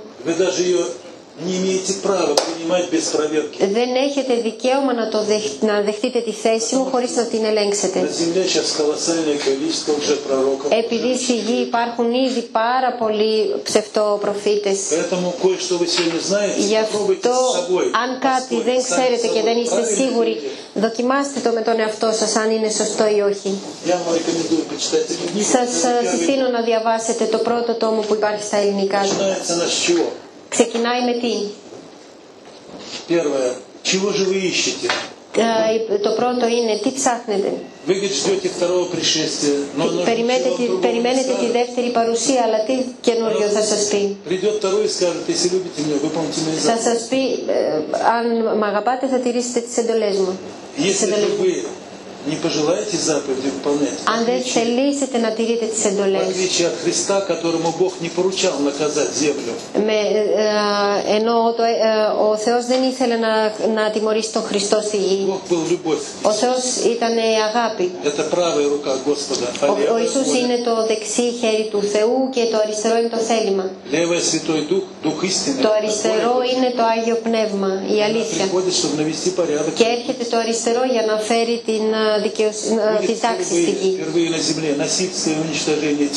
Επειδή θα έρθει, θα το σκοτάδι στη γη και θα έχει ε, ε, αρκετά προβλήματα. Γι' αυτό το μόνο που μπορώ να σας πω είναι ψάξτε πιο γρήγορα τον σωστό δρόμο. Ну, я старался любые свои Προσπάθησα, προσπάθησα фразы, как бы Из одно фразис- дело мое, а другое дело я сверяю всегда с να Словом δω, Небесным. δηλαδή ένα είναι το έργο μου και άλλο είναι το να καταλάβουμε. Скажем, есть фразы, Ты которые гинете. вас могут удивить. Μπορώ να σας πω φράσεις οι οποίες μπορούν να σας εκπλήξουν. Написано, никого не называйте себе на земле отцами. Είναι Ибо Отец γραμμένο ваш μην один ονομάζετε небесный». πατέρα κανέναν στη γη επειδή ο πατέρας είναι ένας. Нас почему-то многие называют батюшка. Ε, Я говорю, вот, я εμείς говорю, φωνάζουμε πολλούς πατέρα не сказать, α, почему στα вы ρώσικα называетесь μπάτιουσκα. батюшкой. Нам сказал Иисус, глава церкви, Α, ο Χριστός έχει πει πως δεν πρέπει να ονομάζονται έτσι πατέρα. Οι άνθρωποι έχουν διαφορετικές γνώμες για τους Απόστολους. Τα ελληνικά Απόστολος ε, είναι αυτός που αποστέλνει, αποστέλει σε διάλεξη, πρόποβετ. Έχει αποστολή. Έχει αποστολή, ναι. Αλλά υπάρχουν κάποιοι που ε, είναι αποστολή προς τον Χριστό και άλλοι προς τον Σατανά. Καθένας που φέρει ευθύνες μπορεί να ονομάζεται απόστολος, αλλά εξαρτάται πού, προς το φως ή προς το σκοτάδι. Υπάρχει, υπάρχουν στίχοι ακόμα. Καθένας διαλέγει για τον εαυτό του γυναίκα, θρησκεία, δρόμο να, ποιον να υπηρετήσει, τον σατανά ή τον προφήτη. Καθένας επιλέγει για τον εαυτό του. Δεν θα σας το διαβάζω όλο, αλλά αυτό. Γι' αυτό Απόστολος... Δεν είναι... το σημαντικό είναι τι φέρει ο Απόστολος. Και ποια είναι η αποστολή του. Θα σα πω μια φράση την οποία ίσω να έχετε διαβάσει αλλά μπορεί να μην έχετε προσέξει. Το πρώτο, ο πρώτος στίχος της Αποκάλυψης λέει πόσο ο Κύριος θα δώσει από τον σκλάβο του Ιωάννη τι θα γίνει στο, στη γη; Δηλαδή τι θα, γίνει, τι θα συμβεί στη γη; Δεύτερο κεφάλαιο, δεύτερος στίχος. Σας λέω. Ο Χριστός λέει του Ιωάννη, ξέρω τις πράξεις σου. Ξέρω και την υπομονή σου. и знаю, что ты Και не ξέρω сносишь развратных. πως εσύ ε, νησνούσεις, Разврат. Не сносишь, то есть не, Α, δεν не φέρεις, любишь, δεν, σκο- δεν αγαπάς τα- την ε, δια, διαπλοκή, διαπλοκή, не ρασβρά. выносишь, то есть не любишь разврат. Δεν αντέχεις, δεν, δεν σου αρέσουν αυτοί που δεν είναι σωστοί. Тех, которые называют себя апостолы, Αυτοί που ονομάζουν τον εαυτό τους и Απόστολοι нашел, что они не таковы, ибо они лжецы. α, και δεν είναι, αυ- ε, δεν είναι αυτοί επειδή είναι ψεύτες. Δηλαδή, ο Χριστός κατηγορεί τους απόστολους πώς είναι ψεύτες. Ε, αυτό είναι κάτι που δεν το σκέφτηκα εγώ. Όταν το διάβασα εκεί στην Αποκάλυψη, πιέστηκα πάρα πολύ επειδή ε, η κατανόηση που είχα για την Εκκλησία ήταν ο Χριστός, ήταν μετά οι Απόστολοι, δηλαδή αυτοί που φέρανε τις γνώσεις. Αλλά ξανά πάλι σας λέω είναι δική μου προσωπική γνώμη. Κάθε άνθρωπος σε κάθε κατεύθυνση μπορεί, έχει δυνατότητα επιλογής Δικαίωμα επιλογής. Εγώ δεν θέλω να σας κάνω να πιστέψετε αυτά που λέω. Εγώ είμαι ήρεμος, κάποιος, κάθε άνθρωπος επιλέγει τη μοίρα του. Όταν στην αρχή ξεκίνησα μόνος μου, έλεγα πως ίσως δεν είμαι πολύ τελείως κανονικός, επειδή είχε διαφορές με την επίσημη θρησκεία. Όταν άνθρωποι ήρθαν σε μένα, ένας 10, 100, 300, 500 άτομα, και πολλοί από αυτούς κατάφεραν και φτάσαν σε αυτό που έφτασα κι εγώ, τότε είπα η στατιστική είναι κάτι πολύ σημαντικό. Αν συμβαίνει σε εκατοντάδες και σε χιλιάδες, αν η ζωή τους αλλάζει προς το καλύτερο, Βελτιώνει η μοίρα, βελτιώνει η τους και η υγεία τους. Τα παιδιά τους είναι προστατευμένα επειδή νιώθουν δυνατά. Και όταν είναι στο πεδίο του γονέα, το παιδί δεν χρειάζεται γιατρό. Και λένε οι άνθρωποι πως δεν χρειάζονται πια να ξοδεύουν χρήματα για την υγεία. Если, скажем, я здоров, Αν είμαι υγιής, я забыл уже, что это благо. εγώ Это нормально. ναι, ξεχνάς δηλαδή τι είναι... Όλα είναι... Αυτό είναι πολύ καλό. А для многих боль. Για πολλούς ο πόνος, Только от боли избавиться, потому что мучает и δηλαδή και мучает. μόνο το να απαλλαχτεί κάποιος από τον πόνο, επειδή ο πόνος βασανίζει. Κάνω μια ερώτηση, μια ερώτηση μόνο. Ε, Ε, Что-то хочешь спросить? η καταστροφή, ας πούμε, η, της γης, ας το πούμε, οι σεισμοί και τα λοιπά, είναι αναπόφευκτη, δηλαδή είναι τετελεσμένο ή μπορούμε με τη συνειδητότητά μας να Α. ανεβάσουμε δόνηση και να μην να αποτρέψουμε αυτό το γεγονός. Спрашиваете, если можем, а, э, та катастрофа Земли, если мы можем что-то сделать, чтобы не случилось. Ну, сейчас уже поздно. Τώρα είναι ήδη αργά. Δηλαδή έχει ήδη ξεκινήσει. Μπορώ να σας πω στο ίντερνετ υπάρχουν πάρα πολλές πληροφορίες ε, για πράγματα τα οποία συμβαίνουν στο, το σύμπαν. Αλλά υπάρχουν πρόσωπα τα οποία πολύ γρήγορα φέρουν τέτοιες πληροφορίες. Εμείς έχουμε κάνει ένα βιβλίο το οποίο μαζεύει πληροφορίες για το σύστημα, το ηλιακό σύστημα. Το πρώτο μέρας, το πρώτο μέρας είναι το τι ψέματα ψέματα στις ε, θρησκείες και άλλα. Στη Γερμανία έχω πάρει αυτό το βιβλίο, δυστυχώς εδώ δεν το έχω φέρει, αλλά δεν υπάρχει και στα ελληνικά, οπότε... Εκεί υπάρχει, υπάρχουν πληροφορίες, μπορώ να σας πω πούμε, κάποια πράγματα. Είναι κάποια στοιχεία για το 2000, δηλαδή πριν από 15 χρόνια, στο ηλιακό σύστημα. Εδώ είναι ο ήλιος. Μερκούρι, Βενέρα, Ζήμλια. Μερκούρι, Βενέρα. Ναι, Αφροδίτη είναι. Αστεροειδής, Κρόνος, Уран, уран, уран. Πλούτονας. Στο ηλιακό σύστημα έχουν παρατηρήσει πως... Αταμάρνη водород, свободный водород.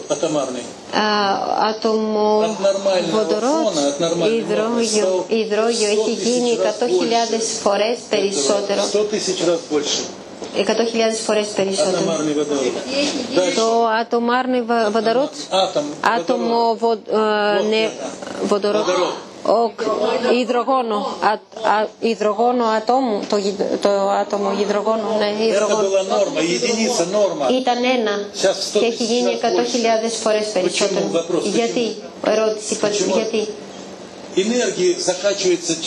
Η ενέργεια τελειώνει, ε, υπάρχει, ε, έρχονται οι κομίτες και έχει πολλή ενέργεια. Οπότε υπάρχει και αυτό το θέμα με τις ενέργειες στο ηλιακό σύστημα. Θυμάστε τι είναι υδρογόνο. Κάτι το οποίο από το νερό δημιουργείται. Νερό. Η γη. Αυτό είναι το μαγνητικό πεδίο της γης, το βορεινό και το νότιο. Είναι οι γραμμές δυνάμεις, εδώ μπαίνει υδρογόνο. Сюда, сюда, сюда входит. μπαίνει, μπαίνει υδρογόνο εκεί. Зачем? Γιατί, ερώτηση. Погода на Земле резко меняется. Α, Ο καιρός στη γη επίσης αλλάζει. Ураганы, наводнения, люди погибают. Καταιγίδες, πλημμύρες, άνθρωποι πεθαίνουν πολύ. Поэтому в том числе и Γι' Солнце αυτό και ο ήλιος. выброс идет э, плазмы.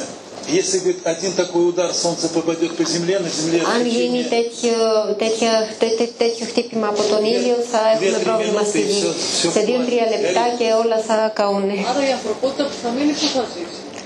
А, Значит, те люди, которые остаются, где будут жить? А сейчас скажу. Τώρα θα σας Помните πω. сказано, Θυμάστε вначале будет смерть που первая. είπαν στην αρχή θα Все είναι равно потеряем ο θάνατος все. του πρώτου, των πρώτων. Объясняю Όλοι θα почему. χάσουμε το σώμα В этой μας. книге есть Θα это. εξηγήσω γιατί. Σε αυτό το βιβλίο υπάρχει. Εκατομμύρια χρόνια όταν ο άνθρωπο ξεκίνησε είχε το μπροστινό μυαλό και το πίσω μυαλό σε ίσα μέρη. Ναι, στο πίσω μυαλό. Το μυαλό είναι η λογική και το πίσω μυαλό είναι, δέχεται την πληροφορία από το Θεό. Δεν υπήρχαν αμαρτίες. Και αυτή η σύνδεση με το Θεό υπήρχε πάντα. Сатана сказал, а вы можете стать тоже Ο Богом. Σατανάς ε, τους είπε, εσείς μπορείτε επίσης να γίνετε Ева, θεοί. что, давай. Εύα, γιατί Ты ε, умная, ξεκίνα, είσαι и έξυπνη Адама потом заберешь, και ο Αδάμ θα богами πάρεις будешь. μαζί σου και θα γίνετε θεοί. А то, говорит, он там завидует вам. Ο άλλος εκεί σας ζηλεύει. И они поддались. Και с αυτοί το древопознания πιστέψανε второе. με το, με το δέντρο Но, της и- γνώσης, но сатана действовал через αλλά ο рассудок, Σατανά ξεκίνησε μέσα από το μυαλό. мозг. Поэтому мозг стал Γι' развиваться. αυτό το μυαλό Больше, ξεκίνησε больше, να больше, εξελίσσεται περισσότερο και больше, περισσότερο, больше. περισσότερο, Это миллионы поколений. εκατομμύρια χρόνια, γενιές. Передний мозг стал большой. Το μπροστινό μυαλό έχει γίνει μικρό και το πίσω μυαλό έχει παραμείνει Эта μικρό. Ε, το πάνω έχει, καλύψει το από κάτω. Είναι φυσιολογική εξήγηση του, πρώτη της πρώτης αμαρτίας. Και ήδη το παιδί γεννιέται με αυτό το μυαλό και όχι με κανονικά όπως θα Ήδη η ανθρωπότητα έχει παραμορφωθεί. Οπότε πρέπει αυτό να τον καθαρίσουμε και θα υπάρχει άνθρωπος με αυτή την κατάσταση. Χωρίς а без телесной смерти это невозможно. Χωρίς ε, σωματικό θάνατο δεν γίνεται. Поэтому у меня начались, когда эти вещи, Γι' αυτό у меня όταν голова ξεκίνησα кружилась, я у меня равновесие. терял. ζαλιζόμουν, όταν ξεκίνησα ζαλιζόμουν, έχανα ισορροπία και έλεγα τι γίνεται, ποια είναι αυτή η αρρώστια. Мозжечок включался. Ε, Ενεργοποιήθηκε ο μικρός, το μικρό μυαλό. Люди, которые лезут без Бога туда, вот, Οι άνθρωποι οι οποίοι χωρί τον Θεό μπαίνουν εκεί πάνω, δηλαδή οι βιοενεργειακοί, πολλοί πε- από αυτού πεθαίνουν Почему? και ή τρελαίνονται γιατί. Кто знает физиологию? Όποιο γνωρίζει τη φυσιολογία, το, οξυ, το οξυγόνο, ναι, το οξυγόνο το οποίο χρειάζεται για την αναπνεύση. Ε, μπαίνει στο, στο αίμα και το μπροστινό μυαλό εξασφαλίζεται και... αλλά για να μπορεί και το πίσω μυαλό ίσες δυνατότητες με το μπροστινό. Αν αυτό το μυαλό δουλεύει έτσι передавить эту Αυτό большую πρέπει силу, να, должен вот так крутиться. να γυρίζει έτσι για να μπορεί να, να αντισταθεί στη μεγάλη δύναμη. Ротация, то есть кислороду. Ну, Γι' αυτό χρειάζεται να γυρίζει, δηλαδή χρειάζεται πάρα πολύ если мозг οξυγόνο вот так работает, και αν ο- το μυαλό δουλεύει έτσι, το μικρό δουλεύει πολύ πιο то γρήγορα. есть насыщение кислородом происходит Επειδή за счет γεμίζει με сокращения. οξυγόνο λόγω του, όταν, α, πα- όταν σταματάει να И δουλεύει. если тебя не контролирует проведение, плохо кончится это Και для мозга, опухоли αυτό, мозга появляются. αν δεν особенно υπάρχει болезни. έλεγχος στο τι εισπράττεις από πάνω, τότε α, τελειώνει άσχημα για το μυαλό. Закупорка сосудов, эмболия называется. Εμπαλία. И гибель. Эмболия, закупорка сосудов. Эмболия. Вот кровеносный сосуд, Ναι, пробка η- появляется. ναι, α, τρόμβοι και τέτοια πράγματα δημιουργούνται. Вот. Поэтому вот это называется первородный грех. Αυτό ονομάζεται η πρώτη αμαρτία И грехопадение состоялось из-за мозга. και ακριβώς γι' αυτό, λόγω αυτού έχει γίνει И пишет вот автор, что και ο συγγραφέας никто не искал γράφει сатану, πως κανένας δεν έχει Вот здесь. αναζητήσει το σατανά εκεί μέσα. не сам мозг виноват, а то, Δεν, что δεν через φταίει мозг το нами μυαλό. управляют, понимаете? Α, φταίει το ότι μέσα από το μυαλό μας μας ελέγχουν. Лишают нас веры, лишают правильного Μας, α, поведения. δεν μας επιτρέπουν να πιστεύουμε, να έχουμε... А кто, кто, кто тот, который нас э, лишает? Ну, есть сатана, в переводе с еврейского это против. Σατανά α, σε μετάφραση από, την, από τα εβραϊκά είναι διαβολή, ναι. Οκ. Но от него еще есть его команда вся, Αλλά бесы, είναι πολλοί οι δαί- δαίμονες μαζί που демоны, δεν... бесы. Это живые существа, только Είναι они из ζωντανά другой материи. όντα, τα, από Другая τα οποία материя. όπλα είναι από άλλη ύλη. Поэтому отпор можно дать только Γι' при αυτό помощи Бога. Можно μόνο με τη победить. βοήθεια του Θεού μπορούμε να νικήσουμε. Без Бога мы Χωρίς ничего τον не Θεό είμαστε τίποτα, δεν μπορούμε τίποτα. А, что-то... Ну что, достаточно? Многие, э, да, просто вопросы у них есть. Давайте вопросы, пожалуйста. Если у меня нет плохого прошлого, Вот она, она просто дополняет э, я могу более развернуто взять. Ε, μπορεί να το πει πιο αναλυτικά ή θέλετε πρώτα κάτι να, συ- να τελειώσετε. Α, ε, ναι, μπορώ να πάρω να το... Ευχαριστώ πάρα πολύ. ε. Смотрите, Κοιτάξτε, это, допустим, это первая жизнь, ας когда πούμε человек πως αυτή είναι η πρώτη ζωή όταν ο άνθρωπος миллионы лет назад первый раз Εκατομμύρια χρόνια появился πριν кто-то из нас на земле, έχει δημιουργηθεί, έχει έρθει ο πρώτος στη γη, начал грешить. άρχισε να αμαρταίνει, Грехи нарастали и к концу οι жизни αμαρτίες ανεβαίνανε он набрал και στο горку τέλος грехов. της ζωής του έχει μαζέψει αρκετές. Έχουν μαζευτεί. Через какое-то время он Και воплотился, μετά από опять, κάποιο διάστημα έρχεται ξανά στη γη, опять живет. Но Ξανά начинает ζει. жизнь уже не с чистого листа. αλλά ξεκινάει τη ζωή όχι από καθαρά, έρχεται από... Но он опять грешит. Опять αλλά опять. ξανά, οπότε ξανά μαζεύει. Еще больше. Tретий раз приходит. Έρχεται τρίτη φορά. Уже вот это ему переносится. αυτό ήδη έρχεται σε αυτό, οπότε έτσι μαζεύει, μαζεύει, αλλά δεν έχει την ταπεινότητα, δεν το καταλαβαίνει. Γιατί δίνεται στον άνθρωπο να ζει, για να μπορεί σε αυτή τη ζωή να δεχτεί καινούργιο, να, να έχει καινούργιο μυαλό, το οποίο δεν, δεν, είναι κάτω από το σκοτάδι. Σε κάποιους μπορούσαν, κάποιοι το καταφέρνανε. Αυτοί ήταν οι Άγιοι και στην Ελλάδα υπάρχουν πολλοί άγιοι και στη Ρωσία υπάρχουν. Είχαμε τον Σεραφίν Σαρόφσκι, Ράντανευσκι, έχουμε. Δηλαδή είναι άνθρωποι που συνειδητοποίησαν αυτό το πράγμα κάποια στιγμή.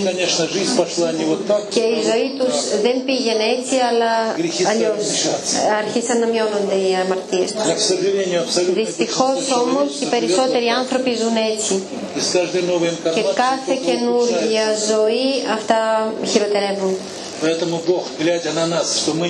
Γι' αυτό ο Θεός βλέποντας πως δεν βελτιώνουμε, δεν, δεν αλλάζουμε, στην αρχή έχει έρθει μόνος του στο πρόσωπο του Χριστού.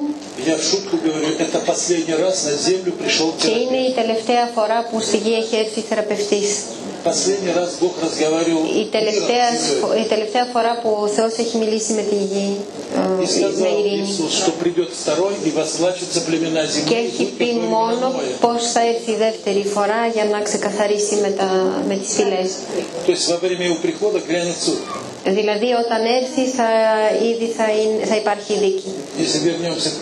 Αν επιστρέψουμε στην έννοια του Θεού, ο Ιησούς ήταν το δεξί χέρι του Θεού, δηλαδή η αγάπη και ο Υιός του ανθρώπου ήταν το θέλημα, η αλήθεια. Τι έχει πει ο Ιησούς για την επιστροφή του στη γη; Ξέρετε επίσημα ε, πως μιλάμε για Δευτέρα Παρουσία. На самом деле, Στην πράξη цитирую вам из Евангелия от Иоанна. ε, θα σας πω ότι γράφει, αναφέρει το Ευαγγέλιο του Ιωάννη. Иисус говорит ученикам, Ο Χριστός λέει στους μαθητές я ухожу от вас, «Εγώ φεύγω από εσάς и миру более не явлюсь, και δεν θα ξαναεμφανιστώ στον κόσμο. но умолю Отца Αλλά θα дать вам, παρακαλέσω τον Θεό να σας στείλει дать вам другого учителя». κάποιον άλλον που θα σας οδηγήσει. Το, στο ε, στη βίβλο γράφει ε, να σας παρηγορήσει με κεφαλαίο, με κεφαλαίο γράμμα. Ε, με κεφαλαίο γράμμα στη βίβλο μόνο για το Θεό μιλάνε. Και αυτό το πνεύμα θα σας πει την αλήθεια και θα σας, δείξει, θα σας βάλει να κάνετε την αλήθεια. Από εμένα θα πάρει και θα σας μιλήσει και θα σας πει την αλήθεια για μένα πως εγώ δεν θα ξαναέρθω στη γη. Για τη δίκη πως, ε, για, το, για τον σατανά που πως έχει δικαστεί. Και για την αμαρτία, για να πιστεύετε, για να... αμαρτία. что Δηλαδή я от λέει вас πως ухожу, и мир εγώ более не φεύγω από явлюсь. εσάς Вас και δεν θα говорит. ξαναέρθω στη γη. Не я Πολύ приду, σημαντικό. Δεν придет θα έρθω другой. εγώ, δηλαδή θα έρθει άλλος. Придет Дух истины, то есть другая ипостась Бога. Θα Это έρθει один и тот же Бог. α, πνεύμα της α, αλήθειας, δηλαδή πάλι άλλος, αλλά ο ίδιος ο Θεός. Ну, даже на человеческом уровне, если дать пример.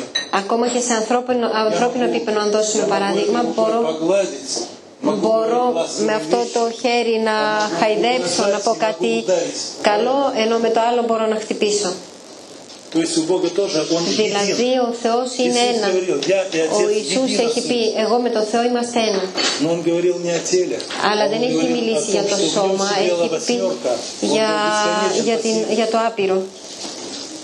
Поэтому, когда Он αυτό- сказал, что придет другой, и во время Его прихода грянет суд, и Όταν будет, έχει πει πως θα έρθει άλλος, и будет как времена Ноя, то есть начнется θα катастрофа. γίνει καταστροφή όπως ήταν στην εποχή του Νόη. Почему накануне катастрофы Γιατί приходит στο на τέλος помощник γίνεται людей? καταστροφή ε, για να μας φέρει πρόβλημα. Αυτό το βιβλίο ξεκινάει αν κάποιος έχει κατανοήσει σωστά τον Χριστό δεν, με χρειάζεται επειδή εγώ δεν δημιουργώ καινούργια θρησκεία. Εγώ έρχομαι, έρχομαι επειδή οι άνθρωποι δεν έχουν καταλάβει το, τη μάθηση του Θεού και γι' αυτό έρχομαι εγώ για να θυμίσω αυτό που έχει πει современной манере изложения. Απλά είναι σε σύγχρονη μορφή. И там Αυτό το πιο написано, γράφει. помнят о наставнике, глава, следует, вторая. Και υπάρχει εκεί και το δεύτερο κεφάλαιο, όποιο Вы θέλει как μπορεί бы να το ищете δει. учителя, где тот, кто поможет, где Ε, Λέει тот, кто ψάχνουμε расскажет. μα- δάσκαλοι, ποιο θα μα βοηθήσει, ποιο θα μα πει. Еще раз говорю, приходит второй, он Και возьмет от σα λέω Христа, он ξανά, тоже θα έρθει δεύτερος, ξανά πάλι από εκεί θα πάρει, το Χριστό. Ο Θεός δεν μπορεί να, να λέει διαφορετικά πράγματα, θα μας πει τα ίδια. Απλά δεν φτάνει σε εμά. Поэтому второй придет, Я- он будет то же самое говорить. Το Если кто θα понял έχει. Христа, Το это не δεύτερο, όποιος, αν κάποιος έχει καταλάβει τον Χριστό, δεν χρειάζεται τίποτα άλλο. Но если кто не пойдет, Αλλά αν за Богом, κάποιος в δεν этом πάει πίσω από τον случае, Θεό, тогда конец. τότε τελειώνει. То есть Έρχεται το τέλος. прекращается, Δηλαδή больше σταματάει. далее Бог терпеть не будет. Ε, Ο Θεός δεν έχει άλλη υπομονή με την κατάσταση στη γη. Και εδώ έχει, ε, αναφέρεται για τον κομίτη των ε, μεγάλων.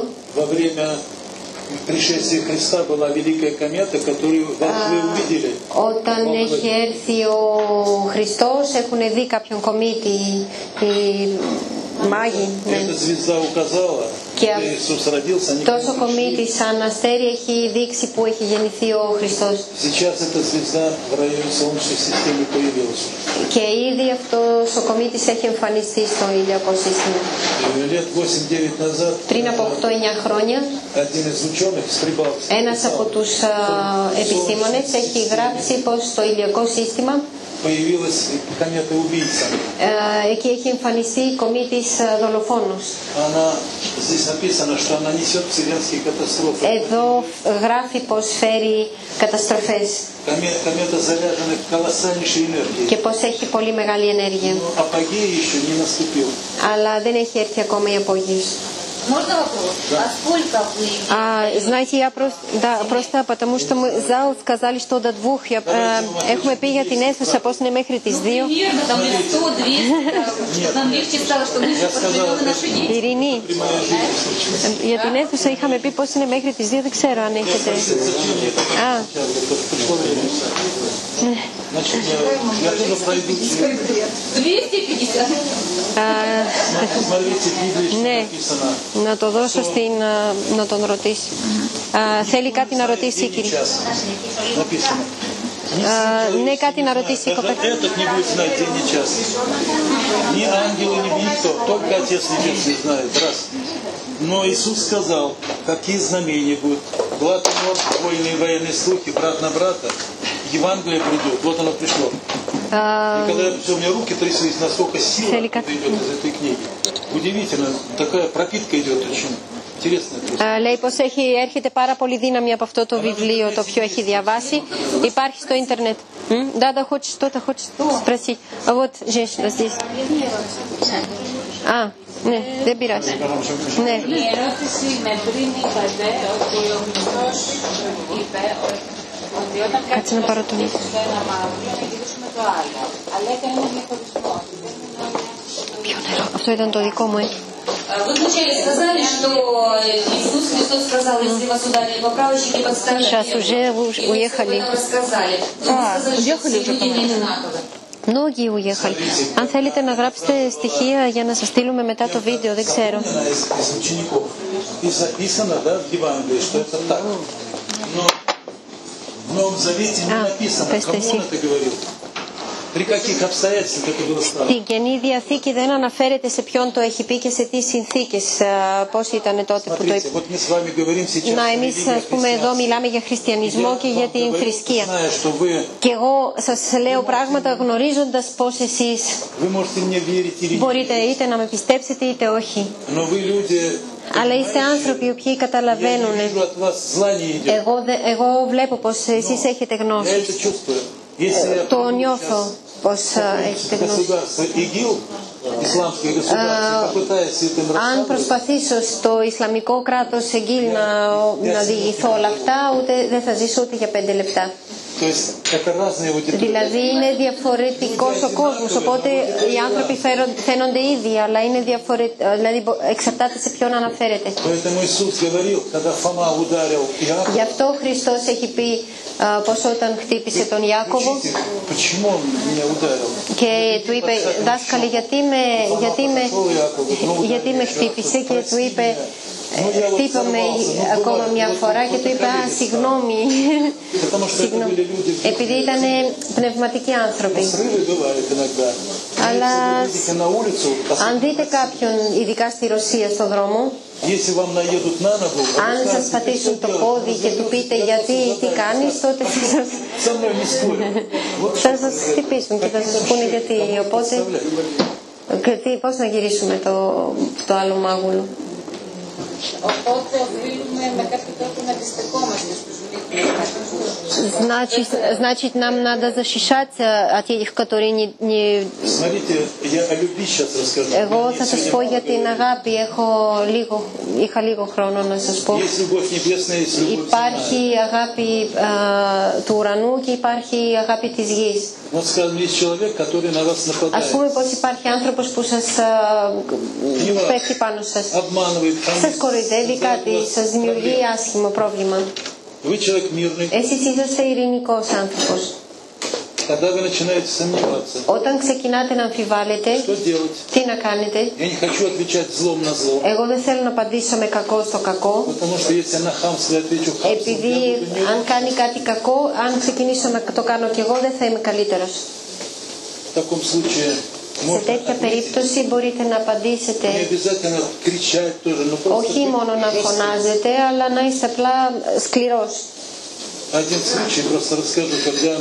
Θα σας πω απλά ένα παράδειγμα. Όταν σε ένα ασιάτικο κράτος μου είπαν είσαι πολύ κακός και διάφορα. Εγώ είπα, εγώ τους είπα και εγώ σας αγαπάω πάρα πολύ. Εγώ δεν έχω κάνει κάτι κακό. Αλλά ο άνθρωπος ήταν τόσο, δηλαδή είχε εκνευριστεί πάρα πολύ. Αλλά είναι η ηρωνία τώρα με κακό στο κακό. Δεν είναι επίσης κακό. Πρέπει να μπορούμε να ξέρουμε να υπερασπίζουμε τον εαυτό μας ακόμα και έτσι. Γι' αυτό βλέπετε, κοιτάξτε τι συμβαίνει. Αν κάποιος έρχεται πάνω σας και εσείς υποχωρείτε και δεν προστατεύετε τον εαυτό σας ενώ μπορείτε, πρέπει απλά να διαλέξετε τη σωστή μορφή για να υπερασπιστείτε. Τότε αυτός θα, γίνει ακόμα χειρότερος ε, απέναντί σας. Αν θα θεωρήσει πως είστε αδύναμος και μπορεί να σας πατάει όσο θέλει. Этот враг по невежеству не понимает, что Αυτός ο εχθρός ε, χωρίς να его καταλαβαίνει нападение создает ему очень много кармы. плохой. δεν καταλαβαίνει πως αυτό ο, ο τρόπος συμπερι- συμπεριφοράς του του δημιουργεί πολύ κακό κάρμα Через полгода или και через μπορεί σε год μισό χρόνο, σε χρόνο κλπ. и забьют так, что он в больницу только θα идет. τον μ, χτυπήσει κάπως η μοίρα που μπορεί να μπει στε- στο νοσοκομείο. Потому Γιατί что он против хорошего человека. επειδή το έχει κάνει απέναντι σε κάποιον καλό. Αλλά αν ξεκινήσετε να προστατεύετε τον εαυτό σας και του δώσετε να καταλάβει πως εσείς δεν είσαστε επίσης ε, αδύναμος άνθρωπος, τότε δεν θα μπορεί να το κάνει και το κάρμα του θα είναι καλύτερο. Οπότε βοηθάτε και αυτόν όταν υπερασπιστείτε. Χειρότερο σκοτάδι, ε, λιγότερο σκοτάδι θα υπάρχει στη γη. Αυτό είναι, αυτή είναι αγάπη. Потому что от Бога любовь Επειδή- это строгость и справедливость. Η αγάπη από τον Θεό είναι αυστηρότητα και δικαιοσύνη. Если ребенок ведет себя Αν неправильно, το παιδί δεν φέρεται σωστά, чтобы он не пачкал землю, για να его μην, нужно остановить. για να μην πατάει κάτι στη γη πρέπει κάπως να τον α, Надо остановить, σταματήσουμε. когда диалог с Богом давно прерван. Πώς να τον σταματήσουμε όταν η διάλογος με τον Θεό έχει διακοπεί εδώ και καιρό; Αυτοί που έχουν, ε, έχουν έρθει στη γη και μιλάνε εκ μέρους του Θεού δεν μπορούν να μάθουν τον άνθρωπο πώς να το κάνει σωστά. Тогда, чтобы разрушить вот эту Για помеху, να, καταστραφ- για να καταστραφεί αυτό το πράγμα нужно поверить, πρέπει να сначала, πιστέψει ο άνθρωπος αρχικά. вооружиться знаниями и двигаться, Να, μα- να μαζέψει γνώσεις και να πάει προς τα πάνω. избавляясь от плохого, Ε, быстро почувствуете, что вы попадаете под Όταν защиту Бога. καταφέρετε να διώξετε το κακό από πάνω σας, θα, κατα- θα δείτε γρήγορα πώς, ε, πώς αλλάζουν τα πάντα. Όταν συνέβη αυτό σε μένα, είπα πουθενά άλλου δεν θα πάω, θα πηγαίνω σε αυτόν τον δρόμο μέχρι το τέλος. Άλλες ερωτήσεις, Ειρήνη; Στην Νατάλια. Όχι, εγώ στη μετα... Ε, όχι, όχι, Νατάλια. В этой книге, которую вы держите на столе, λέει ότι απαγορεύονται όλες οι ασκήσεις, γιατί ό,τι πετύχεις με ασκήσεις, говорит, что все, Упражнение μου. все упражнения запрещены, потому что если ты делаешь упражнения, Επειδή δεν το έχει πετύχει με φυσικό τρόπο, δεν έχει την προστασία του πεδίου στο οποίο потому что ты это не сделал физиологическим путем, ты не, на- не зайдешь на тот уровень, на который нужно было зайти. Πού έχει, πού, πού απαγορεύεται, πού το γράφει. Επειδή δεν το έχει δει. στο υποτοφό τη αλήθεια δεν θυμάμαι στο πρώτο τόμο, δεν θυμάμαι ακριβώ σε ποιο κεφάλαιο. Не помню. В первом в каком томе, говорит, было первом записано. томе. В первом томе. Что запрещено, чем заниматься? Θα το δω και θα Τι σα πω ακριβώς, με τι αύριο. ακριβώς να ασχολείται. Όχι, ρωτάει με τι, τι απαγορεύεται, με τι Ε, ακριβώς να ας πούμε ασχολείται. έλεγε και για τα medium, έλεγε και για αυτούς που κάνουν με τα ποτήρια, μ, αλλά А если ты έλεγε занимаешься как медиум, который передвигает стаканы, Я объясню почему, да, я понял Και вопрос. αυτό που εξηγήσω. ήθελα να ρωτήσω είναι αν απαγορεύονται και ασκήσεις ε, συγκέντρωσης μου. Δηλαδή στην αρχαία Ελλάδα είχαν ε, τον ύμνο στον ήλιο το πρωί και τον ύμνο στη μνημοσύνη το βράδυ. А если запрещены и упражнения для э, аскезии, συγκέντρωσης νου, для сосредоточения мозга, э, τι άλλες. Είχαν ε, τον ύμνο στον ήλιο το πρωί, τον ύμνο στη μνημοσύνη το βράδυ και το τι είχαν πράξει. Были такие упражнения, чтобы э, петь э, как гимн для солнца утром, для, для луной вечером. Ну, смотрите, если об этом речь, то, в принципе, это возвращение к язычеству. Αν μιλά, μιλήσουμε για αυτά, για τέτοιου είδους ασκήσεις, ε, σημαίνει πως γυρίζουμε στον, ε, στον ε, ε, ερετισμό, πώς λέγεται, όχι, στον, Вы ε, понимаете, επιστρέφουμε, в этой επιστρέφουμε книге πίσω. ничего не запрещено, Σε запрета αυτό нет. το βιβλίο δεν υπάρχουν πράγματα не που recommendует. απαγορεύονται. Δεν λέει πως κάτι απαγορεύεται. Не рекомендует, это не Ούτε запрет. συστήνει, α, απλά συστήνει κάποια πράγματα, δεν απαγορεύει. Он говорит, это будет вам вредно, Λέει απλά πως θα σας βλάψει, но запрета нет. αλλά δεν απαγορεύει τίποτα. Выбор ваш, что хотите, Η то и επιλογή делайте. είναι δική σας. Αυτό που θέλετε αυτό θα κάνετε. Απλά σας προειδοποιεί. А, помните первая заповедь? Αν θυμάστε την πρώτη εντολή, Я Господь твой, и нет у тебя иных εγώ είμαι богов. ο Κύριος σου και δεν, υπάρχουν άλλοι, δεν πρέπει να υπάρχουν άλλοι θεοί. Никому нельзя поклоняться, не Οπότε δεν создавать πρέπει να идолов. υποκλίνεστε σε κανένα, να μην δημιουργείτε είδωλα. Это вот есть первая заповедь. Αυτό αυτή είναι ουσιαστικά η πρώτη εντολή. Не сотвори кумира. Να μην δημιουργούμε είδωλα.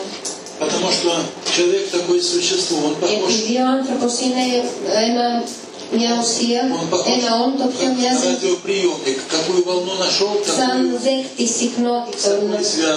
Ε, ότι συχνότητα έρχεται από αυτήν την συνδέτη. Αν έρχεται κύμα ζήλια, τότε συνδέεται με, το, με, οκε, ωκεανό. Και θα αρχίσουν να σας καταστρέφουν. Φόβος, αν φοβάστε, συνδέεστε σε συχνότητα φόβου. Αυτή είναι ρεζονάνς, είναι φυσική. что? Это моя волна, Είναι το κύμα το δικό μου а эта волна вот эта плохая. και είναι το κακό κύμα. Я попал одинаковые Και волны. εγώ όταν μπαίνω σε αυτό είμαστε ίδια, το ίδιο κύμα. Они меня разрушают. Με тогда. καταστρέφει.